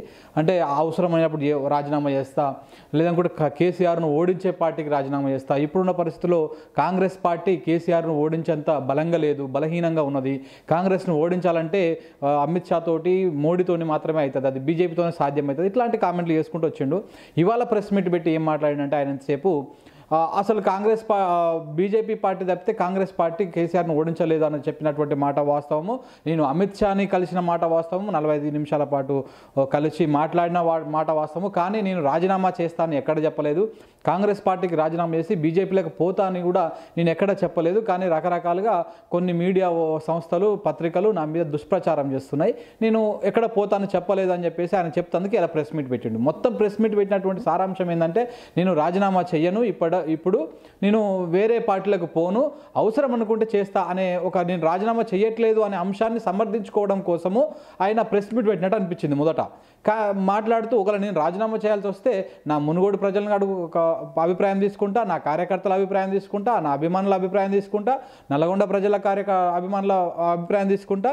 మునుగోడు అట్లనే భువనగిరి పార్లమెంటు ప్రజల అభిప్రాయం మేరకు మాత్రమే నేను రాజీనామా చేస్తా. ఒకవేళ చేయాలనుకుంటే అందరికీ చెప్పి బహిరంగంగా చేస్తా. ఇట్లా లేదు నా మీద దుష్ప్రచారం జరుగుతుంది నేను రాజీనామా చేస్తాను ఎక్కడ ప్రకటించలేదని చెప్పేసి ఆయన చెప్తందుకని ప్రెస్ మీట్ పెట్టిండు ఇదే విషయం చెప్పిండు. కానీ పోతా పోతూ లాస్ట్ విషయంలో లాస్ట్కు ఏమన్నాడంటే ప్రెస్ మీట్ అయిపోయే అయిపోయే లాస్ట్ లాస్ట్ మినిట్లో ఇంకా వన్ టూ మినిట్స్కి ప్రెస్ మీట్ అయిపోతానంగా మాట్లాడితే అంటే నా రాజీనామా నేను పార్టీ మారడము చారిత్రాత్మక అవసరము అని అన్నాడు. అంటే నేను పార్టీ మారడం చారిత్రాత్మక అవసరము నేను బీజేపీలో చేరుతనా చేరా అనే అనే అంశంపై ఇప్పుడే క్లారిటీ ఇవ్వను కానీ పార్టీ మారడం మాట చారిత్రాత్మక అవసరము. ప్రజలు కోరుకుంటే నేను హండ్రెడ్ పర్సెంట్ రాజీనామా చేస్తా అని మాట్లాడుతూ ఆయన ప్రెస్ మీట్ ముగించి వెళ్ళిపోయింది ఇక ఇక్కడ ఇక్కడ క్లారిటీ ఏమర్థమైందంటే ఆయన కొంచెము కన్ఫ్యూజన్లో ఉన్నాడు బేసికలీ ఎందుకు అంటే అమిత్ షాని కలిసిన తర్వాత కొంతమంది మిత్రులతో నేను మాట్లాడడం జరిగింది మునుగోడు నుంచి మాట్లాడిన ఢిల్లీలో ఉన్నటువంటి సీనియర్ రిపోర్టర్ మిత్రులతో చాలా మందితో మాట్లాడడం జరిగింది. మాట్లాడితే వాళ్ళు చెప్పినటువంటి విషయం ఏంటంటే అమిత్ షాని కలవడం వాస్తవమే అక్కడ ఆయన మాట్లాడడం వాస్తవమే కాకపోతే హుజూరాబాదులో ఏదైతే సీన్ రిపీట్ అయిందో అదే సీన్ మునుగోడులో రిపీట్ అవుతుందా కాదా అనే అంశం గురించి వీళ్ళు ప్రస్తావించుకున్నారు వీళ్ళు మాట్లాడుకున్నారు. ఏమని మాట్లాడుకున్నారు? హుజూరాబాద్లో రేటల రాజేంద్రన్ ఎట్లయితే కాంగ్రెస్ టీఆర్ఎస్ పార్టీ పార్టీని ఓడించి బీజేపీ పార్టీని అక్కడ గెలిపించిండో నువ్వు నువ్వు ఇప్పుడు కాంగ్రెస్ పార్టీ నుంచి రాజీనామా చేసి బీజేపీలోకి వస్తే అక్కడ అధికార ఇప్పుడు పోటీ కాంగ్రెస్ పార్టీ మీద ఉండదు. మునుగోడులో అయినా బీజేపీలోకి పోతే పోటీ బీజేపీ వర్సెస్ టీఆర్ఎస్ ఉంటుంది. కాంగ్రెస్ మధ్యలో ఉండదు. కాంగ్రెస్ పక్కన పెట్టేస్తే ఇప్పుడు అక్కడ మనం టీఆర్ఎస్ పార్టీని ఓడించగలుగుతాం మునుగోడులో? మునుగోడులో టీఆర్ఎస్ పార్టీని ఓడించేంత దమ్మున్నదా దమ్ము ఉన్నదా? ఒకవేళ కాంగ్రెస్ పార్టీ నుంచి అయితే కాంగ్రెస్ నుంచి అయితే కార్యకర్తలు ఉన్నది ఆ బలం ఉన్నది కాబట్టి వచ్చినాం కానీ బీజేపీ నుంచి వస్తే గతంలో ఎప్పుడు కూడా పదివేల ఓట్లకు మించి రాలేదు బీజేపీకి మన మునుగోడు కాన్స్టిట్యున్సీలో. పదివేల ఓట్లు కూడా రాలేదు ఆరేడు వేల ఓట్లు పదివేల లోపల మాత్రమే వచ్చినటువంటి సందర్భాలు చాలా చూసినాం. అలాంటి సందర్భంలో నువ్వు మునుగోడు నుంచి రిజైన్ చేసి బీజేపీలోకి వస్తే అక్కడ మనం పార్టీని గెలిపించుకోగలుగుతామా? అంటే అక్కడ అక్కడనేమో నేను హండ్రెడ్ పర్సెంట్ గెలిపిస్తాం గెలుస్తాము. హండ్రెడ్ పర్సెంట్ గెలుస్తాం. కేసీఆర్ కేసీఆర్ మీద ఘోరమైనటువంటి వ్యతిరేకత ఉన్నదని చెప్పేసి అక్కడ ఆ మీటింగ్లో మాట్లాడినట్టు మనకు తెలుస్తున్నటువంటి సమాచారం. కానీ అక్కడ ఎప్పుడైతే అక్కడ నుంచి వచ్చి హైదరాబాద్కు వచ్చినాక హైదరాబాద్లో వచ్చినటువంటి తర్వాత ఇక్కడ వచ్చినటువంటి వార్తలు ఆయన సొంత నియోజకవర్గం నుంచి వస్తున్నటువంటి కార్యకర్తల రియాక్షను మండలాల అధ్యక్షుల రియాక్షను ఇట్లా ఇవన్నీ చూసిన తర్వాత కొంత కన్ఫ్యూజన్లో పడిపోయిండు. దాంతోపాటు ఈయన కోమటిరెడ్డి గారు ఒక ప్రముఖ లాయర్తోని భేటీ అయ్యి అసలు మనము రాజ రాజీనామా చేసి బీజేపీలకు పోతే ఆ రాజీనామా యాక్సెప్ట్ చేయకుండా ఆపే ఆలోచనలు ఏమైనా ఉన్నాయా? దాన్ని ఏమైనా సాగదీయొచ్చా? ఎట్లన్నా చేయొచ్చా అనే అంశం మీద కూడా ఆయన కొంతమంది ఒక ప్రముఖ లాయర్తోని మీటింగ్ జరిపి దాని గురించి మాట్లాడినట్టు కూడా మనకు తెలుస్తున్నటువంటి సమాచారం. అయితే ఆ లాయర్ గారు కూడా చెప్పారంట నువ్వు రాజీనామా చేస్తే స్పీకర్ ఫార్మాట్లో రాజీనామా చేస్తే ఎట్టి పరిస్థితుల్లో దాన్ని ఆపడానికి ఉండదు. హండ్రెడ్ పర్సెంట్ ఆయన అప్రూవ్ చేసేస్తాడు. రాజీనామా ఆమోదం అవుతుంది ఆమోదం అయిన తర్వాత ఉప ఎన్నిక తక్షణం అవుతుంది అనివార్యంగా ఉప ఎన్నిక వస్తుంది. దాంట్లో తిరిగేలేదు అన్నారు కానీ ఓవైపు మునుగోడు నియోజకవర్గం నుంచి వస్తున్నటువంటి కార్యకర్తల ఫీడ్బ్యాక్ కానీ నాయకుల ఫీడ్బ్యాక్ కానీ ఏమున్నది? నువ్వు గనక బీజేపీ పార్టీలోకి పోతే కాంగ్రెస్ పార్టీని వదిలేసి బీజేపీ పార్టీలోకి పోతే కనీసము పదివేల ఓట్లు పదివేల ఓట్ల నుంచి ఇరవై వేల ఓట్ల కంటే ఎక్కువ రావు. కాంగ్రెస్ పార్టీకి ఉన్న బలము బీజేపీకి లేదు. మునుగోడుల దట్టు. మునుగోడు ఒకసారి మునుగోడు నేపథ్యం చూసుకుంటే మునుగోడు కమ్యూనిస్టుల కంచుకోట ఒకప్పుడు. నీకు దేశమం నీకు రాష్ట్రమంతా ఏ పార్టీ అధికారంలో ఉన్నా కానీ మునుగోడులో కమ్యూనిస్టులు ఉండేవాళ్ళు లేకపోతే కాంగ్రెస్ ఉండేటిది. కానీ బీజేపీకి కానీ లేకపోతే ఇంకా వేరే ఇతర పార్టీలకు కానీ ఛాన్స్ లేదు. అట్లాంటి కమ్యూనిస్ట్ క- కంచుకోట అయినటువంటి మునుగోడులో అప్పుడు ఆ కమ్యూనిస్టులు చాలా వరకు కాంగ్రెస్ కన్వర్ట్ అయ్యారు కొంతమంది టీఆర్ఎస్ కన్వర్ట్ అయ్యారు. అంతేగాని బీజేపీకి ఎవడు కన్వర్ట్ కాలేదు బీజేపీలో ఉన్నటువంటి వాళ్ళు ఎవరు?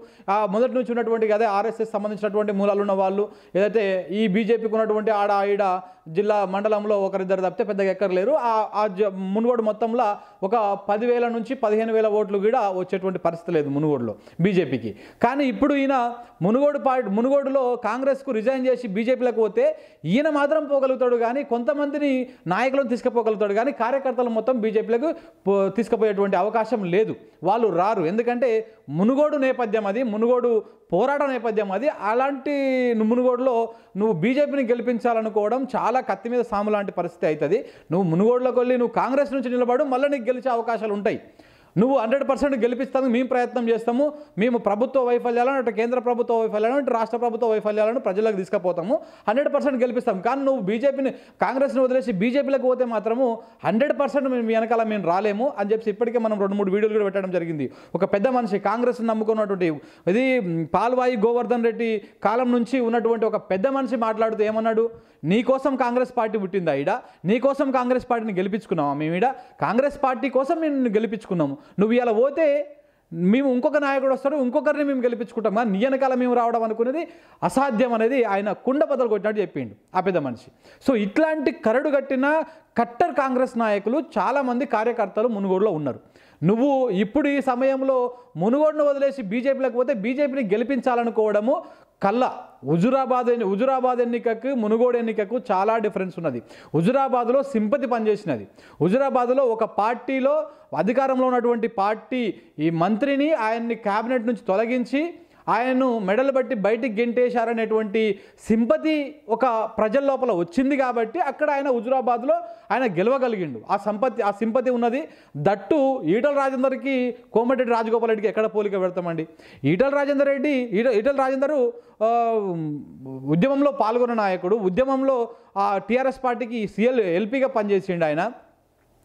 పార్టీని కాస్త రెండవ అధినాయకుని లెక్క నడిపించిండు. అట్లా నడిచిన వ్యక్తి అలాంటి వ్యక్తి బయటకు రావడం వల్ల ఆయనకు సింపతి పనిచేసింది. హుజురాబాద్లో ఆయనకున్నటువంటి ఆ బలం పనిచేసింది. ఆ సింపతి ఇవన్నీ వర్కౌట్ అయినాయి. జాతీయ పార్టీ బీజేపీ పార్టీ కండువ కప్పుకున్నాడు కాబట్టి ఆయన గా మాత్రం మెజారిటీ వచ్చింది. అదే బీజేపీ కండువ కాకుండా వేరే ఇండిపెండెంట్గా పోటీ చేసినా కానీ దానికి రెండింతల మెజారిటీ వచ్చేది. హండ్రెడ్ పర్సెంట్ ఇందులో తిరిగేలేదు.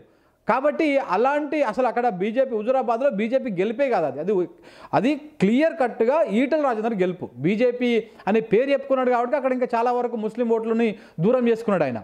అదే నువ్వు ఇండిపెండెంట్గా ఉంటే ఇంకా చాలా ఓట్లు పడేటివి ఆయనకు. సో అలాంటి పరిస్థితులు అసలు ఇవ్వు. హుజురాబాద్కి మునుగోడుకి ఏమాత్రం పోలిక లేదు. సమయం సందర్భము ఏ మాత్రం కూడా ఏ విధంగా కూడా దానికి దీనికి పోలిక చేయలేము. నాయకుని పిర నాయ నాయకుని పరంగా చేయలేము. అసలు ఈటల రాజేందరు చ- రాజకీయ అనుభవం ఎక్కడా? లేకపోతే ఆయనకున్నటువంటి పాపులారిటీ ఎక్కడా? కోమటిరెడ్డి రాజగోపాల్ రెడ్డికి ఉన్నటువంటి పాపులారిటీ ఎక్కడ? ఆయనకి ఈయనకు పోలిక ఉన్నదా? లేదు. హుజురాబాద్లో ఆ రాజీనామా ఎన్నిక రావడానికి ఒక ఘటన ఉన్నది. ఏంది ఆయన ప్రభుత్వం నుంచి బయటకు వెళ్ళగొట్టిరని లేదంటే పార్టీ నుంచి బయటకు వెళ్ళగొట్టిరని ఒక సింపతి గెయిన్ అయింది.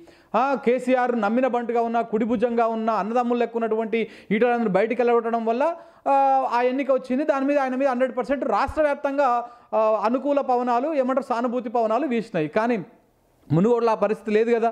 మునుగోడులో ఆ పరిస్థితి ఎట్టి పరిస్థితిలో లేదు. మునుగోడులో నువ్వు అసలు బేసిక్గా మునుగోడులో కాంగ్రెస్ కేసీఆర్ ఇంతవా ఉన్న టైంలో రెండు వేల పద్దెనిమిది ఎన్నికల్లో కాంగ్రెస్గా నువ్వు నువ్వు గెలిచిందే అదొక పెద్ద సంచలనం. గెలిచిన తర్వాత కూడా ఆ మునుగోడు ప్రయోజక ప్రజలకు ఆ మునుగోడులో ఉన్నటువంటి సమస్యల పట్ల ఎక్కడగడైనా పెద్దగా ఫైట్ చేసినట్టు ఏం లేదు. ఏమన్నా అంటే ఆడ ఈడ కార్యకర్తలకు ఇన్నోన్ని అవసరం వచ్చినప్పుడు లేకపోతే ఎవరు ఆపదలో ఉన్నప్పుడు సాపదలో ఉన్నప్పుడు ఇన్ని పైసలు ఇచ్చుడు కానీ అభివృద్ధి కార్యక్రమాలు చెప్పుకోదగ్గటువంటి కార్యక్రమాలు ఏం లేవు. ఇప్పుడు ఆయన ప్రెస్ మీట్లో మొత్తం మాట్లాడడం జరిగింది. కేసీఆర్ అవినీతి మీద కేసీఆర్ను ఓడించడానికి నేను ప్రయత్నం చేస్తున్నాను కానీ అక్కడ ఏది బహిరంగంగా వచ్చి కేసీఆర్కు వ్యతిరేకంగా ధర్నా చేయడమో లేదంటే పోయి ప్రాజెక్టుల దగ్గర కూర్చొని ధర్నా చేయడమో లేకపోతే ఇట్లాంటివన్నీ చేసినట్టు ఎక్కడ దాఖలాలు లేవు. మునుగోడులో ఎంతసేపు ఉన్న కార్యకర్తలకు ఎవడో ఇబ్బంది పెడతానో ఏమో అయితేనో ఏదైనా ప్రమాదం వచ్చితే ఎవరైనా చనిపోతానో వాళ్ళకి ఆర్థికంగా సాయం చేసుడు తప్పితే అసలు ఎమ్మెల్యేని ఎన్నుకునేందుకు రోడ్లు చక్కగా ఉన్నాయా? లేదంటే ఆ ఆ నియోజకవర్గంలో అభివృద్ధి కార్యక్రమాలు ఏంది? సంక్షేమ కార్యక్రమాలు ఏంది? అందుతున్నాయా? లేవా? ఎవరెవరికి ఏ విధంగా వస్తున్నాయి? రోడ్లు ఎట్లా ఉన్నాయి? ఈ మున్సిపాలిటీలో లైట్ల పరిస్థితి డ్రైనేజీ పరిస్థితి ఇట్లాంటివన్నీ ఉంటాయి. ఇలాంటి విషయాల్లో కోమటిరెడ్డి రాజగోపాల్ రెడ్డి మార్కు ఏమాత్రం కనిపించడం లేదు నియోజకవర్గంలో. సో అలాంటి నేపథ్యంలో ఇప్పుడు నువ్వు నీ స్వార్థ రాజకీయ ప్రయోజనాల కోసము కాంగ్రెస్ పార్టీకి రిజైన్ చేసి బీజేపీకి పోయి బీజేపీలో పోటీ చేస్తే బీజేపీ నుంచి పోటీ చేస్తే ఎందుకు ప్రజలు నీ వెనకాల ఉంటారనేది కాంగ్రెస్ నాయకులు చెప్పేటువంటి మాట. ఏది ఆయన కింద ఉన్నటువంటి కాంగ్రెస్ నాయకులు చెప్పేటువంటి మాట. కాబట్టి ఇది ఇవన్నీ ఆలోచించుకొని ఇవన్నీ బేరుజు వేసుకొని కాస్త కన్ఫ్యూజన్లో ఉన్నటువంటి రాజగోపాల్ రెడ్డి గారు ఇవాళ ప్రెస్ మీట్ పెట్టి ఏదో చెప్దాం అనుకొని మళ్ళీ ఏదో చెప్పి ముగించిండు. చివరికి ఏం చెప్పిండు? నా రాజకీయ నా నా నేను పార్టీ మారడం చారిత్రాత్మక అవసరం. నేను రిజైన్ ప్రజలు కోరుకుంటే రిజైన్ చేస్తా. ప్రజలు ఎవరు కోరుకుంటారు? ప్రజలు నేను ఎందుకు కోరుకుంటారు? ప్రజలు నీకు ఐదు సంవత్సరాలు నువ్వు మమ్మల్ని లేలు అని చెప్పేసి నీకు అధికారం ఇచ్చిర్రు. నిన్ను పార్టీగా గెలిపి నేను ఒక ఎమ్మెల్యేగా గెలిపించిర్రు నువ్వు దానికి ఐదు సంవత్సరాలు నువ్వు పాలించాల్సిందే. ప్రజలు రాజీనామా చేయమని ఎవడు అడగట్లేదు నిన్ను. నువ్వు పార్టీ మారమని ఏ ప్రజలు అడగట్లేరు ఏ కార్యకర్తలు అడగడం లేదు. నువ్వు నమ్మిన పార్టీ కోసం ఏ పార్టీ కోసం అయితే పనిచేసినావో ఆ పార్టీ కోసం పనిచేయి ఈయన కాంగ్రెస్ పార్టీ మీద రకరకాలుగా బుర్ర తల్లేటువంటి ప్రయత్నం చేస్తారు. మళ్ళీ వీళ్ళన్ననేమో పొద్దుగాలేసి ఇంకో విధమైనటువంటి వాదన చేస్తారు. ఈయన రాహుల్ గాంధీ వచ్చినప్పుడు స్వయంగా ఆయన అధినాయకత్వం కేంద్ర అధినాయకత్వం నాయకుడు వచ్చినప్పుడు రాహుల్ గాంధీ వచ్చినప్పుడు కూడా కనీసం సభకు పోలేదు. ఇట్లాంటి సందర్భాల్లో ఈయన కాంగ్రెస్ నుంచి కాంగ్రెస్ తోటి అంటిముట్టనంటే ఉన్నాడు. ఫస్ట్లో గెలిచినప్పుడు కూడా ఆ మోడీని పొగిడి రాహుల్ గాంధీని తక్కువ చేసే ప్రయత్నం చేసిండు ఈయన. ఓ మోడీతోనే అవుతుంది ఇంకా రాహుల్ గాంధీతో ఏం కాదు అని చెప్పేసి చెప్పే ప్రయత్నం చేసిండు. కానీ ఇప్పుడు ఇప్పుడు చూస్తుంటే ఈ మొత్తానికైతే ఇవాళ మొత్తం ప్రెస్ మీట్లో రాజగోపాల్ రెడ్డి రిజైన్ చేసుడు కామన్ ఖాయం అయిపోయింది హండ్రెడ్ పర్సెంట్ ఖాయం అయిపోయింది ఎప్పుడో ఒకరోజు ఈ వారం పది రోజుల నెల రోజుల లోపల ఈ మూడు నెలల లోపల ఎన్నికలు వస్తాయని చెప్పేసి ఇప్పటికే వార్తలు వస్తున్న నేపథ్యంలో ఈ నెల లోపలన ఎప్పుడో కానీ రాజగోపాల్ రెడ్డి రాజీనామా చేసుడు ఖాయము. ఆయన చెప్పిన మాటలు లాస్ట్కు ప్రెస్ మీట్ అయిపోయే ముంగల చెప్పిన మాటలు మనం బట్టి చూస్తుంటే రాజగోపాల్ రెడ్డి రాజీనామా చేసుడు ఖాయము ఉజు మునుగోడులో ఉప ఎన్నిక వచ్చుడు ఖాయము ఆ ఉప ఎన్నికల్లో మునుగోడులో బీజేపీ ఓడిపోవుడు ఖాయము. నువ్వు రాజగోపాల్ రెడ్డి ఆడ వేరే వాడు నిలబడతాడా? పక్కన పెడితే. కానీ బీజేపీ మటుకు ఆడ గెలిచే ఛాన్సే ఉండదు. ఎందుకంటే ఒకవేళ మీకు ఇప్పుడు రేవంత్ రెడ్డికి కూడా అగ్ని పరీక్షనే ఈ ఈ మునుగోడు ఉప ఎన్నిక వస్తే. కాంగ్రెస్ టీఆర్ఎస్ పార్టీకి ఒక అభ్యర్థి ఉన్నాడు. కూచుకుంట్ల ప్రభాకర్ రెడ్డి మాజీ ఎమ్మెల్యేగా ఉన్నారు. లేదంటే ఇద్దరు ముగ్గురు అక్కడిక్కడ ఆశావాహులు ఉన్నారు. చాలామంది కోటర్లో కేటీఆర్ కోటర్లో ఒక ఆయన ఉన్నాడు. ఈ మంత్రి జగదీశ్వర్ రెడ్డి కోటర్లో ఒక ఆయన ఉన్నాడు. ఇట్లా చాలామంది ఉన్నారు. వాళ్ళందరూ సమ కేసీఆర్ ఒక మీటింగ్ పెట్టి అందరిని సమన్వయం చేస్తే ఒకరికి ఒకరికి సీట్ కన్ఫర్మ్ అయిపోతుంది. మెజారిటీ అవకాశాలు కూచుకుంట్ల ప్రభాకర్ రెడ్డికే ఉన్నాయి. ఉప ఎన్నిక వస్తే టికెట్ వచ్చేటువంటి అవకాశాలు. కానీ కాంగ్రెస్ పార్టీ ఒక సంచలన నిర్ణయం తీసుకుంటే కాంగ్రెస్ పార్టీ తన బలాన్ని అక్కడ నిరూపించుకోవాలనుకుంటే ఇప్పుడు ఎందుకంటే ఇది రేవంత్ రెడ్డి కూడా బస్తిమే సవాలు ఇది ఈడ ఆయన దమ్ము ఏందో నిరూపించుకోవాల్సినటువంటి అవసరం ఉందాడ. కాబట్టి కాంగ్రెస్ పార్టీ అలాంటి నిర్ణయం తీసుకుంటే ఎలాంటి నిర్ణయము? ఈయన కాంగ్రెస్ పార్టీ నుంచి ఎమ్మెల్యేగా గెలిచి రిజైన్ చేసి ఇప్పుడు బీజేపీలోకి పోయినటువంటి కోమటిరెడ్డి రాజగోపాల్ రెడ్డికి వ్యతిరేకంగా కాంగ్రెస్ పార్టీ దమ్ము ధైర్యం చేసి కోమటిరెడ్డి వెంకటరెడ్డిని ఒప్పించి కోమటిరెడ్డి వెంకటరెడ్డి మునుగోడు నుంచి ఎమ్మెల్యేగా పోటీ చేసేటువంటి అవకాశం కల్పిస్తే లేదంటే ఆయన ఒప్పు ఆయన నొప్పించి అక్కడ పోటీ చేపిస్తే ఇటు కాంగ్రెస్ నుంచి కోమటిరెడ్డి వెంకటరెడ్డి ఉంటాడు ఇటు బీజేపీ నుంచి కోమటిరెడ్డి రాజగోపాల్ రెడ్డి ఉంటాడు అటు టీఆర్ఎస్ నుంచి అప్పుడు కూసుకుంట్లని కాకుండా గుత్తా సుఖేందర్ రెడ్డిని బరిలోకి దింపేటువంటి అవకాశాలు కూడా కనపడుతున్నాయి. కానీ ఇది రేవంత్ రెడ్డి మరి ఇంత ధైర్యం చేయగలుగుతాడా? అలాంటి బలమైన నాయకుడిని ఓడించడం కోసం మరొక వాళ్ళ అన్నని అక్కడ పోటీ నిలపగలుగుతా నిలపగలుగుతాడా అనేది చూడాలి. ఒకవేళ అక్కడ పోటీ నిలపకుండా ఏదో లేదనుకుంటే పెద్దగా ఆ, ప్రజాధనం లే ప్రజాబలం లేనటువంటి ఎవరైతే కొంతమంది నాయకులు ఉన్నారు ఆ కాంగ్రెస్ పార్టీలో. ఇప్పుడు కొత్తగా పున్నా కైలాస్ నేత అని ఒక అతను తిరుగుతున్నాడు. లేదనుకుంటే శ్రవ శ్ర పాల్వాయి శ్రవంతి గారు గోవర్ధన్ రెడ్డి గారి కుమ కుమార్తె పాల్వాయి శ్రవంతి గారు తిరుగుతున్నారు. కానీ ఇట్లాంటి వాళ్ళు కోమటిరెడ్డి రాజగోపాల్ రెడ్డిని ఓడించడం అంత ఈజీ కాదు. దా లేకపోతే ఈ టీఆర్ఎస్ పార్టీని ఓడించడం అంత ఈజీ కాదు. కానీ అంత బలమైన అంతే ఈ రెండు ఏమంటారు ఏనుగులు కొట్లాట చేస్తుంటే ఇంకొక ఏనుగు రావాలి కానీ ఇంకొక చిన్న జీవిని తీసుకొచ్చి పెడితే అందులో సాధ్యం కాదు. ఇప్పుడు రేవంత్ రెడ్డి పరిస్థితి కూడా అట్లనే ఉన్నది. పోయినసారి హుజురాబాద్ ఎన్నికలప్పుడు అంటే అప్పుడే నేను వచ్చిన కొత్తగా వచ్చిన ఇది మేము కోరుకున్న ఎన్నిక కాదు లేదనుకుంటే ఇదేదో ఆ కాంగ్రెస్ ఈటల రాజేందర్కు కేసీఆర్కు మధ్య జరుగుతున్న ఎన్నిక అని చెప్పేసి ఏదో మాటలు చెప్పి తప్పించుకున్నాడు. కానీ ఇప్పుడు మునుగోడు నియోజకవర్గంలో ఉప ఎన్నిక వస్తే ఈ మాటలు చెప్పి తప్పించుకోవడానికి లేదు. నీ పార్టీ ఎమ్మెల్యే రాజీనామా చేసి నీకు అపోజిషన్గా ఉన్నటువంటి బీజేపీ పార్టీ నుంచి పోటీ చేస్తే నువ్వు పెట్టేటువంటి క్యాండిడేట్ని నువ్వు అక్కడ వేసేటువంటి ఎన్నిక ప్రచారము లేదనుకుంటే నువ్వు చూపిస్తున్నటువంటి శ్రద్ధ మీద పడి ఈయన పీసీసీగా ఈయన ఎంత పాచారం ఉన్నది ఈయనకు ఎంత ప్రజల్లో పలుకుబడి ఉన్నది తేలుతుంది. మరి ఎవరిని పెడతాడా? లేకపోతే పీసీసీ పోయి పోటీ చేస్తాడా? మునుగోడులా. ఏందనేది చూడాలి. ఎంత ఇంట్రెస్టింగ్గా ఉంటుంది ఒకళ్ళ ఇన్ కేస్ కనుక మునుగోడు ఉప ఎన్నిక వస్తే చాలా అద్భుతంగా ఉంటుంది. మునుగోడు ఉప ఎన్నిక మీద వచ్చే అసెంబ్లీ ఎన్నికల రిజల్ట్ కూడా ఆధారపడి ఉండేటువంటి అవకాశం ఉన్నది. ఎందుకంటే మునుగోడు అనేది కాస్త మునుగోడే కాదు ఒక నల్లగొండ ప్రాంతం మొత్తం తీసుకుంటే నల్లగొండ ప్రాంతం మొత్తంలో బీజేపీ పాగా వేసేటువంటి అవకాశం ఏమాత్రం లేదు. ఎందుకంటే బీజేపీ పలుకుబడి లేదు అక్కడ. ఏదో అక్కడిక్కడ కొంతమంది కార్యకర్తలు ఈ బ్యాచ్ తప్పితే పోరగాలు తప్పితే పెద్దగా ఎక్కడ లేదు. ఆ ప్రభావం లేదు. అలాంటి నల్లగొండలో దట్టు మునుగోడులో బీజేపీ గెలిచిందనుకోండి కోమరెడ్డి రాజగోపాల్ రెడ్డి రూపంలో ఇక బీజేపీకి రాష్ట్రంలో తిరుగులేదని కూడా చెప్పవచ్చు. కానీ అలాంటి పరిస్థితి వస్తుందా? మునుగోడులో బీజేపీని గెలిచే అవ బీజేపీ గెలిచే అవకాశం ఉన్నదా? ఇప్పుడు అక్కడ రేవంత్ రెడ్డి పెట్టేటువంటి క్యాండిడేట్ని బట్టి ఇప్పుడు రేవంత్ రెడ్డి ఇంకొకటి కూడా ఆయన నిరూపించుకోవాల్సినటువంటి అవసరం ఉంటుంది. ఏంటి అంటే ఇప్పుడు రేవంత్ రెడ్డి మీద చాలా ఆరోపణలు ఉన్నాయి. బీజేపీకి అనుకూలంగా ఆయన వ్యవహరిస్తున్నాడు. కాంగ్రెస్ పార్టీలో ఆయన కోటర్ని పెంచి పోషించుకుంటున్నాడు. ప్రతి దగ్గర ఆయన వర్గాన్ని పెంచుకొని కాంగ్రెస్ పార్టీతో సంబంధం లేకుండా రేపనాడు బీజేపీకి ప్రభుత్వాన్ని ఏర్పాటు చేసేటువంటి అవకాశం వస్తే ఈయన కోటర్ని తీసుకొని బయటికి వెళ్ళిపోయి ఆ ప్రభుత్వానికి వాళ్ళు సపోర్ట్ చేసేటువంటి అవకాశం ఉన్నది. ఈయన మొత్తం బీజేపీ కోవట్టు అనేటువంటి వాదనలు కూడా వినపడుతున్నాయి తెలంగాణ రాజకీయాలు మరి అది నిజము కాదు అనుకుంటే ఇప్పుడు మునుగోడు ఎన్నిక ఆయనకు సవాలు. హండ్రెడ్ పర్సెంట్ మునుగోడులో ఉప ఎన్నిక వస్తే అక్కడ కాంగ్రెస్ పార్టీ తన ప్రభావం చూపించుకోలేకపోతే హండ్రెడ్ పర్సెంట్ రేవంత్ రెడ్డి బీజేపీతో టైప్ అయినట్టే.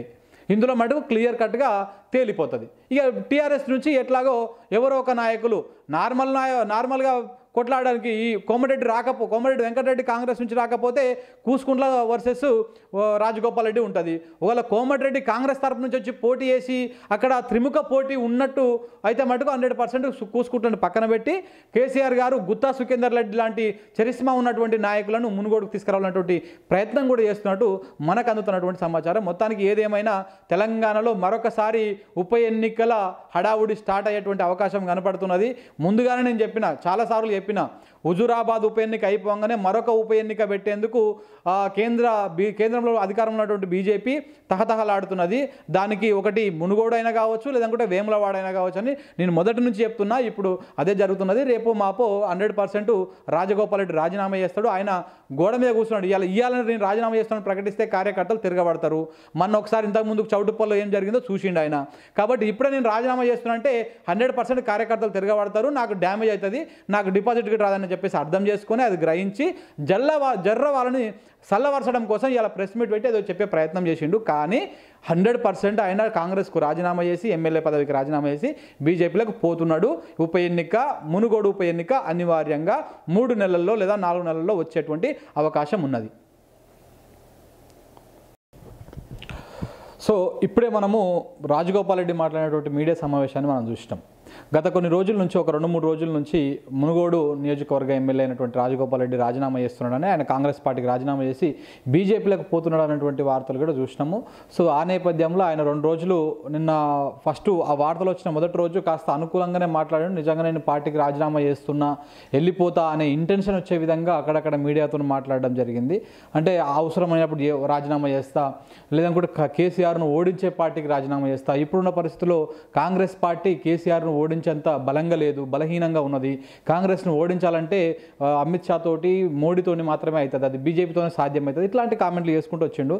ఇవాళ ప్రెస్ మీట్ పెట్టి ఏం మాట్లాడినంటే ఆయన సేపు అసలు కాంగ్రెస్ పా బీజేపీ పార్టీ తప్పితే కాంగ్రెస్ పార్టీ కేసీఆర్ను ఓడించలేదు అని చెప్పినటువంటి మాట వాస్తవము. నేను అమిత్ షాని కలిసిన మాట వాస్తవము. నలభై ఐదు నిమిషాల పాటు కలిసి మాట్లాడిన వా- మాట వాస్తవము. కానీ నేను రాజీనామా చేస్తానని ఎక్కడ చెప్పలేదు.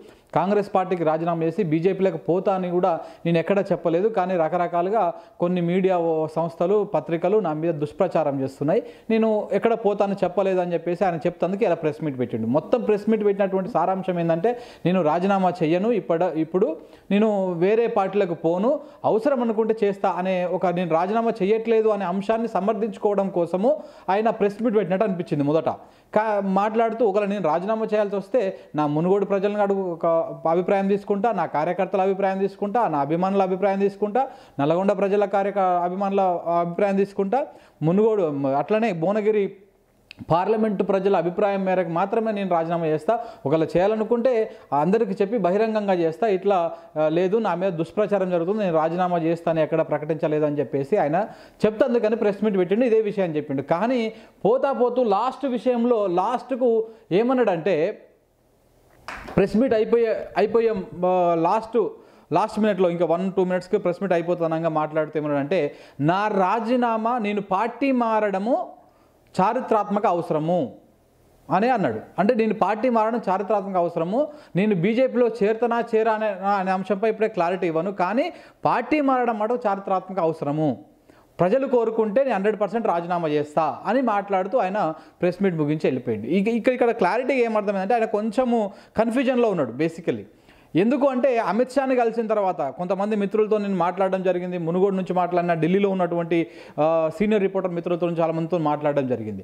మాట్లాడితే వాళ్ళు చెప్పినటువంటి విషయం ఏంటంటే అమిత్ షాని కలవడం వాస్తవమే అక్కడ ఆయన మాట్లాడడం వాస్తవమే. కాకపోతే హుజూరాబాదులో ఏదైతే సీన్ రిపీట్ అయిందో అదే సీన్ మునుగోడులో రిపీట్ అవుతుందా కాదా అనే అంశం గురించి వీళ్ళు ప్రస్తావించుకున్నారు వీళ్ళు మాట్లాడుకున్నారు. ఏమని మాట్లాడుకున్నారు? హుజూరాబాద్లో రేటల రాజేంద్రన్ ఎట్లయితే కాంగ్రెస్ టీఆర్ఎస్ పార్టీ పార్టీని ఓడించి బీజేపీ పార్టీని అక్కడ గెలిపించిండో నువ్వు ఇప్పుడు కాంగ్రెస్ పార్టీ నుంచి రాజీనామా చేసి బీజేపీలోకి వస్తే అక్కడ అధికార ఇప్పుడు పోటీ కాంగ్రెస్ పార్టీ మీద ఉండదు. మునుగోడులో అయినా బీజేపీలోకి పోతే పోటీ బీజేపీ వర్సెస్ టీఆర్ఎస్ ఉంటుంది. కాంగ్రెస్ మధ్యలో ఉండదు. కాంగ్రెస్ పక్కన పెట్టేస్తే ఇప్పుడు అక్కడ మనం టీఆర్ఎస్ పార్టీని ఓడించగలుగుతాం మునుగోడ్ల? మునుగోడ్ల టీఆర్ఎస్ పార్టీని ఓడించేంత దమ్ము ఉన్నదా? ఒకవేళ కాంగ్రెస్ పార్టీ నుంచి అయితే కాంగ్రెస్ నుంచి అయితే కార్యకర్తలు ఉన్నది? ఆ బలం ఉన్నది కాబట్టి కానీ బీజేపీ నుంచి వస్తే గతంలో ఎప్పుడు కూడా పదివేల ఓట్లకు మించి రాలేదు బీజేపీకి మన మునుగోడు కాన్స్టిట్యున్సీలో. పదివేల ఓట్లు కూడా రాలేదు ఆరేడు వేల ఓట్లు పదివేల లోపల మాత్రమే వచ్చినటువంటి సందర్భాలు చాలా చూసినాం. అలాంటి సందర్భంలో నువ్వు మునుగోడు నుంచి రిజైన్ చేసి బీజేపీలోకి వస్తే అక్కడ మనం పార్టీని గెలిపించుకోగలుగుతామా? అంటే అక్కడ అక్కడనేమో నేను హండ్రెడ్ పర్సెంట్ గెలిపిస్తాం గెలుస్తాము. హండ్రెడ్ పర్సెంట్ గెలుస్తాం. కేసీఆర్ కేసీఆర్ మీద ఘోరమైనటువంటి వ్యతిరేకత ఉన్నదని చెప్పేసి అక్కడ ఆ మీటింగ్లో మాట్లాడినట్టు మనకు తెలుస్తున్నటువంటి సమాచారం. కానీ అక్కడ ఎప్పుడైతే అక్కడ నుంచి వచ్చి హైదరాబాద్కు వచ్చినాక హైదరాబాద్లో వచ్చినటువంటి తర్వాత ఇక్కడ వచ్చినటువంటి వార్తలు ఆయన సొంత నియోజకవర్గం నుంచి వస్తున్నటువంటి కార్యకర్తల రియాక్షను మండలాల అధ్యక్షుల రియాక్షను ఇట్లా ఇవన్నీ చూసిన తర్వాత కొంత కన్ఫ్యూజన్లో పడిపోయిండు. దాంతోపాటు ఈయన కోమటిరెడ్డి గారు ఒక ప్రముఖ లాయర్తోని భేటీ అయ్యి అసలు మనము రాజ రాజీనామా చేసి బీజేపీలకు పోతే ఆ రాజీనామా యాక్సెప్ట్ చేయకుండా ఆపే ఆలోచనలు ఏమైనా ఉన్నాయా? దాన్ని ఏమైనా సాగదీయొచ్చా? ఎట్లన్నా చేయొచ్చా? అనే అంశం మీద కూడా ఆయన కొంతమంది ఒక ప్రముఖ లాయర్తోని మీటింగ్ జరిపి దాని గురించి మాట్లాడినట్టు కూడా మనకు తెలుస్తున్నటువంటి సమాచారం. అయితే ఆ లాయర్ గారు కూడా చెప్పారంట నువ్వు రాజీనామా చేస్తే స్పీకర్ ఫార్మాట్లో రాజీనామా చేస్తే ఎట్టి పరిస్థితుల్లో దాన్ని ఆపడానికి ఉండదు హండ్రెడ్ పర్సెంట్ ఆయన అప్రూవ్ చేసేస్తాడు. రాజీనామా ఆమోదం అవుతుంది ఆమోదం అయిన తర్వాత ఉప ఎన్నిక తక్షణం అవుతుంది అనివార్యంగా ఉప ఎన్నిక వస్తుంది. దాంట్లో తిరిగేలేదు అన్నాడు కానీ ఓవైపు మునుగోడు నియోజకవర్గం నుంచి వస్తున్నటువంటి కార్యకర్తల ఫీడ్బ్యాక్ కానీ నాయకుల ఫీడ్బ్యాక్ కానీ ఏమున్నది? నువ్వు గనక బీజేపీ పార్టీలోకి పోతే కాంగ్రెస్ పార్టీని వదిలేసి బీజేపీ పార్టీలోకి పోతే కనీసము పదివేల ఓట్లు పదివేల ఓట్ల నుంచి ఇరవై వేల ఓట్ల కంటే ఎక్కువ రావు. కాంగ్రెస్ పార్టీకి ఉన్న బలము బీజేపీకి లేదు. మునుగోడుల దట్టు. మునుగోడు ఒకసారి మునుగోడు నేపథ్యం చూసుకుంటే మునుగోడు కమ్యూనిస్టుల కంచుకోట ఒకప్పుడు. నీకు దేశమం నీకు రాష్ట్రమంతా ఏ పార్టీ అధికారంలో ఉన్నా కానీ మునుగోడులో కమ్యూనిస్టులు ఉండేవాళ్ళు లేకపోతే కాంగ్రెస్ ఉండేటిది. కానీ బీజేపీకి కానీ లేకపోతే ఇంకా వేరే ఇతర పార్టీలకు కానీ ఛాన్స్ లేదు. అట్లాంటి కమ్యూనిస్ట్ కం- కంచుకోట అయినటువంటి మునుగోడులో అప్పుడు ఆ కమ్యూనిస్టులు చాలా వరకు కాంగ్రెస్ కన్వర్ట్ అయ్యారు కొంతమంది టీఆర్ఎస్ కన్వర్ట్ అయ్యారు. అంతేగాని బీజేపీకి ఎవడు కన్వర్ట్ కాలేదు బీజేపీలో ఉన్నటువంటి వాళ్ళు ఎవరు? ఆ మొదటి నుంచి ఉన్నటువంటి అదే ఆర్ఎస్ఎస్ సంబంధించినటువంటి మూలాలు ఉన్న వాళ్ళు ఏదైతే ఈ బీజేపీకి ఉన్నటువంటి ఆడ ఈడ జిల్లా మండలంలో ఒకరిద్దరు తప్పితే పెద్దగా ఎక్కర్లేరు.